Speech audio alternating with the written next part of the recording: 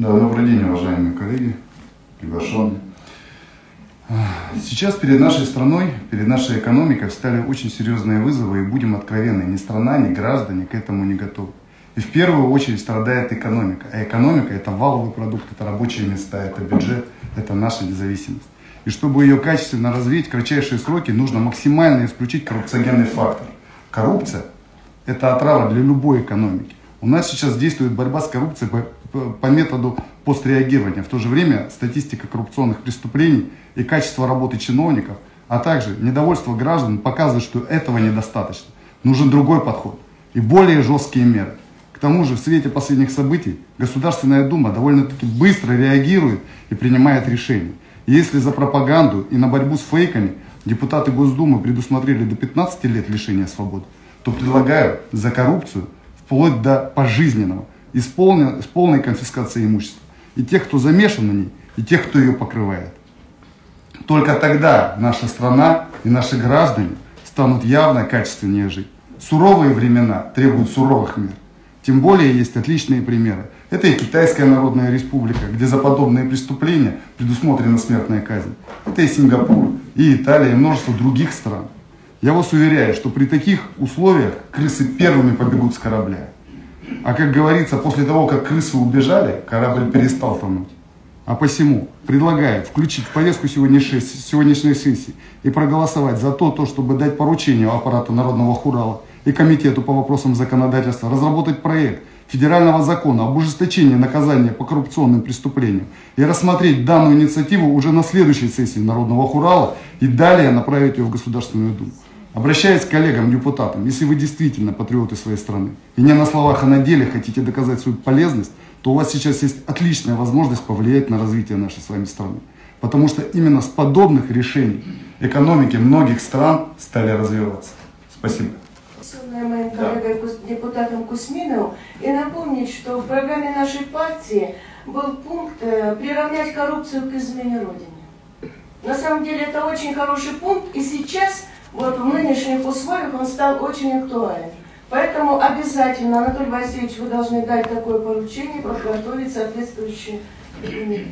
Значит, мы прямо вот э, ведется видеозапись, значит, поручение, предложение председателю, а я такое поручение дам, тем более глава государства тоже готовит там документы, мы в рамках тех правовых основ, наши правовые основы, мы же республика, у нас есть свои особенности. Значит, есть над чем поработать, я тут согласен. Давайте мы такое поручение.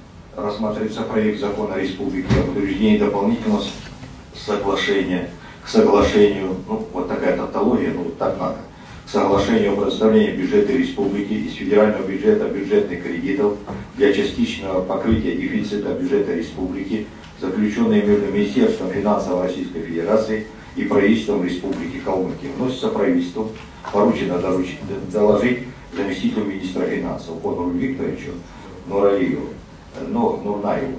Я должен сказать, что министр у нас болеет, он готовился, но вот в течение уже недели серьезно болеет, поэтому, уважаемый коллега, получено заместителю министра. Конор Викторович, пожалуйста. Здравствуйте. В рамках отведенного времени, вот, не распыляйтесь, документы у нас все есть, заключения есть, э, мы уже сосредоточен. Пожалуйста. Спасибо. Уважаемый председатель Народного Урала парламента Республики Калмыкия, депутаты приглашенные, а, на ваше обсуждение представляется проект закона Республики Калмыкия об утверждении дополнительного соглашения к соглашению о предоставлении бюджета Республики Калмыкия из федерального бюджета бюджетных кредитов для частичного покрытия дефицита бюджета Республики Калмыкия, заключенным между Министерством финансов Российской Федерации и правительством Республики Калмыкия. Представленный законопроект разработан в целях выполнения обязательств, принятых Республикой Калмыкия в соответствии с правилами проведения в 2017 году реструктуризации обязательств субъектов Российской Федерации перед Российской Федерацией по бюджетным кредитам, утвержденными постановлением правительства Российской Федерации 13 декабря 2017 года номер 1531. Согласно подпункту Z, пункт 11 указанных правил, одним из обязательств является утверждение дополнительных соглашений законом субъекта Российской Федерации и 7-месячный срок со дня подписания дополнительного соглашения представления копии закона субъекта Российской Федерации Минфин России. А, на основании пункта 7 статьи 16 Федерального закона от 19 декабря 2016 года номер 415 ФЗ о федеральном бюджете на 2017 год и плановый период 18-19 годов и в соответствии с правилами в отношении Республики Калмыкия в 2017 году проведена реструктуризация задолженности по бюджетным кредитам путем заключения соглашения между Минфином России и правительством Республики Калмыкия. Дополнительных соглашений, которые были утверждены законом Республики Калмыкия 6 марта 2018 года номер 275-5-Z. Кроме того, согласно с внесенными изменениями в 2019-2020 годах вышеуказанные правила, республикой также были подписаны дополнительные соглашения, которые были утверждены законами Республики Калмыкия и их копии направлены в Министерство финансов Российской Федерации. А, в 2021 году в соответствии с условиями соглашений о реструктуризации республикой осуществлено частичное досрочное погашение задолженности по бюджетным кредитам. В этой связи внесены соответствующие изменения в графике погашения задолженности и между Минфином России и правительством Республики Калмыкия 29 ноября 2021 года заключено дополнительное соглашение номер 8. Согласно подпункту З пункта 11 правил, дополнительное соглашение номер 8 также подлежит утверждению закона Республики Калмыкия связи с чем разработан представленный законопроект. Законопроект не содержит коррупциогенных фактов. Уважаемые депутаты, прошу вас рассмотреть и поддержать представленный законопроект. Спасибо за внимание. Спасибо, Антон Викторович. Сразу вопрос, пока мои, мои коллеги так сказать, смотрят документы. Что выигрываем, что проигрываем? Ну, э, проигрываем, не знаю, но в крайнем случае, что выигрываем, насколько это полезно что выигрываем э, в связи с э, проведенной реструктуризацией, соответственно, у нас изменился план график погашения задолженности по бюджетным кредитам, соответственно, он стал более плавным. То есть э, мы погашаем равными частями в соответствии с правилами до 2029 года. То есть долговая нагрузка на республиканский бюджет части погашения задолженности по бюджетным кредитам более плавная и бюджета это более эффективно. Рисков тут никаких нет? Рисков здесь нет, да. Пожалуйста, уважаемые коллеги. Наталья Сергеевна, пожалуйста. У меня несколько вопросов. Я уже вам задавала вопросы по графикам, да? Да. Вы что-то не объяснили, что-то не объяснили на комитете, да? У меня вопрос по графикам. Покажи. Вы только что сказали, что мы вносим изменения, да? Дополнительное соглашение в связи с тем, что мы досрочно погасили задолженность. Да?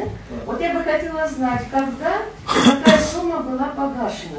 Потому что, исходя из графиков, вот эти вот приложения номер один, номер шесть, мы видим, что последняя задолженность была погашена за 2019 год. А 2020-2021 вообще ничего не гасилось. Вот хотела бы, мне кажется, какая-то логики я не вижу. Объясните. Спасибо. Пожалуйста. В 2020 году у нас не было погашения, потому что в связи с э, коронавирусом были внесены изменения в правила, и федеральный центр нам э, в 2020 году дал послабление субъектам, всем субъектам, кто участвует в реструктуризации.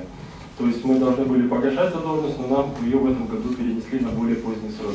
Плавно с 25 по 29 равномерно. В 2021 году мы погашали задолженность. Погасили задолженность э, в размере 197 э, миллионов рублей. А ну, мы погасили за 2019 год. Нет, в 2021 году мы тоже гасили. Но здесь же нигде не указаны. Посмотрите, у вас 6 график, 6 приложений, и нигде в 2020 году стоит вычет. Нет, в 2020 году, в 2020 году мы не гасили, в 2021 мы гасили. В 2021 тоже ничего нет. Ну, нет, стоит в 2021 году. В каком приложении стоит? Нет? В каждом. В каждом из шести. 21 год. До, 31, до 30 ноября 2021 года. Хорошо. Еще вопросы, Наталья нет, У меня следующий вопрос. Пожалуйста. Вот вы говорите, что этот график составлен с тем, чтобы более плавно, да? Э, ну, чтобы меньше, меньше была нагрузка для республиканского бюджета при погашении бюджетной задолженности. Но с другой стороны мы видим по графикам, что резко возрастает нагрузка на бюджет Республики Калмыкия, начиная с 2025 года. Посмотрите внимательно. Да. То есть речь о плавности здесь идти не может. То есть мы переносим долговую нагрузку перед бюджетом Российской Федерации на плечи налогоплательщика, вот, э, начиная с 2025 года основную. Я правильно понимаю? Как бы перекладываем эту нагрузку на следующее поколение налогоплательщиков. По условиям реструктуризации мы ежегодно до 2025 года погашаем в размере 5%, начиная с 2025 года мы уже равными частями от оставшейся суммы задолженности. Это условия э, правила реструктуризации, которые утверждены правительством Российской Федерации. Хорошо. Еще вопрос, Наталья Сергеевна? Спасибо вам. Еще, пожалуйста. Да, Пожалуйста, согласен.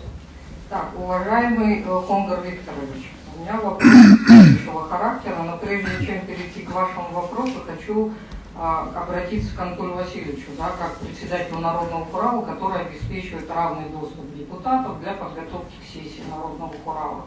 А, вот в проекте закона, который внес председатель правительства Юрий Викторович Зайцев 21 февраля, в распоряжении от 11 февраля докладчиком определен Шурчиева Черсанжевич, номер распоряжения от 11 февраля за номером 32 Р.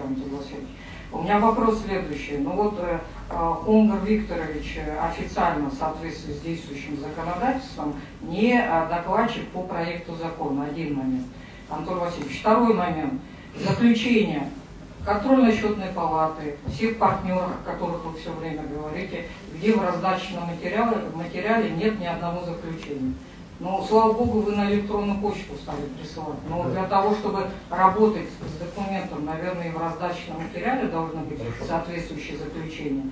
Следующий вопрос у меня к Хонгру Викторовичу. Хонгар Викторович, Скажите, пожалуйста, вот в рамках этого соглашения, да, вы увеличиваете бюджетный кредит. Я не случайно спросила по заключениям, которые прислали а, а, наши а, контролирующие органы, в том числе контрольно-счетная палата Республики Калмыкия, которая ответила, что у нас сегодня бюджетный кредит составляет 4 миллиарда 4 миллиарда 274 миллиона рублей. Да?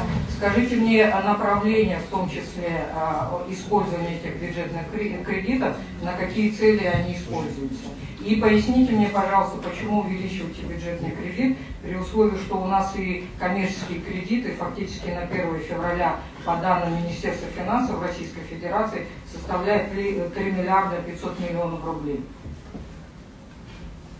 Пожалуйста, понятно? Да, понятно. Э, бюджетные кредиты мы э, не увеличиваем. Э, да, у нас небольшой прирост пошел, удельный вес между бюджетными и коммерческими кредитами. Бюджетные кредиты структура поменялась, увеличилась. В связи с тем, что в прошлом году у нас на федеральном уровне прошла замена коммерческих бюджетными кредитами, поэтому и доля, соответственно, бюджетных кредитов увеличилась.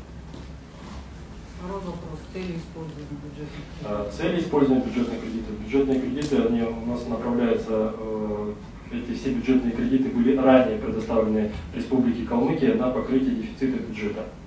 Соответственно, были направлены на покрытие дефицита бюджета на те же социальные выплаты. То есть на сегодняшний день, Конгр э, Викторович, у меня уточняющий вопрос, у нас задолженности по социальным выплатам нет в республике. Правильно? Я так понимаю вас задолженности, ну,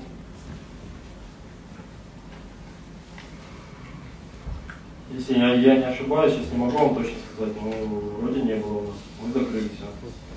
Хорошо, значит, вопрос вроде тут беспокоит, значит, если их нет, то, значит, их нет. Или они есть. Теперь, согласно, что касается мой адрес вопроса, значит, э, у нас от председателя правительства есть письмо о замене докладчика, потому что докладчик болел, он в течение недели болеет. Поэтому не знаю, почему э, мы до вас доводить не должны, но если надо, мы вам дадим это письмо. Антон Васильевич, а до депутатов доводить, это где написано, что можно доводить, а что нельзя? Ну ладно, Антон давайте, не уточняй, это председатель. Я вам ссылаюсь на соответствующие действующие республиканские И, уважаемые коллеги, что касается заключений. Вот я каждому, в каждой сессии вот такие заключения у меня. По каждому вопросу заключения есть. Значит, что касается э, материала раздачного, такие папки нужны. Это надо еще 5 тонн материала. Для чего электронное правительство? Для того, чтобы, вернее, электронный документооборот, для того, чтобы вы могли работать с документами, уже с документами приходить сюда на мероприятие.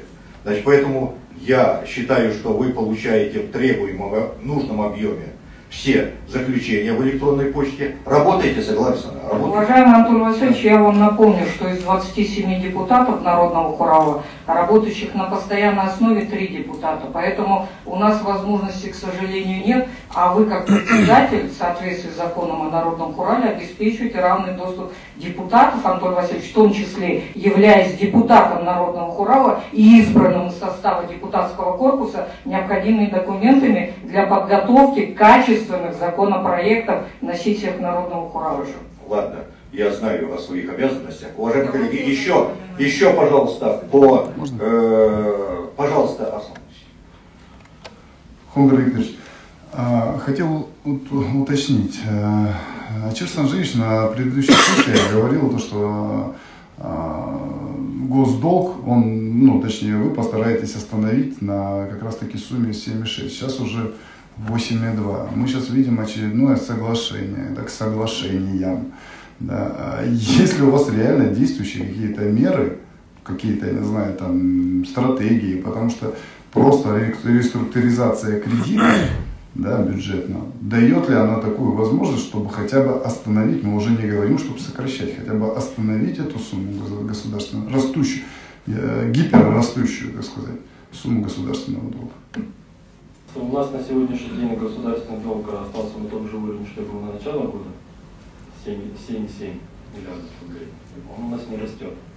Мы не планируем пока наращивать. Мы, как отчет на жизнь докладывал, он у нас будет оставаться на, на, на, данном, на данном уровне. Понятно. Еще вопросы, пожалуйста, уважаемые коллеги. Если нет вопросов, э, пожалуйста, решение комитета, пожалуйста. Добрый день. Комитет народного права парламента Республики Калмыкия по бюджету экономической политики предпринимательской собственности рассмотрел проект закона Республики Калмыкия о подтверждении дополнительных соглашений, соглашением предоставления бюджета Республики Калмыкия с федерального бюджета бюджетных кредитов для частичного покрытия дефицита э, бюджета Республики Калмыкия, заключенного между Министерством финансов Российской Федерации и правительством Республики Калмыкия, решил рекомендовать Народному праву парламента Республики Калмыкия принять данный законопроект. Уважаемые коллеги, решение комитета озвучено. Возникли вопросы? Если нет, прошу подготовиться к голосованию. Идет голосование. Кто за принятие этого постановления? За. А, на ваше обсуждение представляется проект закона Республики Калмыкия о внесении изменений в закон Республики Калмыкия о методике распределения между поселениями субвенций из бюджета бюджетной системы Российской Федерации на осуществление полномочий по первичному воинскому учету на территориях, где отсутствует военные комиссариаты. Представленный законопроект разработан в целях приведения методики распределения субвенций бюджета муниципальных образований в соответствии с постановлением правительства Российской Федерации 2 апреля 2021 года номер 553 о внесении изменений постановления правительства Российской Федерации от 29 апреля 2006 года номер 258 о субвенциях на осуществление полномочий по первичному воинскому учету э, органов местного самоуправления, поселений, муниципальных и городских округов. Изменениями уточнено наименование субвенции, скорректирована методика распределения субвенций на осуществление полномочий Российской Федерации по первичному воинскому учету в части исключения слов на территориях, где отсутствуют военные комиссариаты. Уточнены формулировки в формулах э, по нормативам рабочего времени для освобожденных работников и работников, осуществляющих работу по первичному воинскому учету по совместительству. Проект закона не содержит коррупционных факторов и коррупциогенных норм. Э, реализация законопроекта не потребует дополнительных средств из бюджета. Уважаемые депутаты, прошу вас э, рассмотреть и поддержать представленный законопроект. Уважаемые коллеги, Хонар Викторович, вопросы, пожалуйста. Пожалуйста, Самон. Вот три распоряжения, которые связаны с докладчиком, с изменением докладчика. Значит, это внутренние документы парламента, с которым работает председатель. Он, э, соответственно, дает поручение по всем, от 1 марта Антон Васильевич, я вам показывал раздатку. Да. Значит, там... Передать вам папку мою? Ну, ну что с вами дискуссии? Есть заключение. Прокуратура контрольной палаты. Сергей Александрович, я у вас не спрашиваю. Это мое право работать на сессиях Значит, согласен. В соответствии здесь еще Я вам ответил. Антон Васильевич, я вам указываю еще раз. Вы мне указывать не можете. В соответствии с законом о народном хурале, Анатолий Васильевич. Вы не можете мне Проект закона вносится субъектом законодательной инициативы, где распоряжение по докладчику. Это один момент. Где заключение? Почему они не розданы депутатам? Согласен. Что вы зациклились? Я вам ответил. Пожалуйста, Хонгару Викторовичу вопрос. У меня вопрос к Хунгуру Викторовичу. Хунгур Викторович, на 2022 год вы ставите субвенцию да, органам местного самоуправления. Мы с вами утверждали э, в декабре месяце на прошлой сессии бюджет. Скажите, пожалуйста, за счет каких э, финансовых средств вы доведете, то есть за счет каких лимитов эти субвенции органам местного самоуправления? Спасибо. Пожалуйста. Спасибо за вопрос. А, Сами субвенции, они как были, так и остаются. Это средства федерального бюджета, это передаваемые полномочия. А, Они как у нас в бюджете были, так и, еще раз повторяюсь, так и остались. Только меняется наименование. Мы в закон а, вносим изменения в части приведения соответствий с действующим федеральным законодательством. Меняется просто наименование субвенции и некоторые формулировки при расчете данной субвенции. Сам закон не меняется. Сам закон не меняется. Да. А, Понятийные закон- дела вносятся, понятно. По- Еще вопросы? Если больше вопросов нет, представитель комитета, пожалуйста. Комитет народного права парламента Республики Калмыкия по бюджету энергетической политики предпринимательской собственности рас- рассмотрев проект закона Республики Калмыкия о внесении изменений в закон Республики Калмыкия о методике распределения между поселениями субвенций из бюджета бюджетной системы Российской Федерации осуществления полномочий по первичному воинскому учету на территории, где отсутствуют военные комиссариаты. Решил рекомендовать народному права парламента Республики Калмыкия принять данный законопроект. Уважаемые коллеги, комитет рассмотрел данный вопрос, озвучил его решение. Э, Есть какие-то вопросы, противоречия? Нет. Если нет, прошу проголосовать. Кто за? Голосуем за. 24. Уважаемые депутаты, разработка законопроекта обусловлена необходимостью разрешения проблемы, связанной с восстановлением нарушенных прав граждан-участников долевого строительства многоквартирных домов, пострадавших от недостроительных действий застройщиков. В настоящее время в едином реестре проблемных объектов состоят 4 многоквартирных дома, застройщики которых заключили с гражданами 113 договоров долевого участия на общую сумму 13,4 миллионов рублей. Сроки исполнения по которым наступили еще в 2018-2020 годах. На стадии разработки данного проекта закона пути решения обозначенной проблемы неоднократно обсуждались на различных площадках с участием правительства, регионального Минстроя, городской администрации и, конечно, непосредственно с пострадавшими гражданами. В результате был выработан окончательный вариант проекта регионального закона, предлагающий несколько вариантов разрешения названной проблемы. Первое – это оказание содействия пострадавшим участникам строительства, создания и организации деятельности жилищно-строительного кооператива с целью завершения строительства проблемного объекта, либо бесплатное предоставление пострадавшим участникам долевого строительства земельных участков. Второе – это привлечение инвестора, который за- завершает строительство проблемного объекта за счет собственных средств и передает жилье, жилые помещения в собственность пострадавшим дольщикам или передает им собственность квартиры в ином многоквартирном доме, либо выплачивает им денежную компенсацию. С этой целью инвестору предоставляется право на заключение договора аренды иного земельного участка, находящегося в государственной собственности Республики Калмыкия или муниципальной собственности, либо государственной собственности, которая не разграничена, без проведения торгов в целях реализации масштабного инвестиционного проекта. Безусловно, принятие названного проекта закона должно повлечь расходы из регионального бюджета, но только в том случае, если пострадавшие дольщики изъявят желание организовать жилищно-строительный кооператив. Прошу депутатов поддержать представленный законопроект и принять его в. Благодарю за внимание. Уважаемые коллеги, э, доклад окончен. Вопросы к Евгению Евгеньевичу есть? Пожалуйста. Уважаемый Евгений Евгеньевич, при внесении данного законопроекта в финансово-экономическом обосновании, да, вы как субъект законодательной инициативы пишете, что ввиду отсутствия данных о намерениях пострадавших участников долевого строительства создать даже жилищно-строительные кооперативы в целях завершения строительства проблемного объекта не позволяет рассчитать объем предполагаемых дополнительных расходов с республиканского бюджета.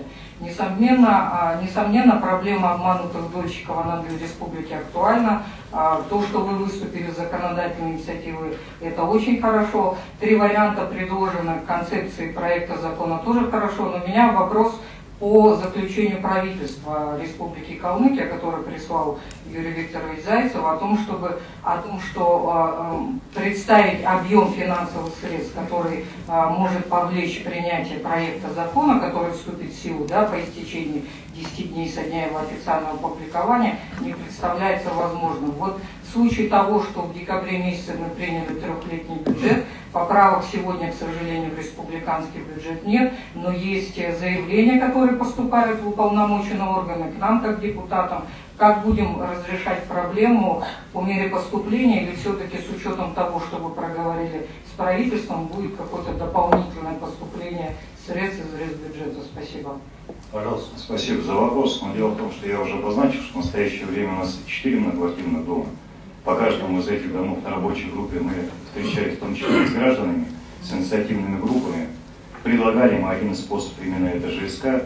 Но дело в том, что ЖСК никто из граждан не хочет рассматривать, потому что, э, как правило, за счет именно бюджетных денежных средств достроить не представится возможно, то есть гражданам нужно будет участвовать и своими денежными средствами. Вот. Вместе с тем, безусловно, исходя из составляющей каждой семьи, которая у нас и так очень большую крупную сумму потратила, кто-то влез еще в долги, кто-то в кредиты, э, на адрес полностью инициативная группа, они отказываются из рассмотрения именно данной формы. Поэтому мы ее учли на будущее, если вдруг возникнет э, такая необходимость. А в практике как это будет деньги? А в практике это будет субсидии с правительства на достройку. Договоренности с правительством есть, да, по финансированию? Есть. Спасибо. Еще есть вопросы? У меня есть вопрос. А, пожалуйста, Наталья. Значит, этот вопрос обсуждался на бюджетном комитете и остался невыясненным следующий пункт. Вот э, вопрос, который касается бесплатного предоставления земельных участков. Мы так, все многоквартирные дома расположены в городе Листа, да? Значит, э, все земельные участки будет предоставлять администрация города Листы. Согласна с этим. В то же время в заключении, которое дает председатель Листинского городского собрания, говорится, что неурегулированным остается порядок обеспечения объектами инфраструктуры земельных участков, находящихся в государственной и муниципальной собственности, при предоставлении собственности гражданам в качестве меры поддержки бесплатно.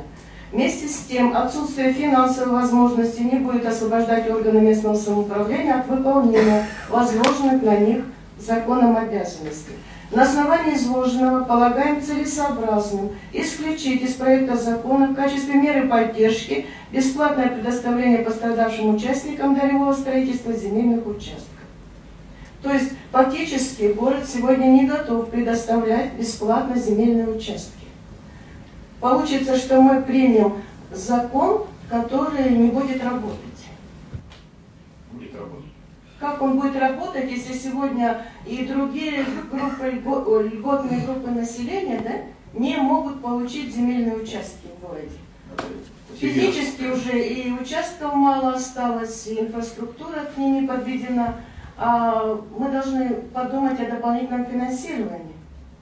На самом деле, Сагара Александровна права, и в этой части возникает вопрос дополнительного финансирования этого закона. Поэтому вот э, я понимаю, что закон нужен, закон Иначе мы не продвинемся никуда. Да. Они Ну, не хотят никто, где продвинемся? город, никто. Ну Если давайте, не ну будем выделять им землю где-нибудь в районе поселка Ашан или Савын. Они согласятся без всякой инфраструктуры, будут там хутора стоять без света, газа, без воды. Ну не об этом. Как не об этом? А речь идет об этом. Вот э, заключение главы, а, ответ главы. Елисейского городского собрания. На самом деле проблем с, зем- с выделением земельных участков в городе очень много. И вы, как прокурор, наверное, прекрасно знаете, на каждом заседании Елисейского городского собрания э, присутствует, по-моему, представитель городской прокуратуры. И они как раз возмущаются по поводу того, что каждый раз, на каждом заседании э, рассматривается вопрос перевода земель из зоны зеленых насаждений в различные другие, там, под ИЖС, под многоквартирные дома, под коммерческую застройку. Скоро наш город останется без зеленой зоны. И в условиях изменяющегося климата мы вообще все здесь задохнемся. 40-градусную жару. Вот эти вопросы нужно продумывать. На самом деле, мне кажется, вот в этой части законопроект достаточно не до конца продуман, и он не будет просто действовать. Конечно, можно принять этот законопроект, но нам нужны законопроекты, которые реально будут работать, а не просто для бумажки. Аслан Борисович, по порядку. Ну, да, Евгений Евгеньевич, хотел бы э, сказать, что, конечно, законопроект нужно, конечно, надо двигаться в этом направлении. Но, опять же, давайте возьмем в части того, то, что насколько потом эти законы работают, да, и э, вот, э, опять же, по этому многоквартирному дому, да, который на третьем микрорайоне построился для э, переселенцев, которые ну, на седьмом микрорайоне, на восьмом микрорайоне взорвался, на втором микрорайоне взорвался,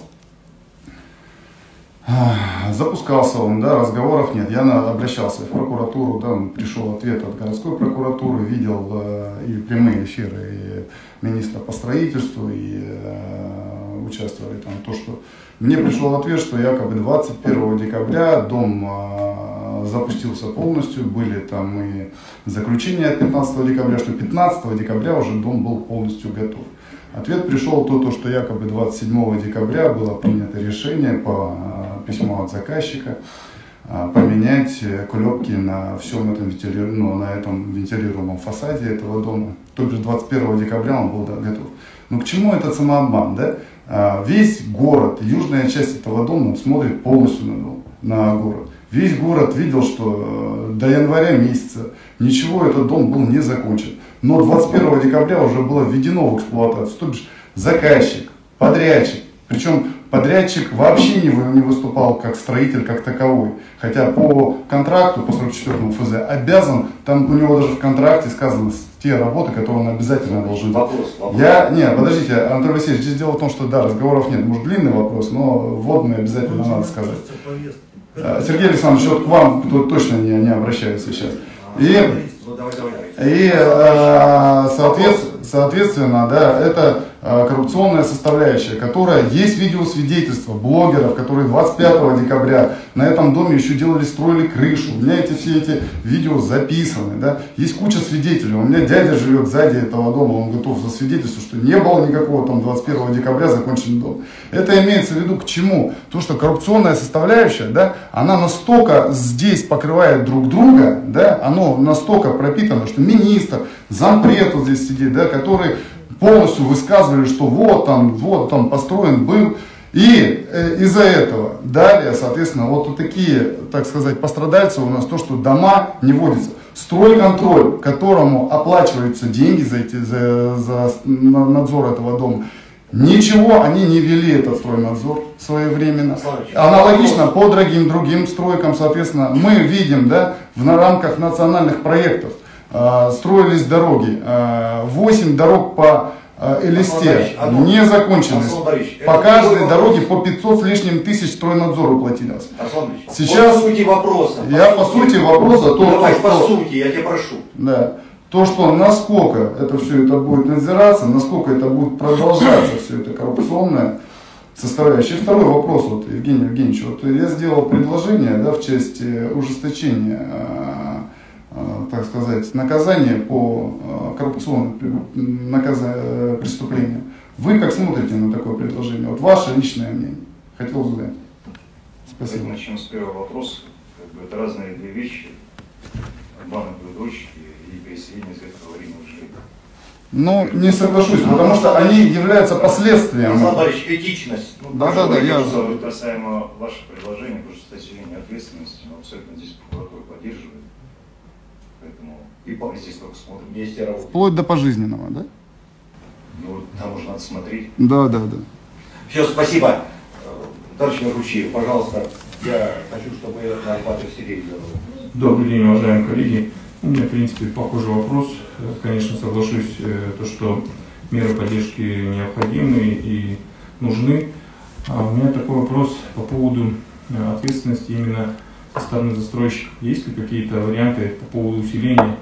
А, почему? Потому что, ну, все мы знаем, есть у нас один застройщик, который там рекордное количество возбужденных уголовных дел, но тем не менее он продолжает также строить. Просто мы все понимаем, что вот эти меры поддержки – это следствие а нужно еще и с причиной бороться.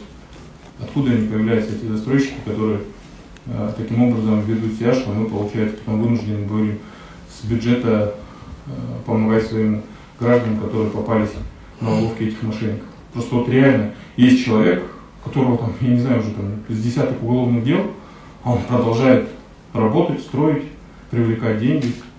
Это же мы через два года будем и этим помогать, если это никак не прекратить.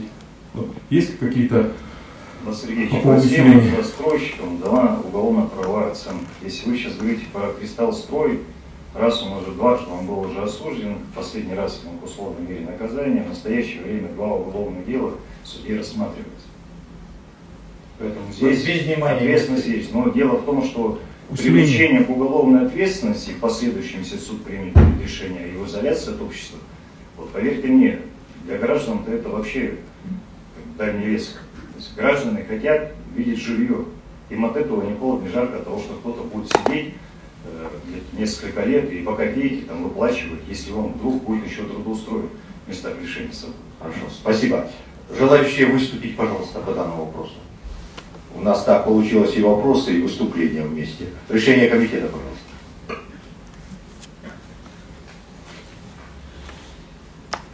Комитет народного права парламента Республики Калмыкия по бюджету экономической политики предпринимательства собственности рассмотрев проект закона Республики Калмыкия о мерах поддержки пострадавших участников долевого строительства многоквартирных домов на территории Республики Калмыкия, решил рекомендовать народному права парламента Республики Калмыкия принять данный законопроект с учетом следующих изменений. Э, В части 3 и 4 статьи 4 законопроекта считать частями 2 и 3 соответственно. Статья 4 законопроекта дополнить частью 4 в следующей редакции. Соглашение о реализации масштабного инвестиционного проекта, указанного в части 3 настоящей статьи, заключается между полномоченным правительством Республики Калмыкия и органом исполнительской власти и инициатором проекта в порядке, установленном правительством Республики Калмыкия. В части 1 и 2 статьи 8 изложить следующей редакции. Если расходы инвестора необходимы для исполнения обязательства э, по обеспечению восстановления прав пострадавших участников долевого строительства, а также на, на переход установленным законодательством Российской э, Федерации, порядок прав обязанностей застройщиков проблемного объекта в отношении проблемного объекта и земельного участка, на котором расположен данный э, э, проблемный, проблемный объект, либо приобретенное имущество, в том числе имущество прав. И обязательства застройщика проблемного объекта в соответствии с нормами федерального закона под номером 127 э, федерального закона. Э, Больше рыночной стоимости, жилых и нежилых помещений. В проблемном объекте. Свободных от прав граждан, заключенный договор участия в долевом строительстве с застройщиками, определенный по- на дату государственной регистрации, переход к инвестору прав и обязанности застройщика. Проблемного объекта. В отношении проблемного объекта и земельного участка, на котором расположен данный проблемный объект, либо на дату государственной регистрации перехода к инвестору прав на земельный участок, на котором расположен данный проблемный объект, находящийся на нем не- неотделимым улучшением, по, э, то инвестору предоставляется право на заключение договора аренды иного земельного участка, находящегося в государственной собственности Республики Калмыкия или муниципальной собственности, либо государственной собственности, на котором не разграничено без проведения торгов в целях реализации инвестиционного проекта. Второе. Кадастровая, стоимость земельного участка, предоставляемого в аренду без проведения торгов в целях реализации масштабного инвестиционного проекта, не может быть более, э, больше суммы расходов затрат инвестора, указанной в части 1 настоящей, настоящей статьи, уменьшенной на рыночную стоимость жилых и нежилых помещений, свободных от прав граждан, заключенных, заключенных до- договоров участия в долевом строительстве с застройщиками, определенным на дату государственной регистрации перехода к инвестору прав и обязанностей застройщика проблемного объекта в отношении проблемного объекта и земельных и участков, на которых расположен данный проблемный объект, либо на дату государственной регистрации перехода к инвестору прав на земельные участки, на котором расположен данный проблемный объект с находящимся на нем неотделимым- неотделимыми улучшениями. Решение комитета озвучено. Уважаемые коллеги, возникли противоречия? Если не возникли, прошу подготовиться к голосованию по вопросу номер 4. Законопроект постановление на руках. Кто за? За. 24. Уважаемые депутаты, настоящий законопроект является спутником ранее представленного вашего внимания проекта закона о поддержке пострадавших участников боевого строительства. Проектом закона предлагается дополнить закон Республики Калмыкия в установлении критериев, которым должны соответствовать объекты социально-культурного, коммунально-бытового значения, масштабные инвестиционные проекты, для размещения которых допускается предоставление земельного участка в аренду без проведения торгов, критериями, определяющими масштабный инвестиционный проект. Одновременно предлагаем дополнить закон Республики Калмыкия о регулировании земельных отношений в Республике Калмыкия новым положением, регламентирующих порядок и условия бесплатного предоставления собственности пострадавшим часть дорогого строительства земельных участков. Принятие настоящего закона не потребует дополнительных расходов из республиканского бюджета. Прошу депутатов поддержать представленный законопроект и принять его в двух чтениях. Наталья Сергеевна сказала, да, то, то, что будут, соответственно, возникать вопросы у нас потом по выдаче этих земельных участков а, с а, тем, то, что земельных участков особо нет. Дело в том, что вот я тоже неоднократно писал по градостроительному плану, который у нас уже, по сути, уже, в принципе, бездейственный. Вы, Евгений Евгеньевич, прекрасно это знаете, то, что уже есть решение суда, да, есть кассационное решение да, суда. То, то, что, э, то, на что ссылается у нас градостроительный план э, и листы, а я так думаю, то, что это помимо того, что и листы, это все остальные муниципалитеты, которые имеют градостроительные планы, у них тоже, соответственно, они не соответствуют когда мы, вы, как прокуратура республики, потребуете приведения в соответствие градостроительного плана Элисты и других муниципалитетов. Пожалуйста. Александр Борисович, вам на ваше обращение даны письменный ответ. Если вы не согласны с какой-то частью ответа, пожалуйста, обжалуйте. Нет, на последнее пока еще не... Сейчас все свои здесь, не, на последнее пока не. Но просто в рамках этого вопроса как раз таки... Ну, получите ответ, можете обратиться в органы прокуратуры для его разъяснения. Я вам дам разъяснение. Уважаемые коллеги, давайте так мы договоримся. Задал вопрос, ответ. Значит, нужно что-то уточнить. Уточним. Ну что мы устраиваем? Ну, уточняем. взрослые люди. Так, пожалуйста, еще вопросы. Желающие, а Наталья Сергеевна, пожалуйста. Ну, так как мы уже проголосовали за принятие законопроекта предыдущего, да, да, да, этот да. практически является спутником, Да. и он уточняет, поэтому, наверное, надо его принимать. Спасибо, Наталья Сергеевна. Если желающих выступить нет, решение комитета прошу озвучить. Комитет Народного права парламента Республики Калмыкия по бюджетной политики коммерческой собственности, рассмотрев проект закона Республики Калмыкия о внесении изменений в отдельные законодательные акты Республики Калмыкия, решил рекомендовать Народному права парламента Республики Калмыкия принять данный законопроект с учетом следующих изменений. Первое. Подпункт Б. Пункт 2 статьи 2 законопроекта считать подпунктом В.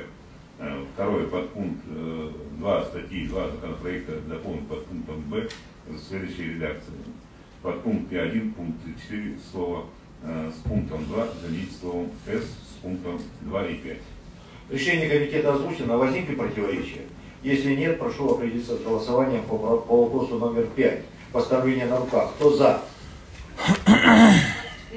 Единогласно. Спасибо, уважаемые депутаты. Спасибо, Евгений Евгеньевич. Мы приступаем к проекту закона Республики о внесении изменений в закон Республики об административных правонарушениях в Республике Калмыкия. Вносится прокурором Евгений Евгеньевич докладывает. Пожалуйста, Евгений Уважаемые депутаты, представленный вашему вниманию законопроект разработан в целях обеспечения своевременной актуализации региональной программы капитального ремонта, корректировки очередности проведения капитального ремонта.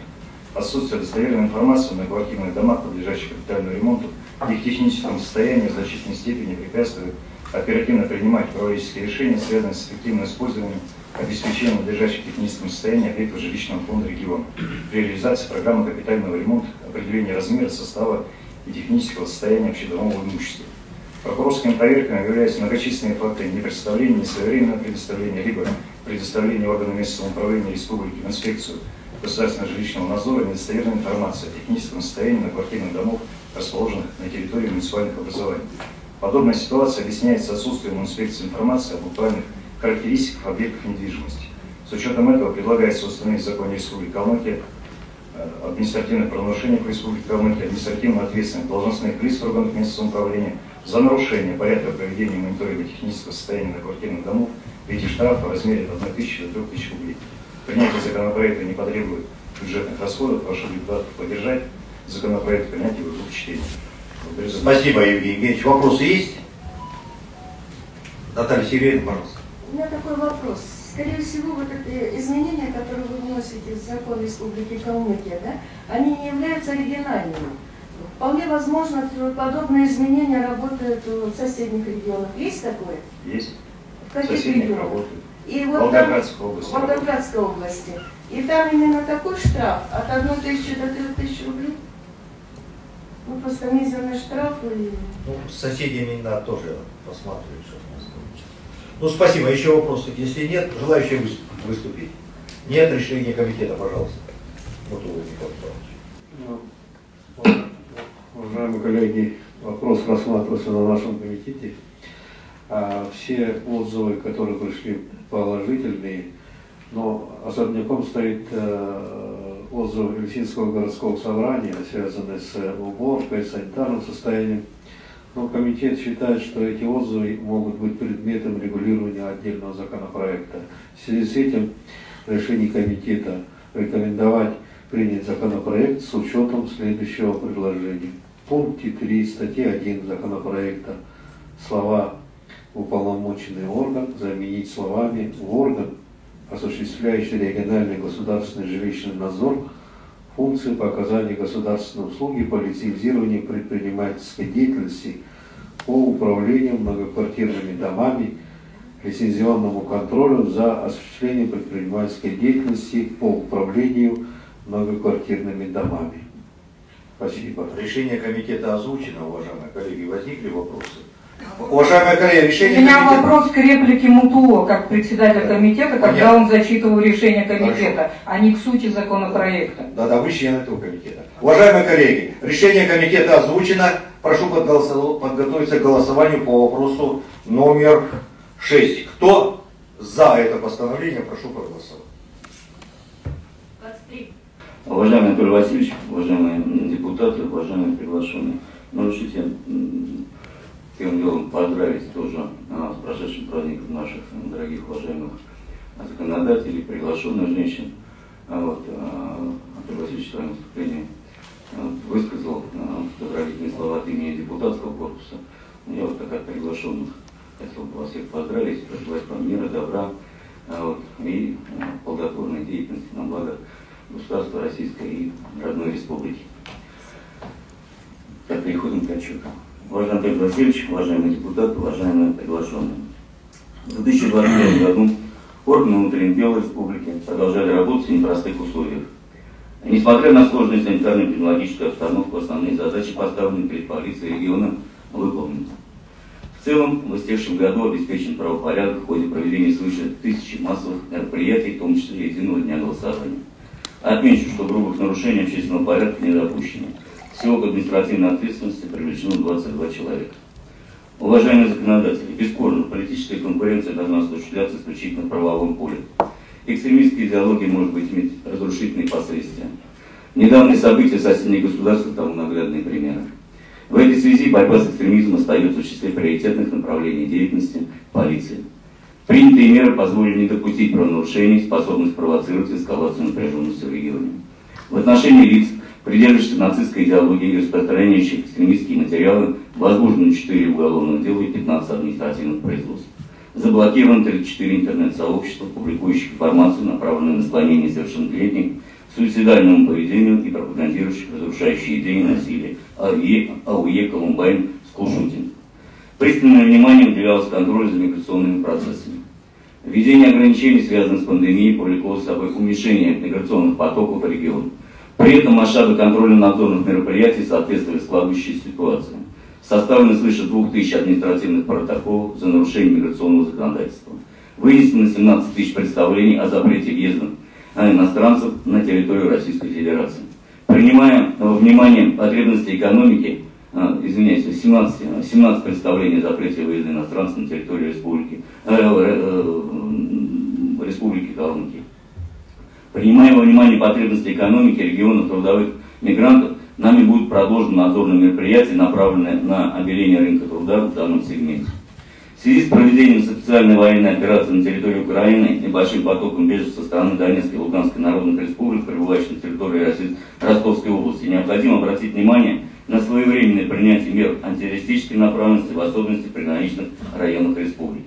В целом, характеризуя состояние оперативной обстановки в регионе, отмечу, что в органы внутренних дел прошедшем году поступило свыше 36 тысяч заявлений и сообщений о преступлениях и правонарушениях. С учетом имеющегося комплекта нагрузка на личный состав осталась весьма существенной и продолжает расти. Более того, второй пандемийный год заставил нас адаптироваться к длительным и благоприятным условиям функционирования. Не могу не отметить, что сотрудники органов дел проявили высокую сознательность вопросов вакцинации от COVID-19, обеспечив 70% уровень коллективного иммунитета. По-прежнему основной объем выполненных задач приходится на службу участковых уполномоченных полиции. На их плечи ложится каждое второе заявление и обращение граждан о преступлениях и происшествиях. Ими раскрыто около трети всех преступных посягательств. Складывающаяся социально-экономическая ситуация и оперативная обстановка в стране требует более де деятельного участия регионов в реализации государственной политики по обеспечению законности, правопорядка и общественной безопасности. Напомню, эти вопросы находятся в совместном ведении Российской Федерации и ее субъектов. Подчеркну, что Министерство внутренних дел России и региональным министерством, в свою очередь, предпринимаются активные усилия в развитии службы участковых уполномоченных полиции в рамках соответствующей концепции, рассчитанной до 2023 года включительно. Вместе с тем обеспечить достижение ее целей, в числе которых повышение уровня социальной гарантии участковых исключительно за счет внутренних резервов будет чрезвычайно сложно. Эффективность этой работы могла быть на порядок выше при содействии региональных властей. Положительных примеров по решению данных вопросов в стране имеется немало. К примеру, в четырех российских субъектах для участковых предусмотрены единовременные ежемесячные выплаты в пяти регионах имеется положительный опыт выделения средств на строительство либо приобретение жилья. Необходимо отметить, что в рамках реализуемых республики государственных и муниципальных программ заложены мероприятия по выделению либо строительству служебных помещений для нужд участковых. Однако данные мероприятия остались фактически нереализованы ввиду недостаточного финансирования. В настоящее время служебные помещения участковых отсутствуют в пяти населенных пунктах. Необходим ремонт 37 используемых пунктов полиции. Кроме того, жилыми помещениями, выделенными из муниципального жилищного фонда, обеспечено всего 3 участковых уполномоченных из 165. Те самым обеспеченность составляет 1,8%. Одновременно в участковых имеется некомплект, 5 вакансий, при этом существующий уровень денежного удовольствия ограничивает на текущий момент возможности качественного отбора кандидатов. Не менее сложная ситуация подразделение патрульно-постовой службы, где некомплект составляет 9,7%, а уровень заработной платы составляет на сегодняшний день желать лучшего. Принципиальное значение имеет борьба с незаконной торговлей алкоголем. В прошлом году, прошедшем году пресечено 237 таких нарушений в административном порядке и 8 в рамках применения уголовного законодательства. Из незаконного оборота изъято свыше 38 тысяч литров спиртосодержащей продукции. Напомню, что в нашем регионе уже имело место факты массового отравления суррогатным алкоголем в 2018 году в Сарпинском районе. Несомненно, случившееся стало дополнительным поводом для критики правоохранительной системы. И отчасти данные упреки обществу справедливы. Между тем, корень этой проблемы, как вы понимаете, кроется гораздо глубже. К трагическим событиям прежде, привел, прежде всего привел низкий уровень жизни граждан и неразвитой соответствующей социальной сферы в отдельных так называемых депрессивных районах. Несмотря на то, что мы максимально усилили работу на данном направлении, не должно возникать иллюзий, что проблему удастся решить лишь одними правоохранительными инструментами. Министерством, как одним из ключевых субъектов профилактики, системно решались вопросы по предупреждению правонарушений в подростковой среде. В современных условиях именно несовершеннолетние активно вовлечены в цифровые технологии, что несет за собой определенные риски. Только за последние пять лет число преступлений, совершенных в киберпространстве в отношении лиц, не достигших совершеннолетия, увеличилось в стране в три раза, в нашем регионе в семь раз. В структуре данных преступлений более половины составляют развратные насильственные действия сексуального характера.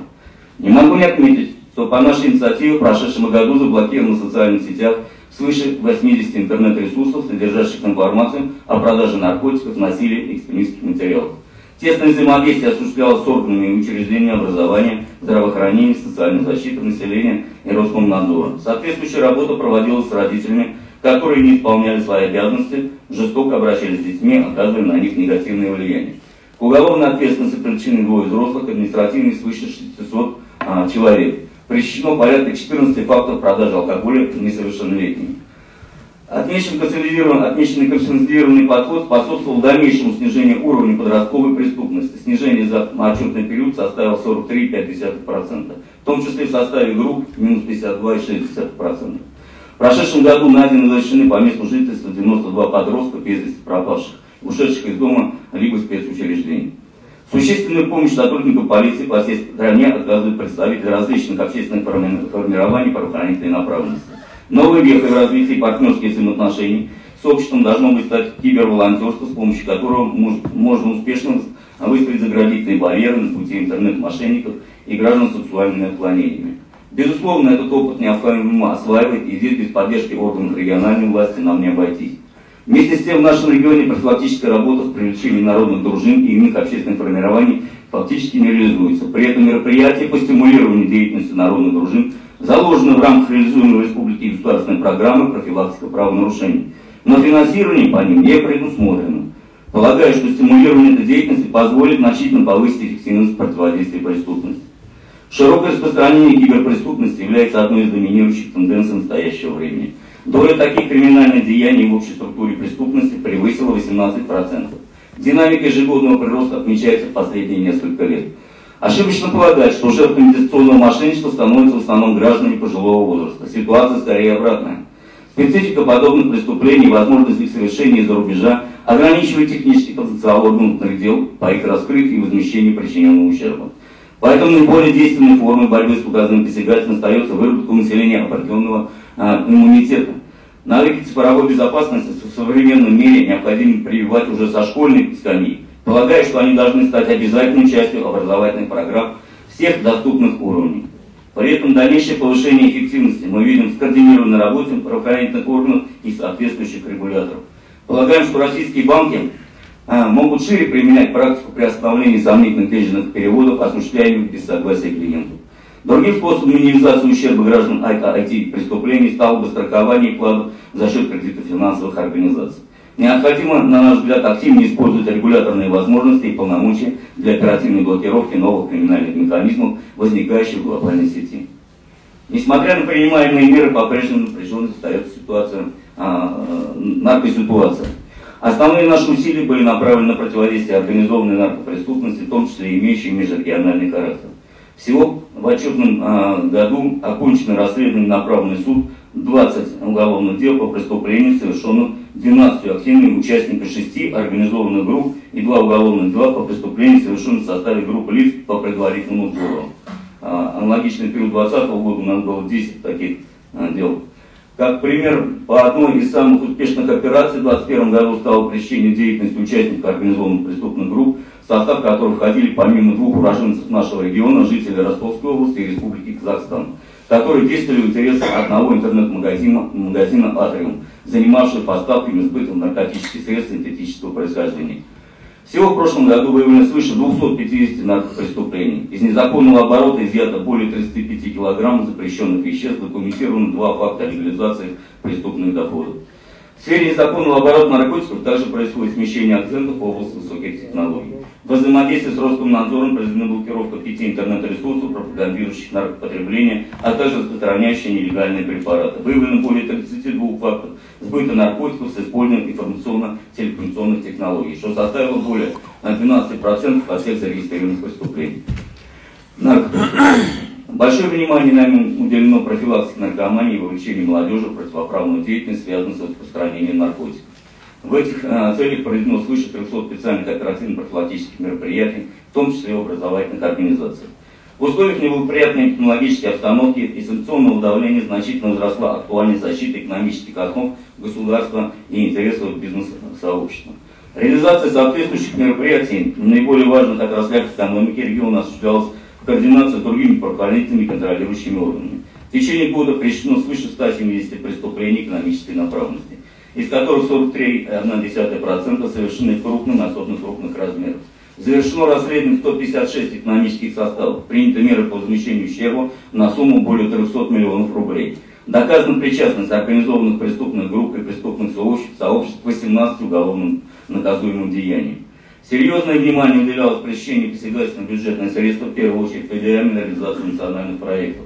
Всего сотрудников подразделений экономической безопасности, противодействия коррупции выявлено 9 квалифицированных преступлений, связанных с их хищением и целевым использованием, большая часть которых совершены в крупном размере. размере. Из них связаны с реализацией национального проекта «Демография-6», жилье 2, здравоохранение 1. Органы внутренних дел в рамках реализации национального плана противодействия коррупции задокументировано 26 должностных преступлений, в том числе 12 фактов взятничества. В целом, реализация комплекса мер, направленных на системное противодействие преступности, дала свои позитивные результаты. В прошедшем году зарегистрировано почти 3000 преступлений. При этом раскрыто более 2000 преступных деяний. Раскрывание составило 72,6%. Для сравнения, Южный федеральный округ, отчетный период это 50%, Российская Федерация 52,5%. Одновременно установлена причастность лиц к совершению 484 а, тяжких и особо тяжких преступлений. Их раскрываемость по тяжким и особо тяжким достигла 66,7%. Южный федеральный округ 42,1%, Россия 42,7%. Стабильно высоким оставались показатели раскрываемости убийств, фактов умышленного причинения тяжкого вреда здоровью, изнасилований, разбойных нападений и грабежей. Благодаря грамотным и профессиональным действиям сотрудников полиции раскрыт ряд резонансных преступлений, произошедших в последнее время в нашем регионе, регионе включая убийство с разбойным нападением в городе Элисте и Сарпинском районе. Соответствии с майским указанием продолжена реализация комплекса мер по противодействию организованной преступности, в том числе сформированной на этнической основе. Пресечена деятельность 70 лидеров и активных участников организованных преступных групп. Выявлено два факта создания преступного сообщества или участия в нем. В прошлом году установлено искажение 107 лиц, скрывающихся от органов дознания, следствия и суда, а также 28 пропавших без вести. Однако это не дает нам повода для самоуспокоения. Люди, находящиеся в зоне риска, подверженные криминальному влиянию, должны постоянно находиться на виду полиции. При этом в числе наших главных приоритетов остается повышение качества направляемых в суд уголовных дел, а также максимальное возмещение ущерба пострадавших от преступлений. Не менее важным запросом общества и стратегической задачей государства является снижение смертности и травматизма на автомобильных дорогах. Ключевая роль в ее решении отведена национальному проекту «Безопасные и качественные дороги». В рамках ее реализации территориальных подразделений ГИБДД поставлено 28 новейших технических средств контроля. Автопарк э, госавтоинспекции обновлен на 39 патрульных автомобилей. В настоящее время система автоматической фиксации нарушений правил дорожного движения включает в себя 93 комплекса. За год их число возросло на 35 единиц. Как следствие, в местах а, расположения такого оборудования отмечается снижение количества происшествий, а главное тяжесть наступивших последствий.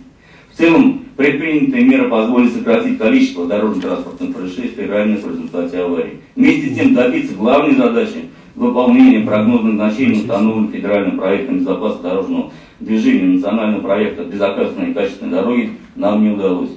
В регионе остались недостигнуты индикаторы прогнозных значений социального и транспортных рисков. В целях достижения поставленной задачи по сокращению смертности в результате ДТП в 2021 году госавтоинспекцией было организовано межведомственное взаимодействие с органами исполнительной власти и органами местного самоуправления, региональными профильными министерствами главой республики.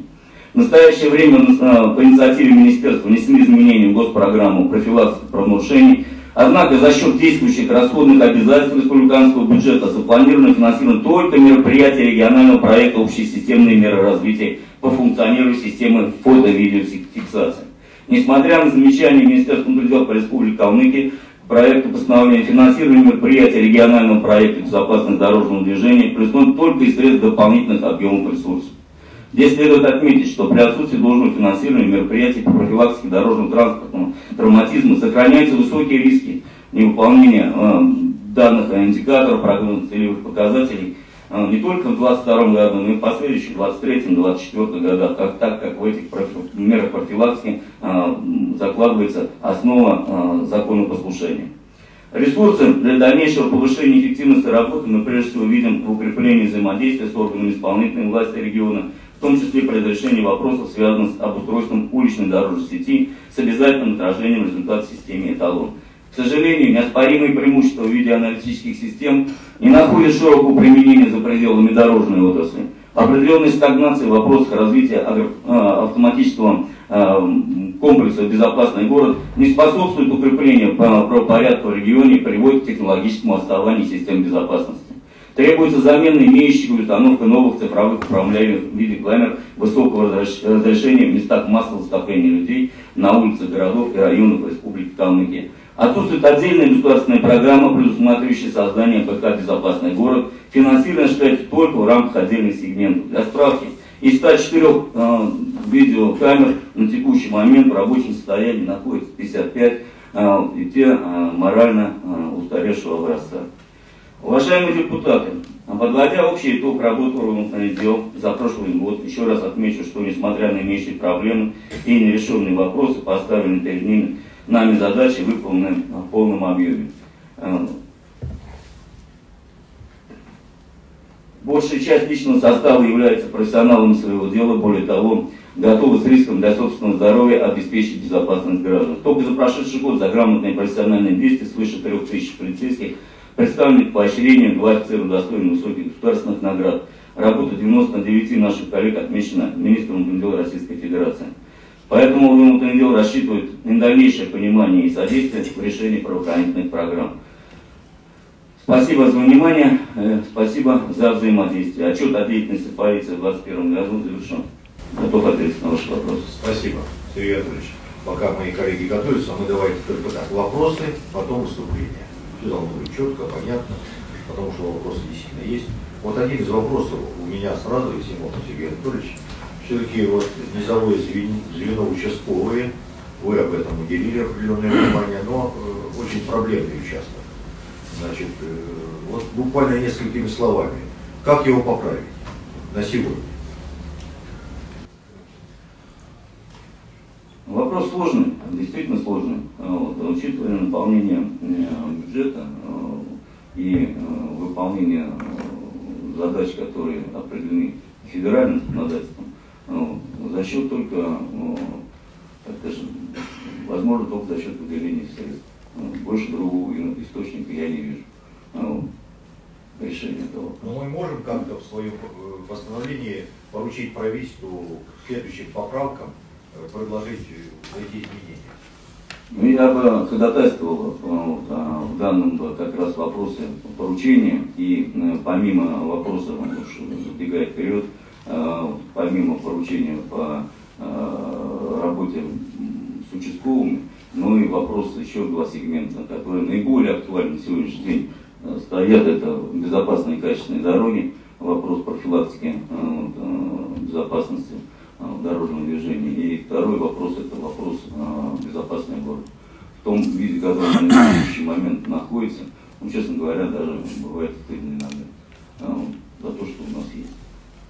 Уважаемый Сергей Анатольевич, да, но мы с вами буквально на 22-й сессии заслушивали также ваш отчет подчиненных органах за 2020 год. Сегодня у нас есть возможность задать вам вопросы за 2021 год. Скажите, пожалуйста, а, резонансное нападение на коллегу нашего депутата Народного Урала парламента Республики Калмыкия Кузьминова Арслана Борисовича, насколько сегодня есть вообще э, виновные лица и найден ли заказчик данного преступления?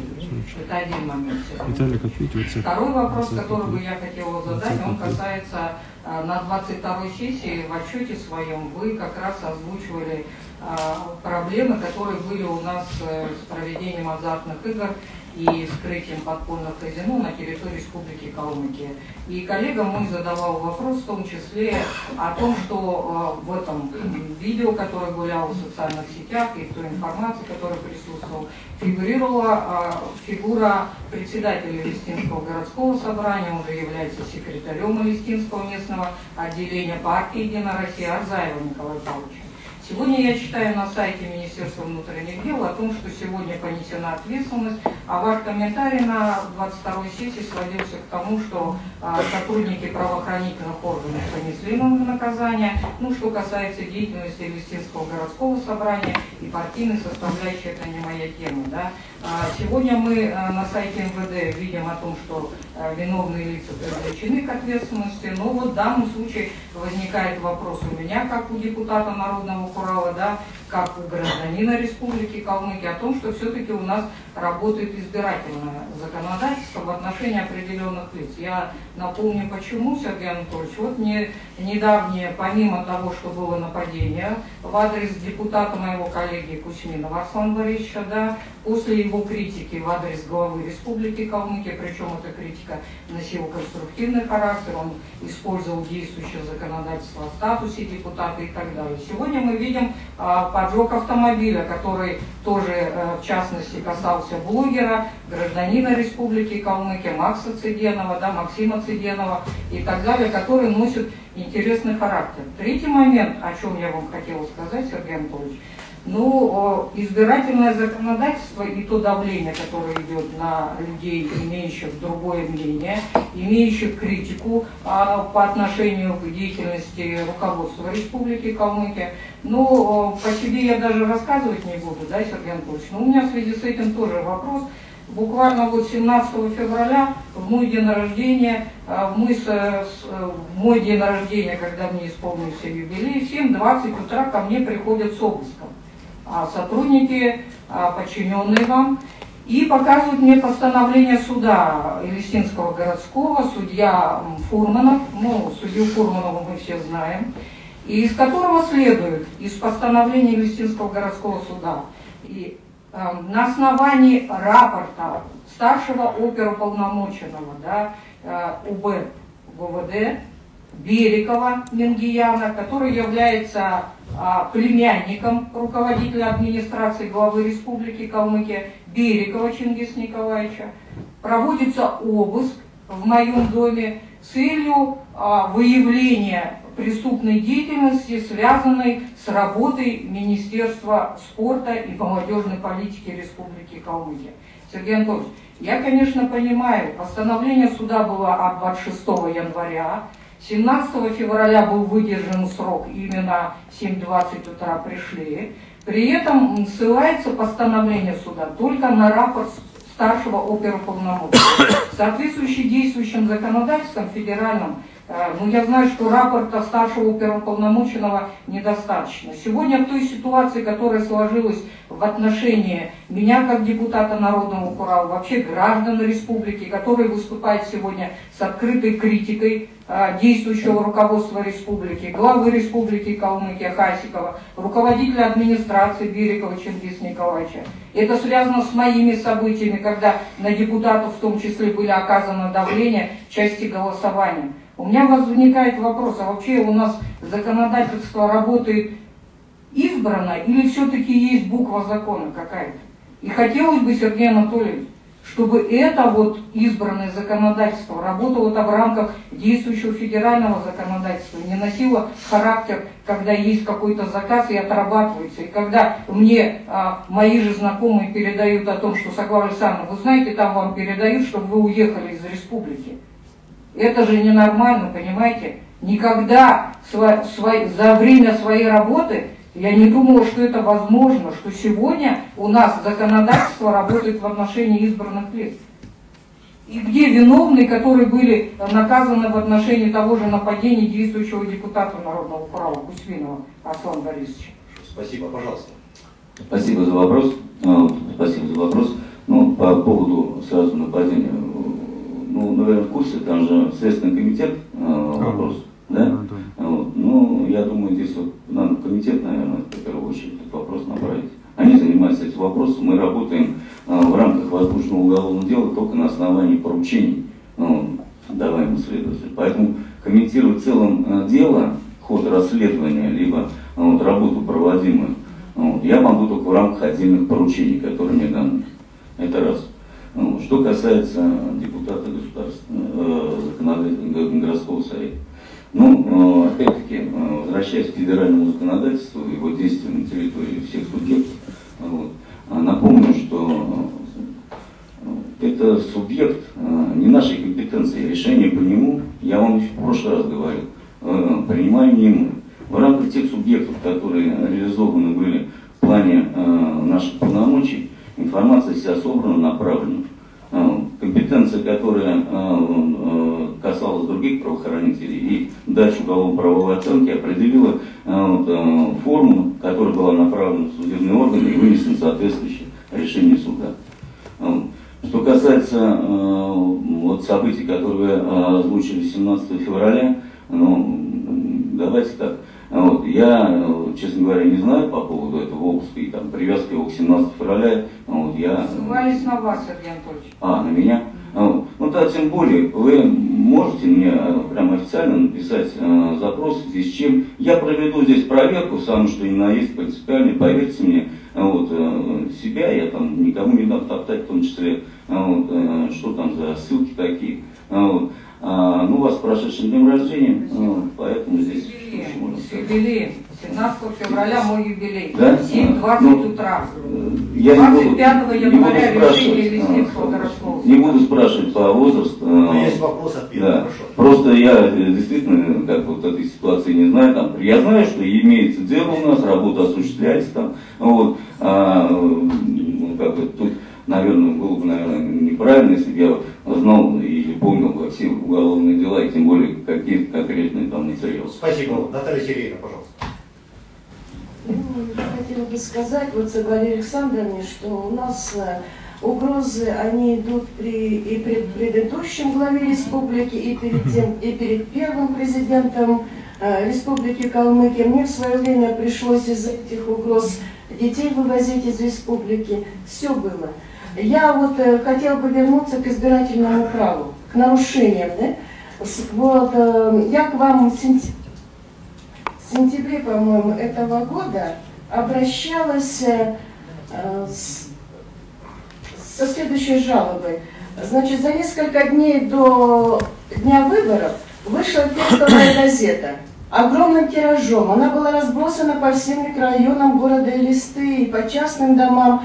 Называлась она «Справедливая Россия за правду», фейковая газета, которая якобы от нашей партии шла, в которой в общем-то, была распространена негативная информация на отдельных кандидатов, да, депутаты Государственной Думы. Э, Я получила ответ от вашего ведомства, что заявление принято разработку. Прошло Нет, 6 разработка в месяцев. проверку. Ну, на проверку. Прошло 6 месяцев, никакого ответа я больше не получила. Ну, давайте я тоже посмотрю, потому что ответ должен был быть Дело в том, направлен что в любом тут случае. понятны Ну. интересанты, кто был Ну, это вам понятно, этой так. фейковой газетой. Да, это не только мне, это многим Ну. избирателям города Элисты и республики было понятно. Но никаких мер не было принято. Это первый вопрос. Второй вопрос. Вот вы пишете, вы, ну, в смысле, каждый год мы заслушиваем отчет министра МВД Республики Калмыкия. Мы принимаем решение, там, принять к сведению отчет и рекомендовать Министерству внутренних дел по республике, и ряд позиций идет, да? Хотелось бы, чтобы ваш отчет все-таки был ответом на эти рекомендации. Вот в вашем отчете я четко не услышала этого. Это А вы можете озвучить сейчас сами Ну, эти рекомендации? те рекомендации, я помню некоторые из них, как раз касались избирательного права четко, чтобы на участках э, э, сотрудники милиции не нарушали закон о Наталья. Сергеевна, по Это всем, было. по всем э, заявлениям, поступившим э, вот, по избирательным, дана оценка. Хотелось Вот, бы, по всем дана оценка. Ваш отчет все-таки был ответом на все, на все эти рекомендации. Иначе эти рекомендации просто впустую пишутся. И вот у меня вопрос по некоторым моментам вашего отчета. Вы сказали, что выросло число за, количество документированных сотрудниками полиции преступлений коррупционной направленности с 44 до 50. Казалось бы, похвально. Вы могли бы озвучить наиболее резонансные? Ну, таких вот, э, что вы хотели послушать и имя, вот, э, ряд из них еще не, зак- не закрыты э, своим судебным процессом, поэтому вот, я думаю, что если вы хотите более детально это знать, давайте я вам вот, запрос, запрос на- направьте, я вам по законченным делам, которые приняты решение информацию? да, я вам дам информацию, по которым решения приняты и вступили в законную силу. Следующий вопрос. Вы знаете, вот только что вы говорили о камерах видеонаблюдения. Это действительно актуальный вопрос. Вот вы сказали, из 100 из 104 видеокамер только 55 действующих, да? И Да, те да, морально да. устарели. Да. И они, как я знаю, речь идет о видеокамерах, расположенных на дорогах. да? Нет, не на дорогах, вы не путайте. Э, Видеофиксация дорожного движения, это отдельно. Я сказал, 93 камеры у нас действует дорожных, а вот, 93 камеры, а 104 это городская 104 среда. Это городская Городская- среда. да, городская среда. Вот, насколько я знаю, что вот э, те видеокамеры, которые расположены в местах массового пребывания, да, жителей Да, да, да, города да, Элисты да. и районных центров, Да, да, да. это количество видеокамер нужно просто увеличивать. Согласен. Мы хотели бы Согласен. увидеть эту цифру. Ну, вот В я, вашем докладе я, какое количество видеокамер необходимо, это как раз профилактика Наталья Сергеевна, спасибо вам за этот вопрос. Я, э, если внимательно слушали мой отчет, э, в моем отчете есть еще и фраза такая, что у нас отсутствует а, программа. Понимаете? А в программе это как раз э, и заключается, должна в себя именно расстановку, а, выявление тех или иных очаговых мест, расстановку по ним соответствующая и потребность. А. Но я не буду э, для сравнения говорить вот, и э, посубъектно, а, ну и тем более брать в расчет город, там, э, столицу нашей э, Родины, Москва, там, наверное, бессмысленно проводить. Вот. Но из э, сопоставимых э, более-менее, ну, допустим, взять вот Чебоксары, там, э, Сыктывкар, э, вот, э, ну, там не порядок на 2-3 порядка больше. Ну, Понимаете? Ну. Но это требует именно подхода программного, системного программного подхода. Не просто так вот захотелось мне здесь камеру, я ее поставил. Ну. Нет, все понятно. А в чем вопрос? А вопрос в том, что у нас э, в МВД, э, она не относится к МВД, это относится к органам исполнительной власти. Инициируйте э, принятие такой программы. Хорошо, мы поэтому Это выходим здесь, чтобы, вы поддержали нас в этом вопросе в том числе. Очень много в отчете у вас статистики, очень много цифр. А причина, в общем-то, в основном одна и та же упоминается, недостаток финансирования. Я не увидела мер по повышению эффективности работ, э, работы сотрудников подведомственного вам А министерства. э, Наталья Сергеевна, э, На раскрываемость самом деле это очень важно. Да, Как раскры- работают наши сотрудники полиции, насколько они подкованы, насколько они знают законы. Потому что даже на избирательных участках мы сталкиваемся с тем, что они не знают законов. Наталья Сергеевна, хороший, тоже хороший вопрос. Ну, э, я как индикатор вам э, скажу здесь. А вот, э, раскрываемость преступлений, наверное, э, это э, лучший здесь индикатор. У нас он составил, я озвучил по всем составам, 72,6, а вот, по тяжким особым тяжким, по-моему, в районе 65%. Это больше, чем на 20% превышает среднее среднероссийский и средний уровень по южно-федеральному. Конечно, здесь надо накладывать э, определенную корреляцию на э, условия осуществления деятельности, потому что все-таки у нас регион не считается э, криминогенно э, опасным. Вот, и ряд преступлений, они, э, латентность их, она не, ну, не выс- невысока. Вот. Но в целом я хочу сказать, что орган, правоохранительный орган внутренних дел, вопросы подготовки кадров, вопросы профессиональной подготовки, они одни из самых приоритетных на сегодняшний день у нас. А. И вопрос э, реализации задач, которые связаны в первую очередь с ростом профессионального мастерства, а, вот, они э, не просто определены нас там директивами МВД, они закреплены нашими решениями, и самое главное, они осуществляется контроль за их реализацией.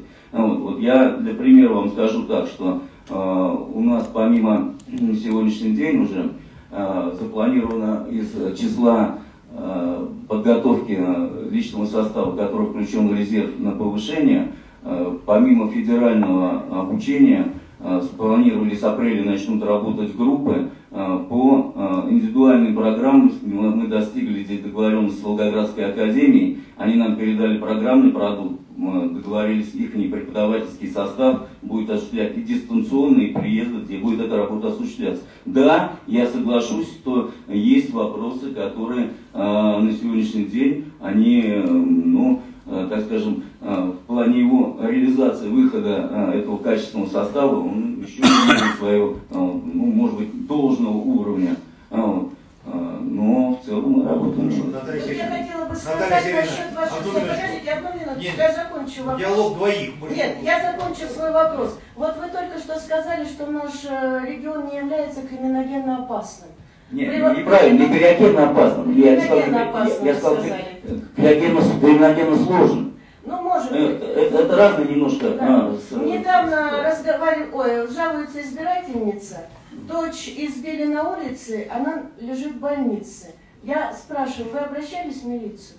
Нет, а зачем? Смысла нет, толку нет. А сын, ой, а зятька, как она сказала, зятька, да, уже три раза избивали, и в вечернее время на улице города Элисты. Наталья Вот, Сергеевна, пожалуйста. а сколько вы раз обращались к министру? Вот так, Вот, письмо, Наталья Сергеевна. пришли чай попили. Я обращаюсь. Ан- Антон Васильевич, я просто, э, я соглашусь, вот тут, а, знаете, я э, каждое утро делаю анализ э, событий, которые там проходят, читаю сводку, материалы. Вот. Эм, Есть отчасти доли правды в ваших словах, есть отчасти. Вот. А, Но поверьте мне, а, вот, поверьте мне, позиция руководства министерства, она а, вот, направлена а, на одну а, конечную цель, что лучшая благодарность за работу правоохранителей является благодарность гражданина. А, Вот. Вот в этом отношении здесь я вам ну, железно скажу. И ни один из сотрудников не даст мне здесь вот э, уличить какой-то э, лжи. А, вот, что и- это позиция министерства в целом. И она жестко здесь Но вы придерживается. диалог просьба продолжите. Сергей Анатольевич, Да. э, видео, видеофиксация, которая стоит на, на трассах федеральных, там, республиканских, ну, на любых трассах, это первое что? Это безопасность э, движения или финансовое? Вот, э, вот финансовое, что вот здесь э, преобладает? Вот я э, так скажу, вот, а, Валерий. Вот, Мы, э, при условии, что у нас в прошлом году э, не работали до ноября э, все средства видеофиксации, практически э, 80% этих камер, в бюджет, э, в бюджет республики было м, принесено 103 миллиона рублей.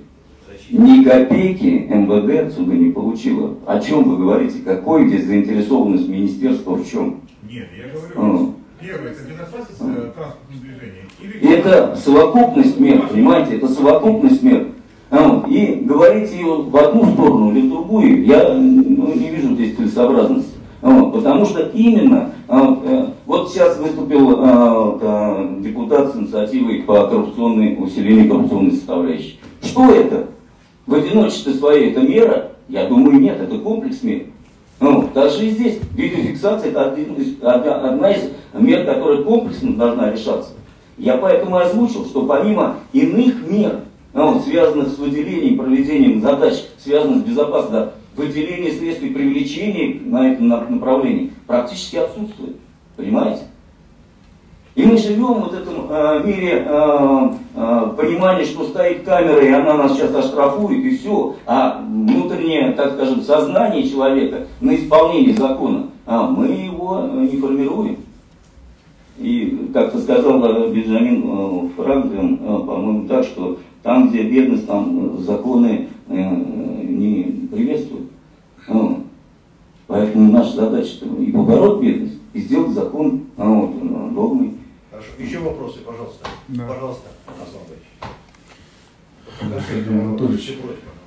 Да, а, по, вот как раз таки Наталья Сергеевна сказала по выборам, да, у меня тоже вопрос вот по выборам, вот э, были факты вбросов, да, это в малых дербетах, а в Киченерах есть видео, ну, по малым дербетам прям конкретный факт. Ну, э, я вброса. сразу давайте. Да, вот да. Весь материал собран, мы отдали весь материал по компетенции. Я э, еще раз говорю, вот мы говорим о федеральном законодательстве, мы должны понять, весь материал в полном объеме, а, вот, по заявлениям, а, вот, был собран а, вот, и передан по компетенции рассмотрения. А с чем связано так долго то, что это? Потому что вроде там очевидный факт, все даже там вроде как знают, кто, что, что. Понимаете, если бы э, я руководил этим ведомством, я бы, наверное, вам ответил. Хорошо. И еще вот также э, по выборам, да, в период вот как раз таки выборной кампании а, бегали гопники, прокалывали машины, да, я сам непосредственно вот э, был По всем уголовным фактам дана уголовно-правовая и административно-правовая. Сейчас, сейчас, Сергей Анатольевич. И э, как раз таки в этот же период э, приезжал э, министр здравоохранения Мурашко, да, и вот на э, открытии, ну или как я не знаю, там на детской поликлинике э, есть также видео, где, э, ну вот как раз таки эти гопники, да, видно, и люди знают то, что это явно никакие там не сотрудники полиции, э, вырывают телефоны, а, также у кандидата в депутаты Государственную Думу, а, его прямо эти гопники ему заламывали руки, а, хотели его вывести, свидетели были именно сотрудники полиции всему это. Есть вот именно конкретные имена, кто из сотрудников полиции это видел, и на видео видно то, то что... Ну, заявление не прощались, поэтому то, что вы говорите. Ну, я даже сейчас не по заявлению говорю, а непосредственно по видео, да, Да. потому что эти видео, они были в соцсетях, они, э, соответственно, э, были там, ну, предметом обсуждения, да, и многие жители наши видели. Ну, то бишь, здесь, я думаю, даже без заявления должна была быть какая-то реакция со стороны МВД, да, было, должно было быть пояснение, либо сотрудники, э, точнее, жители нашего региона должны э, смотреть на все это и думать, то, что это, в принципе, нормальная ситуация. Ответ, пожалуйста. Все, пожалуйста. я- И э, также по национальным проектам, да, вот вы сейчас озвучили как раз таки по а, дорогам, что стыдно. Знаете, я скажу вам даже не то, что стыдно, это опасно для жизни. Дело в том, что по участку трассы Элиста-Арсгир, да, там 23 там 40 какой там, 5 километр, а здесь вот как раз таки сидит министр по строительству, и сидит э, курирующий зампред, да, А, дорога не была сделана. Тот же самый, по сути, ну, по факту подрядчик, ну, владелец компании, там две разные юридические фирмы, Эра и еще какая-то. А, В принципе, сейчас просто с ним а, расторгнут договор, никакой ни уголовной ответственности, никакой, в принципе, сейчас мы не видим. И э, в части этого тоже хочу, чтобы вы дали какое-то пояснение, потому что это и несколько, порядка скольки там, пяти, по-моему, участков э, дорог э, в листе э, тоже даже не приступили. И даже последствием одного из участков там стало то, то, что разрушился дом у жительницы города Элисты. Пожалуйста, тоже по этому. Пожалуйста. Ну, по первым, по этим, по выборам, по этим, ну, все какие материалы у нас были, я уже отметил туда, что у нас все по всем дана своя м, правовая оценка. Вот, а у нас материалы, которые а, вот, оставили без соответствующей реализации а, вот, и без соответствующего ответа не, не имеется производства. Вот. А, Это раз. А, Второе, по все-таки безопасным качественным дорогам. Да, предмет нашего рассмотрения, я просто формат не тот, о котором можно было бы говорить, а да, мы работаем. Вот. Есть ряд вопросов, которые здесь находятся, э, так скажем, э, в зоне э, полномочий правительства, которое реализует его в соответствии с имеющимися и данными им э, возможностями. Вот. Но по всем э, тем вещам, которые э, не будут находить и будут нести э, вот, э, ущерб государству, мы будем давать оценку соответствующую. Э, Сергей Анатольевич, нет, я хочу все-таки поконкретнее. Дело в том, что да, я Ну, даже, конкретно что? я, я даже, Ну, да, я вот и говорю конкретно. Смотрите. Сергей, Сергей Анатольевич, Да. да, я, я просто сейчас скажу, что смотрите, дело в том, что да, я, по каждой из этих дорог э, я видел прям договора, есть договор со строестроительным контролем, да, надзором, который должен еженедельно выезжать на эти участки и смотреть. То бишь э, договора заключены еще в мае прошлого года.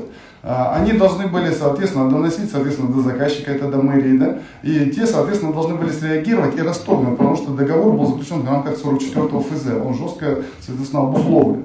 Только в начале этого года пошла переписка, да, то бишь стройконтроль, который получил по каждой из дорог более 500 тысяч рублей, не выполнял свою работу. Это как минимум халатность, да, это по-любому преступный сговор, да, и, э, соответственно, в этой части хотел бы, соответственно, вот здесь, вот, как я говорю, как раз таки министр по строительству сидит, все, ну, также вот представитель прокуратуры, все, вот тут можно же, соответственно, сейчас вот примерно определить. Поэтому Что я... сейчас мы определим? Ну, почему? Правовую, правовую оценку дать? Нет, ну как? Ну, ну, вы сейчас на- на говорите, как каком минимум основании? сейчас уже просматривается халатность и еще подобные вещи. А как это вы объяснится, то, что стройконтроль, Ну, который получил, он не, не добровольных, а на- на заслугу. 500 тысяч Давайте. по каждой дороге.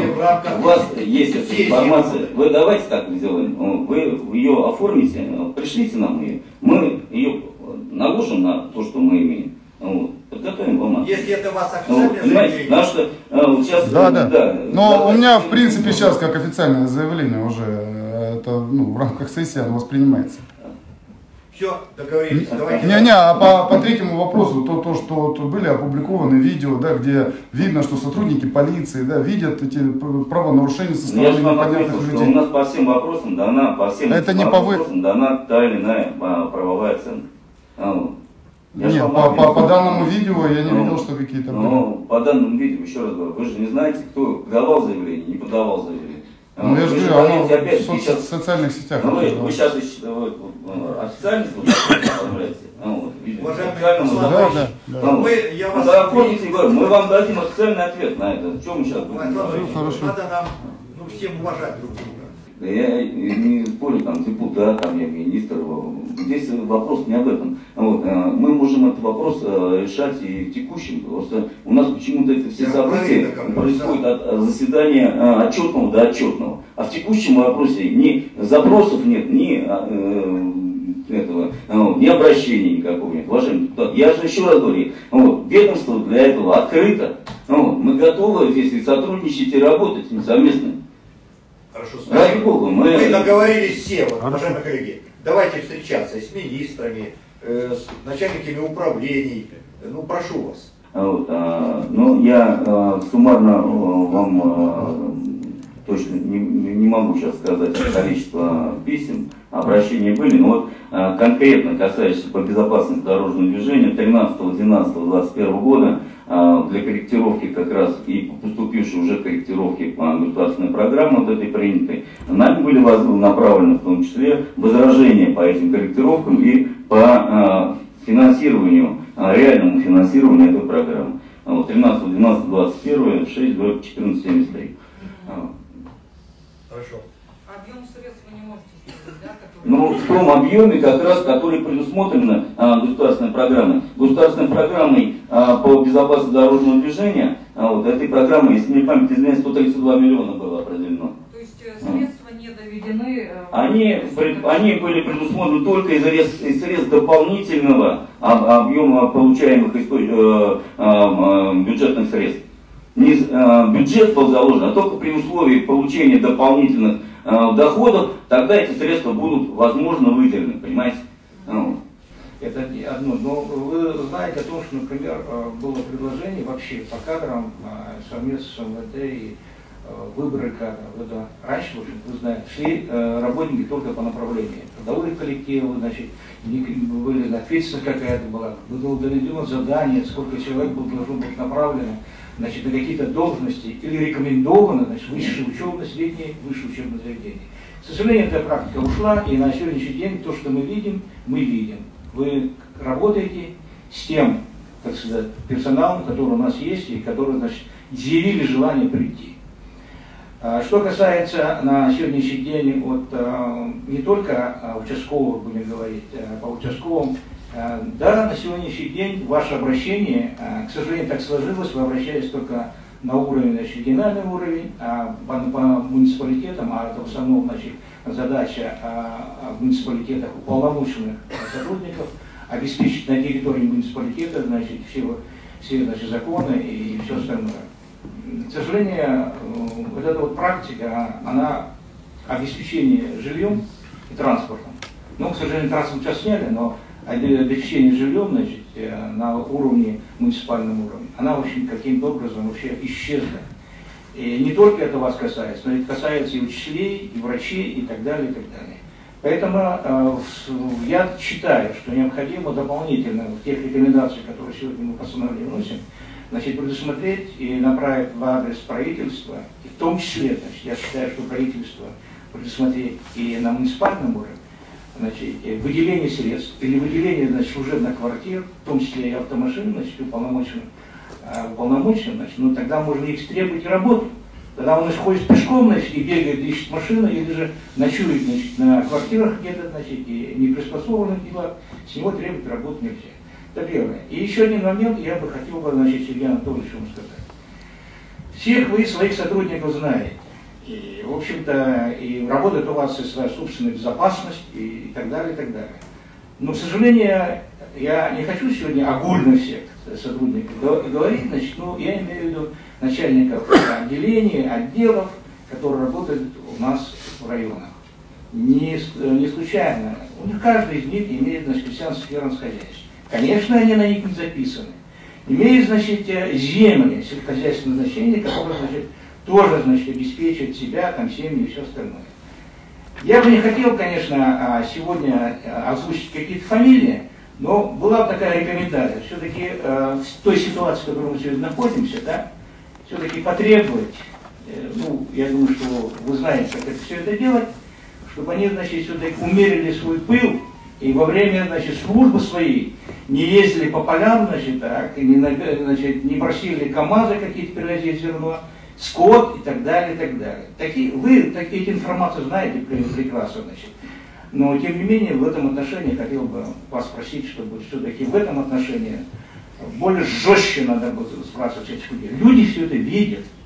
Они все это видят, видят, кто делает это и все остальное. Мы на встречах бываем, и откровенно говорят, вот этот парень, он, у него, значит, 340 гектаров земли, значит, и он там сеет, пашет и что-то так делает. В этом отношении просил бы еще раз, значит, чтобы все-таки со своей стороны, как министр, значит, потребовали с этих людей я не знаю, каким образом, потому что очень трудно с ними работать, потому что понятно, что они все на подставные лица записаны, значит, там, на тещу, еще кого-то, значит, и таким образом. Хотя это не только ваша, так скажем, да, это и прокуратуры касается, это касается и судей касается, я откровенно говорю. Значит, земли, которые записаны, они записаны на других людей, но имеют оттуда, так сказать, бакшиш, значит. Хотя, спасибо. Так, Спасибо. уважаемые коллеги, завершаем вопрос, да? Если нет возражений, у вас проект на руках, мы его еще подработаем с учетом ваших позиций. Кто за принятие соответствующего документа, прошу проголосовать. За. Кто за? Спасибо. Уважаемый председатель Народного форума парламента Республики Калмыкия, депутаты, приглашенные, на ваше обсуждение представляется проект закона Республики Калмыкия о внесении изменений в закон Республики Калмыкия о некоторых вопросах правового регулирования муниципальной службы Республики Калмыкия. Федеральным законом от 19 ноября 2021 года номер 376 ФЗ внесены изменения в Федеральный закон об общих принципах организации местного самоуправления в Российской Федерации, направленные на совершенствование вопросов организации местного самоуправления.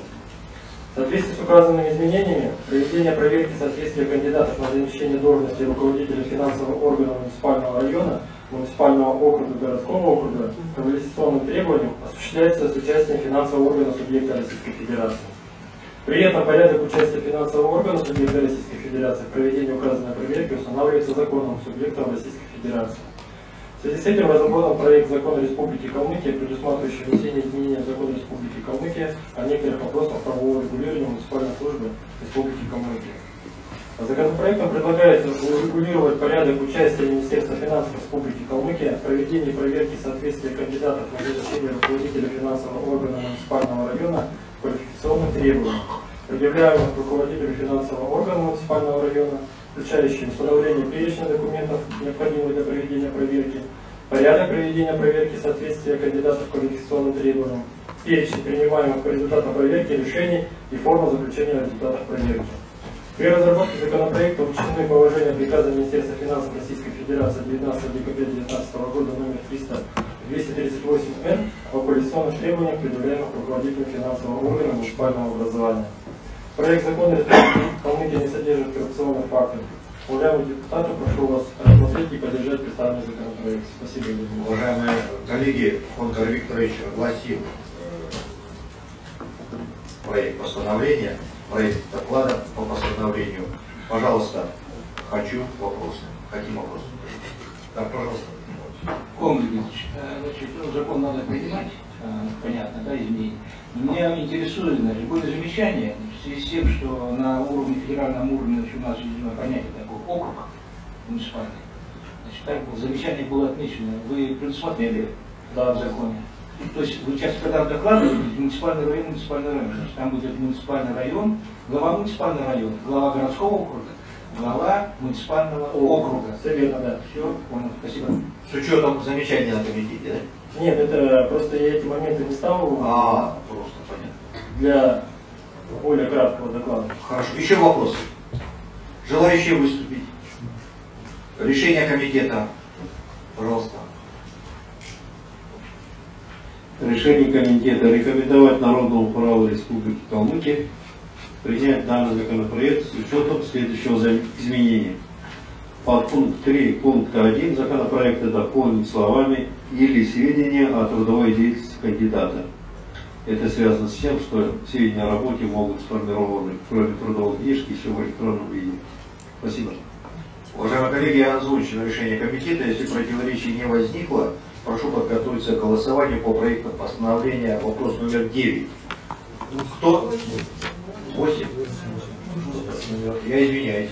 8, 8, я, это я. Вопрос номер 8. Кто за? Спасибо, уважаемые коллеги. Спасибо, Конор Викторович. Присаживайтесь. А мы продолжаем вопрос номер 9 теперь уже. Э, рассматривается проект закона республики о внесении в закона республики Калмыкия о наделении органов местного самоуправления отдельными государственными полномочиями Республики Калмыкия в сфере поддержки сельскохозяйственного производства. Правительство вносится. Поручено доложить министру сельского хозяйства Максиму Юрьевичу Насунову. Пожалуйста, Максим Юрьевич, в рамках отведенного времени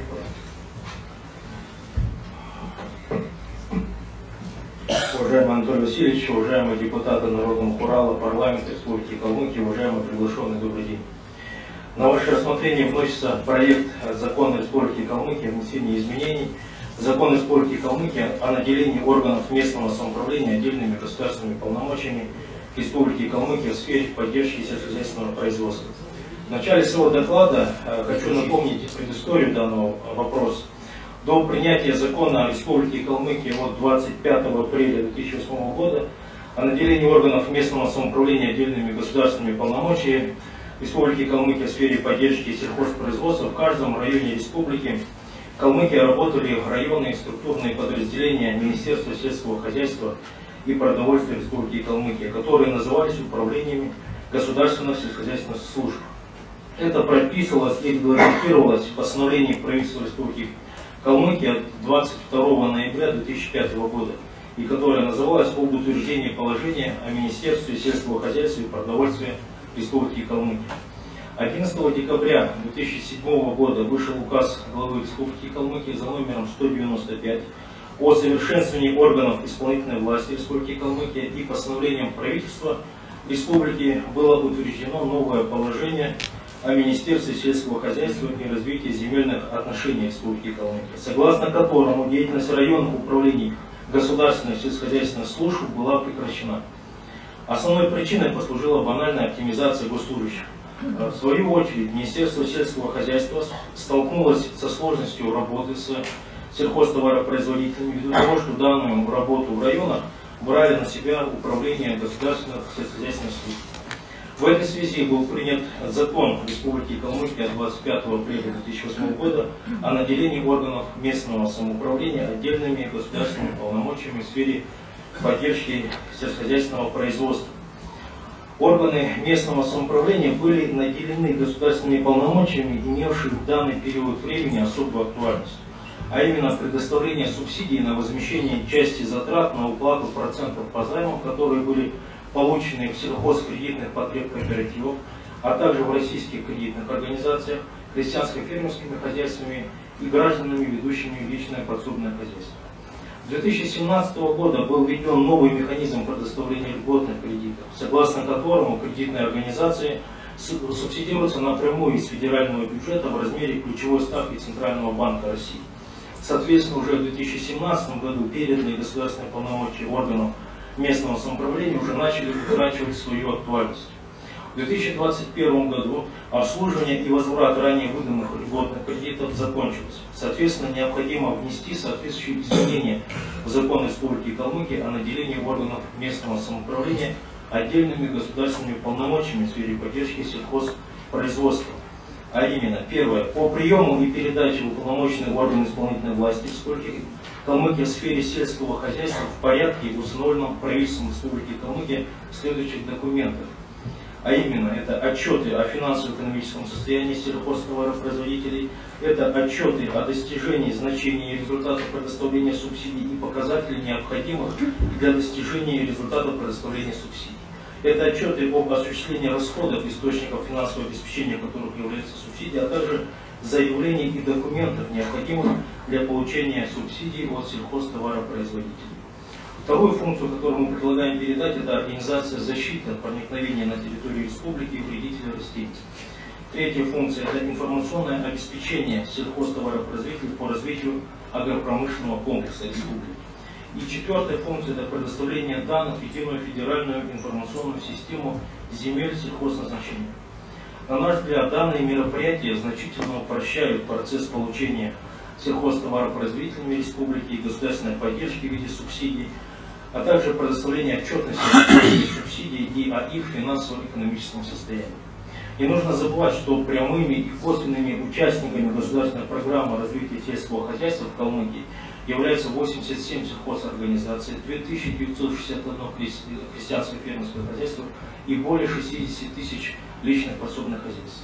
Например, в 2021 году было подано 2245 заявок на получение всех видов субсидий. Учитывая важность и большой объем работы органов местного самоуправления в агропромышленном комплексе Республики Калмыкия, а также фактическое завершение переданных государственных полномочий, предусмотренных действующей редакцией закона о переданных полномочиях, поэтому и подготовлен и внесен настоящий законопроект Народный Урал, парламент Республики Калмыкия. Также э, нужно отметить, что принятие законопроекта не потребует дополнительных расходов из республиканского бюджета.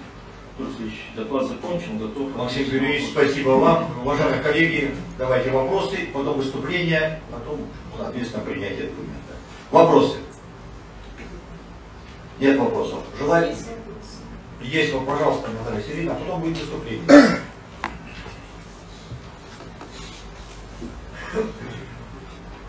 Я рада, что этот э, вопрос вносит министр сельского хозяйства. Максим Дмитриевич, у меня такой вопрос. Кто у нас в республике уполномочен заниматься мониторингом нагрузки на кладбище, ой, на пастбище? Вот э, я не так давно беседовала с одним из глав района. Он говорит, это не наш функционал. Мы этим не занимаемся. Кто занимается? Он так почесал голову и говорит, наверное, налоговая инспекция. Но я сомневаюсь, что налоговые инспекторы у нас э, контролируют количество скота. Поэтому вот вопрос, кто конкретно занимается этим мониторингом, и может быть мы вот эту функцию как раз и передадим органам местного сам, самоуправления. Спасибо. Пожалуйста. Спасибо за вопрос. Э, на самом деле вопрос очень актуальный на сегодня. Вот, э, учитывая э, те, э, про тот природный катаклизм, который мы вместе с вами пережили в 20-м и его последствия в 21 году, он как бы является актуальным. Вот. Не нужно забывать, что у нас э, произошло сокращение поголовья, поэтому, соответственно, нагрузка на пастбище уже в 21-22 годах снизилась. Вот. Что касается э, передачи этого вопроса органам местного самоуправления, я думаю, пока э, рановато об этом говорить. Прежде всего, нужно будет его продумать, проанализировать. Пока на сегодня такой работы не ведется. Вот. Мы планируем, что в этом году, там, летом, может быть, осенью мы этот вопрос уже проработаем. То есть сейчас у нас пока приоритет и вопросы какие это э, восстановление отрасли, раз. Вот, это восстановление финансового экономическому состоянию тех предприятий, которые прошли через этот сложный период, вот, и оптимизация, и правильное распределение мер государственной поддержки. Вот, у нас каждый год, к сожалению, уже на федеральном уровне все нормативные порядки меняются.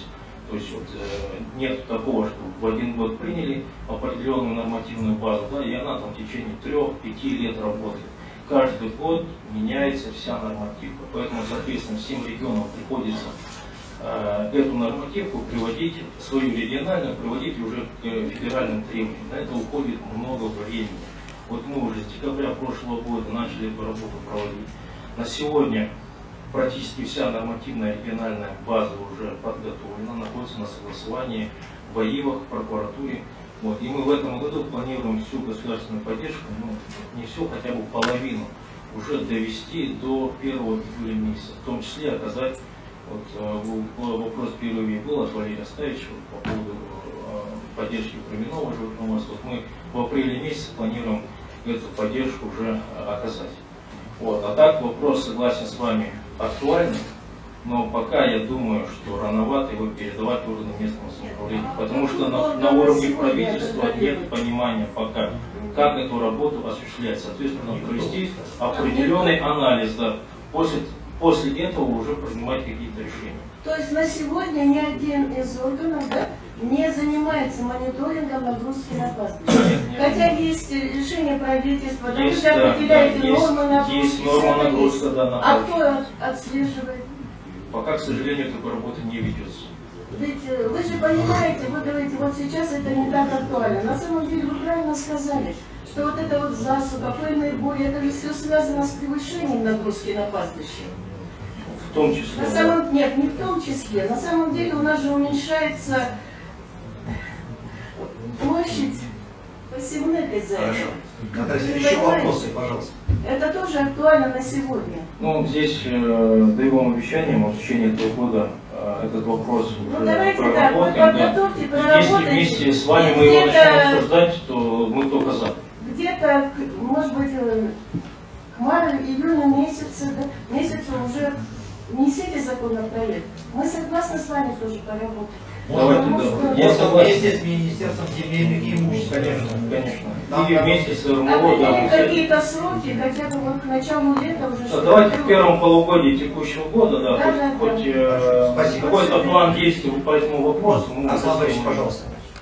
Вопрос. Да, Максим Петрович, хотел задать вопрос, знаете, а, у нас сейчас вот в свете, опять же, последних событий, насколько наше именно а, республиканское сельскохозяйство зависимо от э, импортных каких-либо товаров, да, ну, конкретно спрашивают там гербициды, инсектициды, да, то, то, что сейчас уже весенний период понадобится.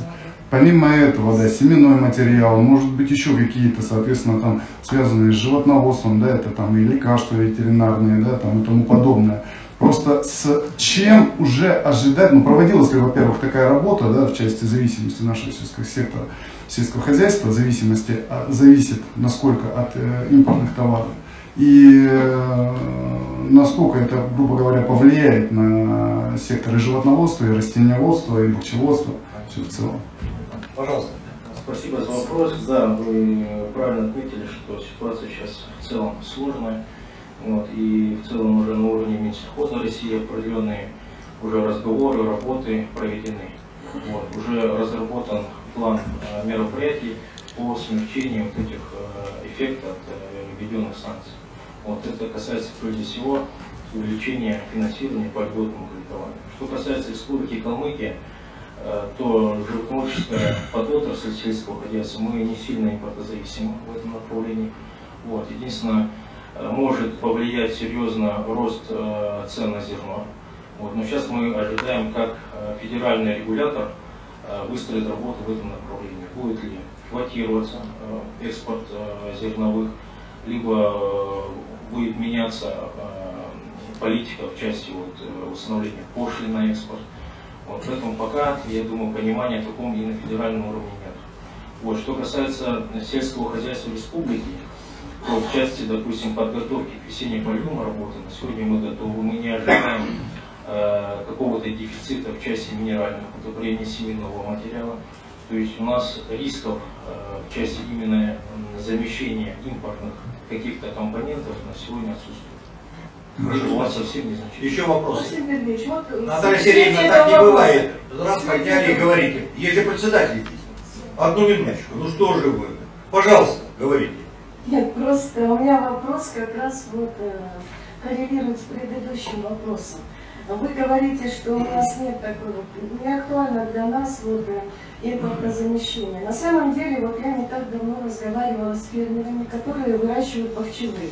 Так оказывается, стопроцентно да, используют голландские семена да, для дыр. Вот какая помощь им будет оказана? Потому что почему они используют голландские семена? А стопроцентная скорость?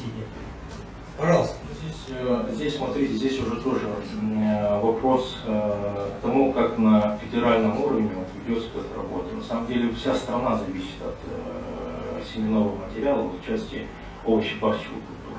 Но на сегодня от сельхозтоваропроизводителей республики никаких жалоб о том, что они ощущают какой-то дефицит в части приобретения семенного материала нет. Хорошо, ну все, спасибо. Возможно, в следующем сезоне, возможно, в следующем э, сезоне как-то это мы э, понимание будет в части именно. Понятно. Еще вопросы? Пожалуйста. Это будет выступление.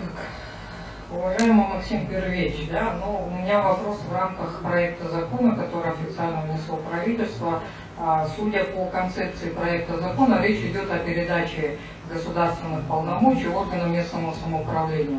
Внимательно выслушала ваше выступление, ссылка на подзаконные акты, это все хорошо, но а, не увидела в проекте закона, коли вы передаете государственные полномочия, да, и методику распределения и финансовое обеспечение районным муниципальным образованием. То есть речь идет о скажем так, э, вменить ответственность органам местного самоуправления, при этом нет финансово-экономического обоснования.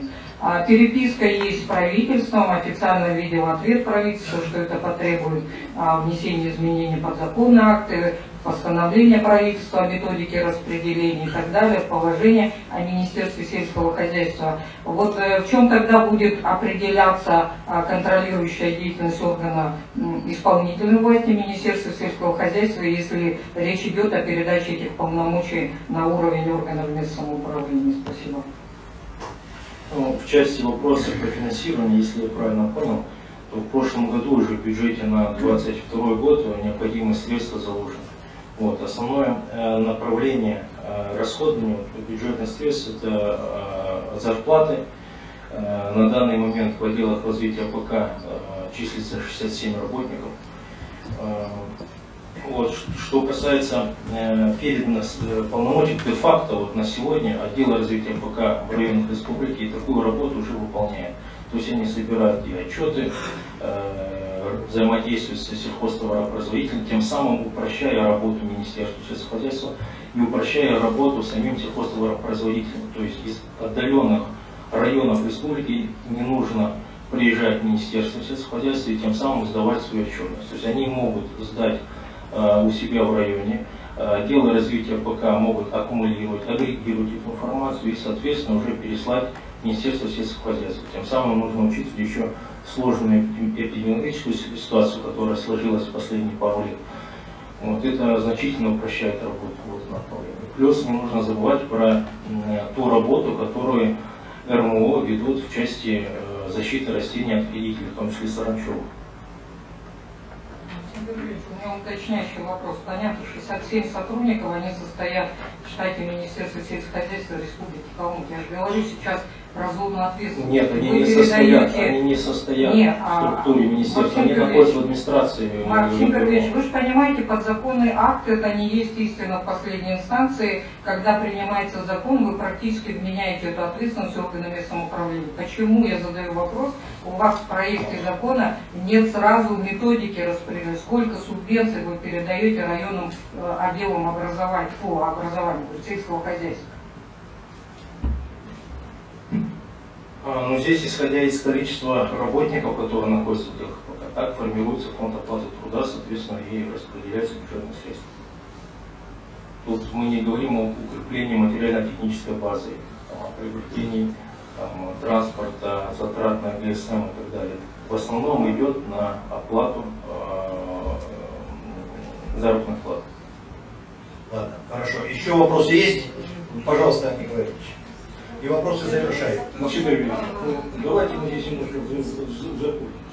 Я здесь уловил только, значит, да, по первым началам позиции. Только сбор. Только сбор, значит, и передача Министерства сельского хозяйства. Они ответственности никакую не несут за то, что, например, скажем, да, как, как что мясоправ передали вам, и ответственности у них перед ними никакие не будет. Я так понимаю? Ну, ответственность за всю предоставленную информацию ложится на производителя. Теперь, вот по четвертому, организация защиты от проникновения на территории Республики Калмыкия вредителей растений. А, здесь написано, они не информацию представляют, а они организовывают защиту. То есть они обеспечивают, значит, так, во-первых, всю работу, защиту, да, от проникновения, значит, это закупка гербицидов, значит, а, э, какие-то отряды создаются, значит, да, кто финансирует, кто вообще. То есть четко ясно написано, организация защиты, это не просто так сказать. Последние, значит, последние, по-моему, пять лет уже мы этой работой плотно занимаемся, да, в республике, в том числе, значит, Министерство сельскохозяйства, ну и другие, на, на уровне федерального уровня, по-моему, занимаются здесь. Так, служба, да? Да, в части а, защиты растений, э, объясните, да. Смотрите, мы э, не передаем себя вообще все полномочия, даже, сейчас только отдел развития ПК будет этим заниматься. Прежде всего тут имеется в виду, чтобы именно организация работы, именно во взаимодействии между крестьянско-фермерскими хозяйствами, предприятиями, а так по приобретению необходимых э, запасов ядохимикатов, конечно, тут э, вся ответственность лежит уже на фермерах, на хозяйствах, тех, кто на чьих территориях э, прогнозируется отражение саранчевых вредителей. Здесь именно то, как говорится, о взаимодействии, выстраивании работы. Мне кажется, в законе как бы надо было написать о взаимодействии муниципального органа значит, и со всеми э, теми организациями, на, которые на федеральном уровне, чтобы как бы наложить на них. Но здесь так написано, четко ясно, организация защиты проникновения. Я понимаю, значит, в соответствии с этим законом действительно необходимо будет и требовать. Если они проявляют, значит, не, э, не, не защитят, условно говоря, значит, то к ним, условно, завтра, значит, и силовые структуры, значит, вопросы будут, и административные какие-то меры к ним будут приниматься. А я по-другому не понимаю. По сбору ясно, тут вопросов нет. А здесь все-таки, э, должен сказать, все-таки есть ряд моментов, когда мы возлагаем на органы местного самоуправления, значит, да, то, что предусмотрено на федеральном уровне. Вы же понимаете, борьба с этой защитой у нас э, э, э, возложена на федеральном уровне. У нас есть э, тарифы по этому направлению. Э, Здесь, смотрите, здесь э, в части вот мониторинга вот осу- осуществляет свою деятельность Россельхозцентр. Вот, здесь э, мы не говорим о том, что федеральный центр должен эту работу проводить. Возможно, только на землях федерального собственности, только так.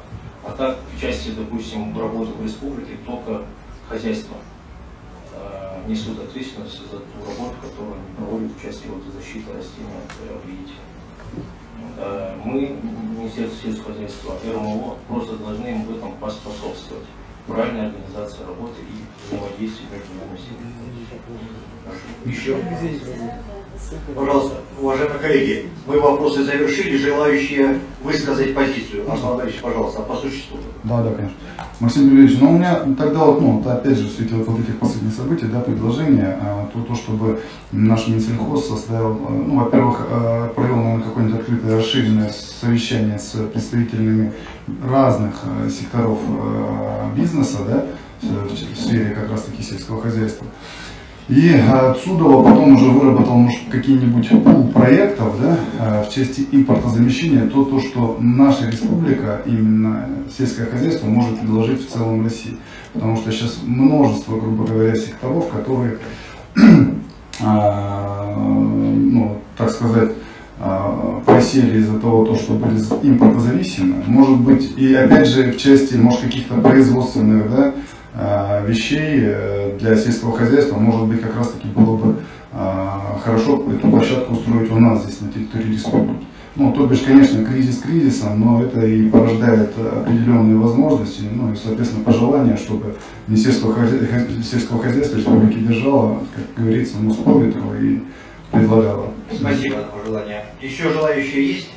Пожалуйста, да, Уважаемый Максим Первеевич, ну так случилось, что в условиях введения жестких экономических санкций, да, ваша отрасль, наверное, а, самая основная, которая сегодня нуждается, нуждается в государственной поддержке со стороны республиканского бюджета. Все-таки хотелось бы, чтобы вы, как министр, эту ситуацию оперативно уловили, и на очередной сессии мы видели внесение изменений в республиканский бюджет с поддержкой наших э, товаропроизводителей, сельхозтоваропроизводителей. Один момент. Возвращаясь к проекту закона, о котором вы сегодня официально являетесь докладчиком, все-таки наделение органов местного самоуправления отдельными государственными полномочиями сфере сельского хозяйства, оно подразумевает э, не только э, передачу субвенций, да, но и заключение соглашений. Ведь мы, как э, субъект Российской Федерации, при передаче полномочий всегда говорим о том, что субъект готов отвечать за эти полномочия только при условии должного финансирования. Сегодня происходит, на мой взгляд, ситуация ухода от ответственности в лице уполномоченного органа Министерства сельского хозяйства Республики Калмыкия, передача их на районный уровень без соответствующего должного финансирования. А вы, как министр сельского хозяйства, должны думать о тех последствиях, которые произойдут в данном случае для органов местного самоуправления и как министр, отвечающий за отрасль сельского хозяйства в целом в республике. Спасибо. ну, в соответствии с законом. На мой взгляд, коллеги, э, закон этот э, изменение необходимо принимать. Почему? Потому что, как уточнил министр сельского хозяйства, идет значит, вопрос только о сборе. И, в принципе, в текущем значит, бюджете значит, финансирование предусмотрено в разделе значит, Министерства сельского хозяйства. Это один вопрос. Но я хотел бы обратиться вот, к правительству нашей республики. В конце концов, э, когда вы э, значит, будете давать нам закон, не в словом виде, как это делается, значит, и потом догонять, значит, день, э, когда идет комитет, значит, присылать документы в догонку, вечером и так далее. Мы, в принципе, не можем дать четкую, объективную оценку в связи с тем, что правительство России, э, Республики Калмыкия значит, опаздывает, а иногда даже, э, значит, э, скажем, отделы не знают, что министерство подконтрольные, значит, так, отраслевые, передают законы значит, нам в комитеты, значит, на которых мы работаем.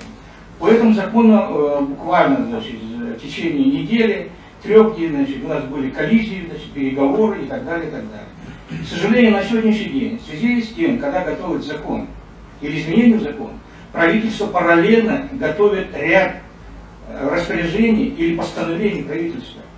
Единственное, что я хочу отметить, значит, 5 числа на комитете нам пришло, значит, вот документ от правительства. 5 когда идет комитет о том, что в связи с тем, что мы значит, носим это до, до разработки этого документа, мы когда-то значит, отменим э, значит, ряд постановлений, 14, по-моему, постановлений э, э, правительства Калмыкии. Ну, вы же понимаете, а потом, значит, вот здесь вот возникает вопрос, вот эти все разговоры.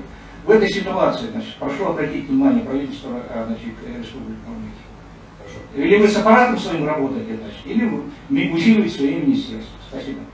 Давайте совершенствовать ситуацию, уходить от коллизии, о которой говорим. Значит, уважаемые коллеги, коллеги, значит, э, пожалуйста, Валерий Николаевич.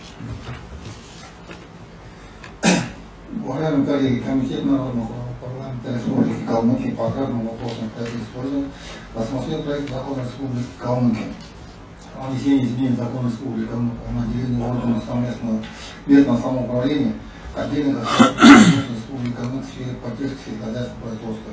Мы на комитете это, этот доклад выслушали, были э, замечания со стороны прокуратуры, правовой отдел народного права парламента Республики полностью отработал и согласовал с э, прокуратурой. Поэтому комитет решил рекомендовать Народному парламенту Республики Калмыкия данный законопроект с учетом следующих замечаний. Статья 1 за- законопроекта, абзацы 4, 5, 6, пункт 1 изложить следующим редакцией. По приему передачи органов исполнительной власти Республики Калмык в сфере сельского хозяйства в установлен- установленном правительством Республики Калмык следующих документов. Отчет о финансово-экономическом состоянии сельскохозяйственных товаропроизводителя. Отчет по достижению знач- значений результата предоставления субсидий и показателей необходимых для достижения предоставля- предоставления субсидий. Отчет о осуществ- о осуществлении расхода источника финансового, финансового обеспечения, который является субсидией. Заявление и документ необходимы для получения субсидий от сельхозтоваропроизводителя. Нумерация абзацев 7, 8, 9 пункта считать пунктами 2, 3, 4. Дополнить пункт 1 абзаца. Пункт 1 нового абзаца. Перечень нормативных правовых актов, регулирующих порядок приема и передачи документов органам местного самоуправления, указанного в пункте 1 на статье установлен правительством. В статье 2 законопроект слово по истечении 10 дней после дня его официального опубликования заменить словами с 1 июня 2022 года. Ну, Хорошо, решение комитета озвучено, лично выработано в ходе подготовки проектных комитетов. Значит, поэтому, уважаемые комитеты, уважаемые депутаты, решение комитета озвучено, прошу подготовиться к голосованию. Э, По проекту Можно до голосования мне все-таки сказать. Вот у, у меня только закон, законопроект. У меня вот этого решения, которое озвучил председатель комитета, нет. На слух очень трудно определить, э, как, изменения в какие пункты вносятся в статью, что мы меняем. Получается, я сейчас буду голосовать, не зная, за что я голосую. Почему решения комитета нам не выдают, не раздают депутатам? Я просто не член этого комитета. Ну, вот так сегодня. Если надо раздавать, давайте будем раздавать. Конечно, решение. Хотя вот Наталья Серина, Проекты решений мы хотя вот вы тот раз сказали, что вы не получили э, заключение ЭГС. Мгм. Вы получили 15.02.18.07. Шест- 18.07. На электронную почту На электронную. А у меня было... Ну понятно, но это вот, согласен, вот так надо каждому. Ну Нет. все... У меня просто электронная почта не работает. А зачем тогда электронная почта? А я не знаю, почему то блокируется, то еще что-то. Поставим. Уже заказали. Правильно, вот это будет облегчать Все. работу. Тогда Договорились. Наталья Сергеевна, все, спасибо. Я сейчас не понимаю, за что это Понятно. Ну, внимательно слушать надо. Законопроект Да. один. Давайте голосуем. Решение комитета озвучено, замечания есть. Голосуем. Кто за? 21. Кто против? Один. Кто воздержался? Один. Кого-то одного нет. Один потерялся. Один не. Давайте еще раз. Кто за? 22. Против один. Взялся. Хорошо, спасибо. Спасибо, вы можете быть свободны. Мы продолжаем работу. А насчет компьютеров, мы же с вами утвердили э, смету расходов, в том числе при... Да, если вы помните. Хорошо. Рассматривается проект закона республики о нематериальном культурном наследии в Республике Калмыкия. Вносится правительство. Докладывает министр культуры и туризма Саглара э, Тюр- э, Сана- Саглара Денеевна на трибуне в отведенное время. Пожалуйста.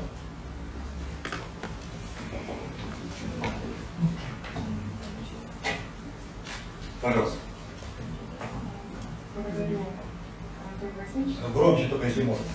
Добрый день, уважаемые депутаты, приглашенные. Вашему вниманию предоставляется доклад по проекту закона Республики Калмыкия о нематериальном культурном наследии в Республике Калмыкия. Данный законопроект разработан с целью создания правовых и организационных основ для обеспечения сохранения охраны нематериального культурного наследия, обеспечения жизнеспособности нематериального культурного наследия, включая его идентификацию, документирование, исследование, сохранение, защиту, популяризацию, повышение его роли и его передачу главным образом с помощью формального и неформального образования, а также возрождения различных аспектов такого наследия. Благодаря принятию закона в Республике Калмыкия появится республиканский реестр объектов нематериального культурного наследия, порядок его введения и порядок проведения экспертизы. Для включения объектов в реестр будет разработан э, Министерством культуры и туризма и будет внесен в правительство Республики Калмыкия для утверждения. В дальнейшем объект нематериального культурного наследия республиканского реестра можно будет включить в федеральный реестр. А, Схема по включению в региональный каталог и затем э, в федеральный разделена на два этапа. Это подготов- подготовка материалов для включения в каталог, создание регионального экспертного совета, заполнение информации в соответствии с формами и критериями от ГРТНТ и проведение заседания экспертного совета. Далее, уже на федеральном этапе, э, заполнение информации об объекте, подготовка ходатайства руководителю комитета и директору ГРТНТ.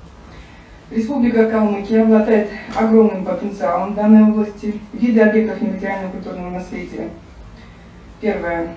Произведение фольклора, устное народное творчество, устные традиции и формы выражения, включая язык в качестве носителя нематериального культурного наследия, обычаи, обряды, музыкальное, театральное, кинематографическое наследие, созданная уникальная система подготовки творческих кадров, народные праздники, знания, навыки, связанные с традиционными ремеслами и народными художественными промыслами.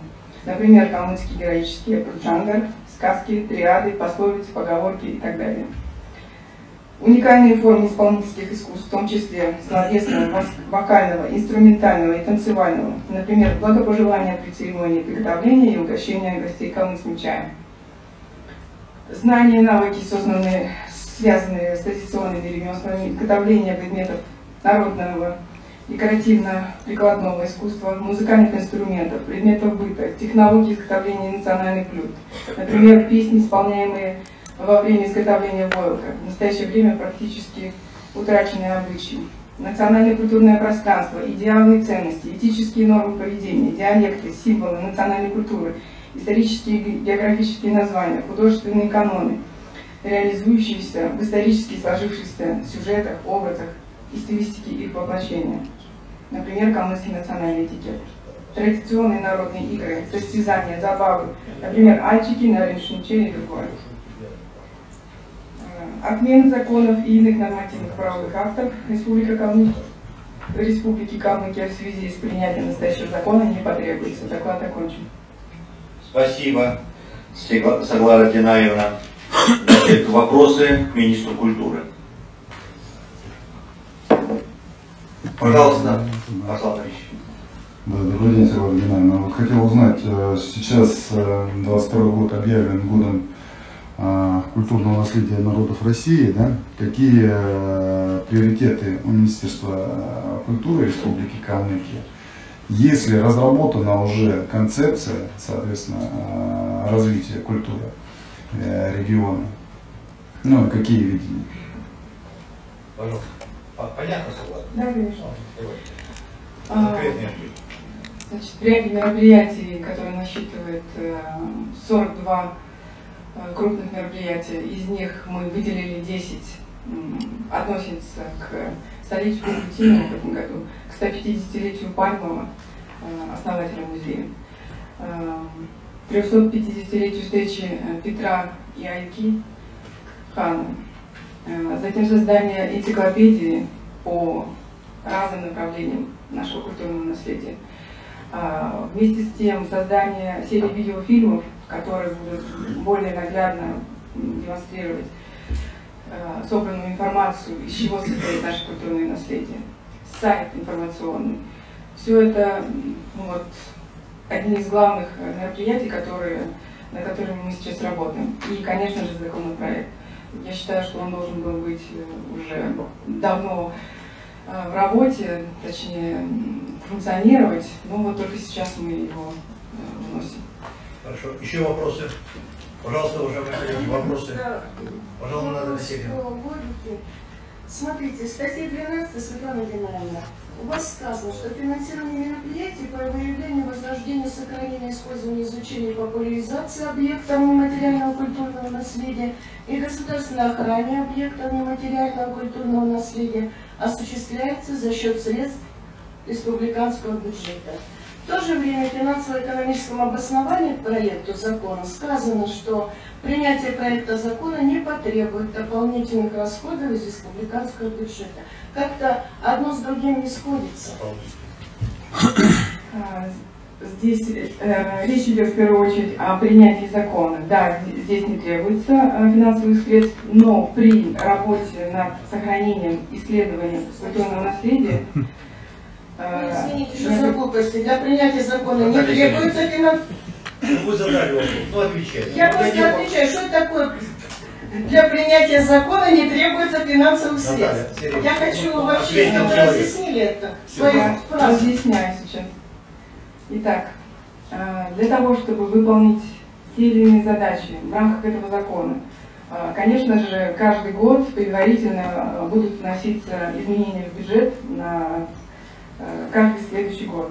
Собственно, если в эти мероприятия не входят затратные, затратные мероприятия, то значит, что в этом году финансовые средства не понадобятся. В частности, идет сейчас сбор информации.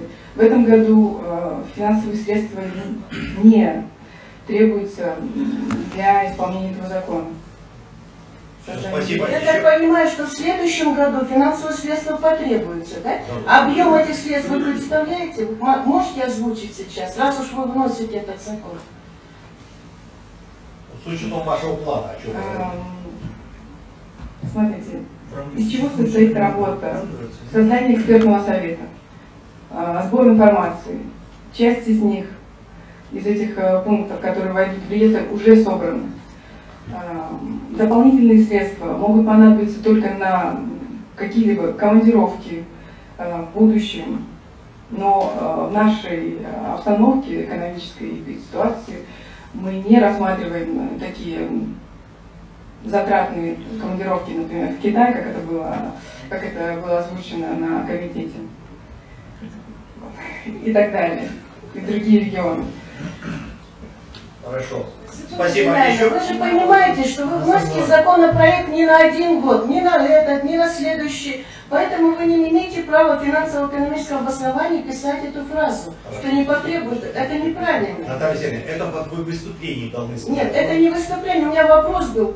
Одно другому противоречит. Ну, если мы так будем Нет, диалог. ну просто нужно нормально готовить документы. Нам же вносят законопроект, этот смотрю. Спасибо. Еще вопросы, пожалуйста. Пожалуйста. Эдуард ну вот мы сегодня говорим о том, что наше прошлое великое, светлое, Советский Союз. 22 значит, э, декабря исполняется столетие Союза Советских Социалистических Республик. И президент говорит об этом, значит, что мы выиграли войну, советский народ и так далее, и так далее, и так далее. Здесь сидят в зале почти две трети людей, которые значит, прошли, воспитывались, родились э, в этом э, государстве, государстве, державе. А Министерство культуры вообще каким-то образом собирается отвечать? Как вы собираетесь воспитывать молодое поколение, передавать значит, наше славное прошлое? И это один вопрос. И второй вопрос. Я на комитете задавал, в том числе, значит, и командировку в Китай. Вопрос не в этом. Я, в принципе, приведу вам пример, каким образом вы хотите вот этот закон исполнять. У нас получается сегодня, как говорили, просто перед этим законом, который мы принимали, о наделении полномочий, принять его для того, чтобы принять.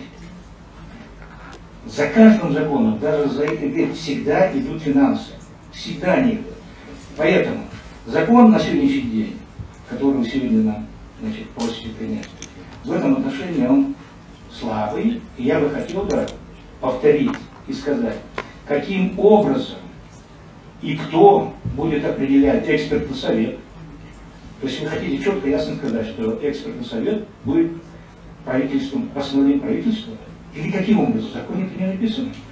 Потом, значит, реестр вы хотите создавать. Реестр создает экспертный совет, значит, или опять постановление правительства будет реестр утверждаться. Или что это будет?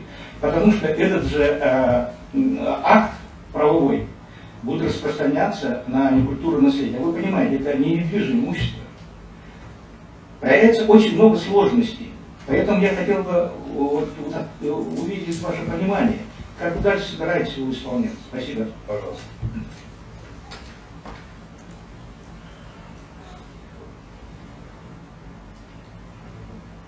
Под программе развития культуры государственной программы Республики Калмыкия, развитие культуры и туризма Республики Калмыкия, утвержденное постановление правительства Республики Калмыкия от 27 декабря 2018 года номер 417 предусмотрено мероприятие по сохранению нематериального культурного наследия. На этом основании мы можем э, выделять средства из республиканского бюджета на данные мероприятия.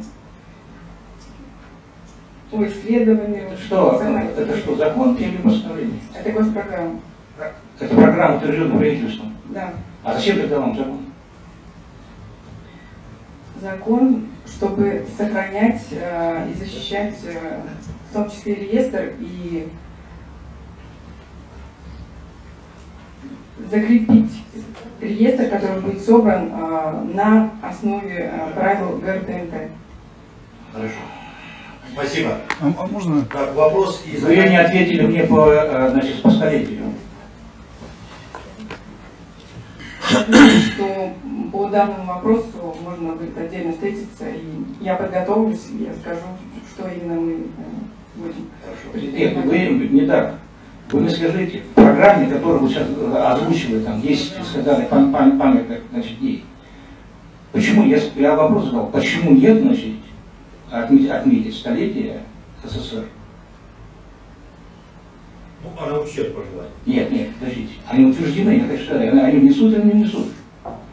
Каким образом вы говорите воспитывать, патриотическое воспитание и так далее, и так далее? На основании чего вы хотите воспитывать себя? Когда вы сегодня, значит, профукали, значит, 80 110-й Калмыцкой Уральской дивизии, столетие Республики Калмыкия, и сегодня, на сегодняшний день, уже четко, ясно, понятно, что вы не собираетесь отмечать и столетие СССР. Я еще раз вам задаю вопрос. Значит, будет ли мероприятие, посвященное столетию СССР на уровне правительства и Министерства культуры Республики Калмыкия. На мой взгляд, э, столетие СССР не относится к культурному наследию Республики Калмыкия. Его нужно э, не включать в тот список, который относится именно к этому году. Это раз. Два.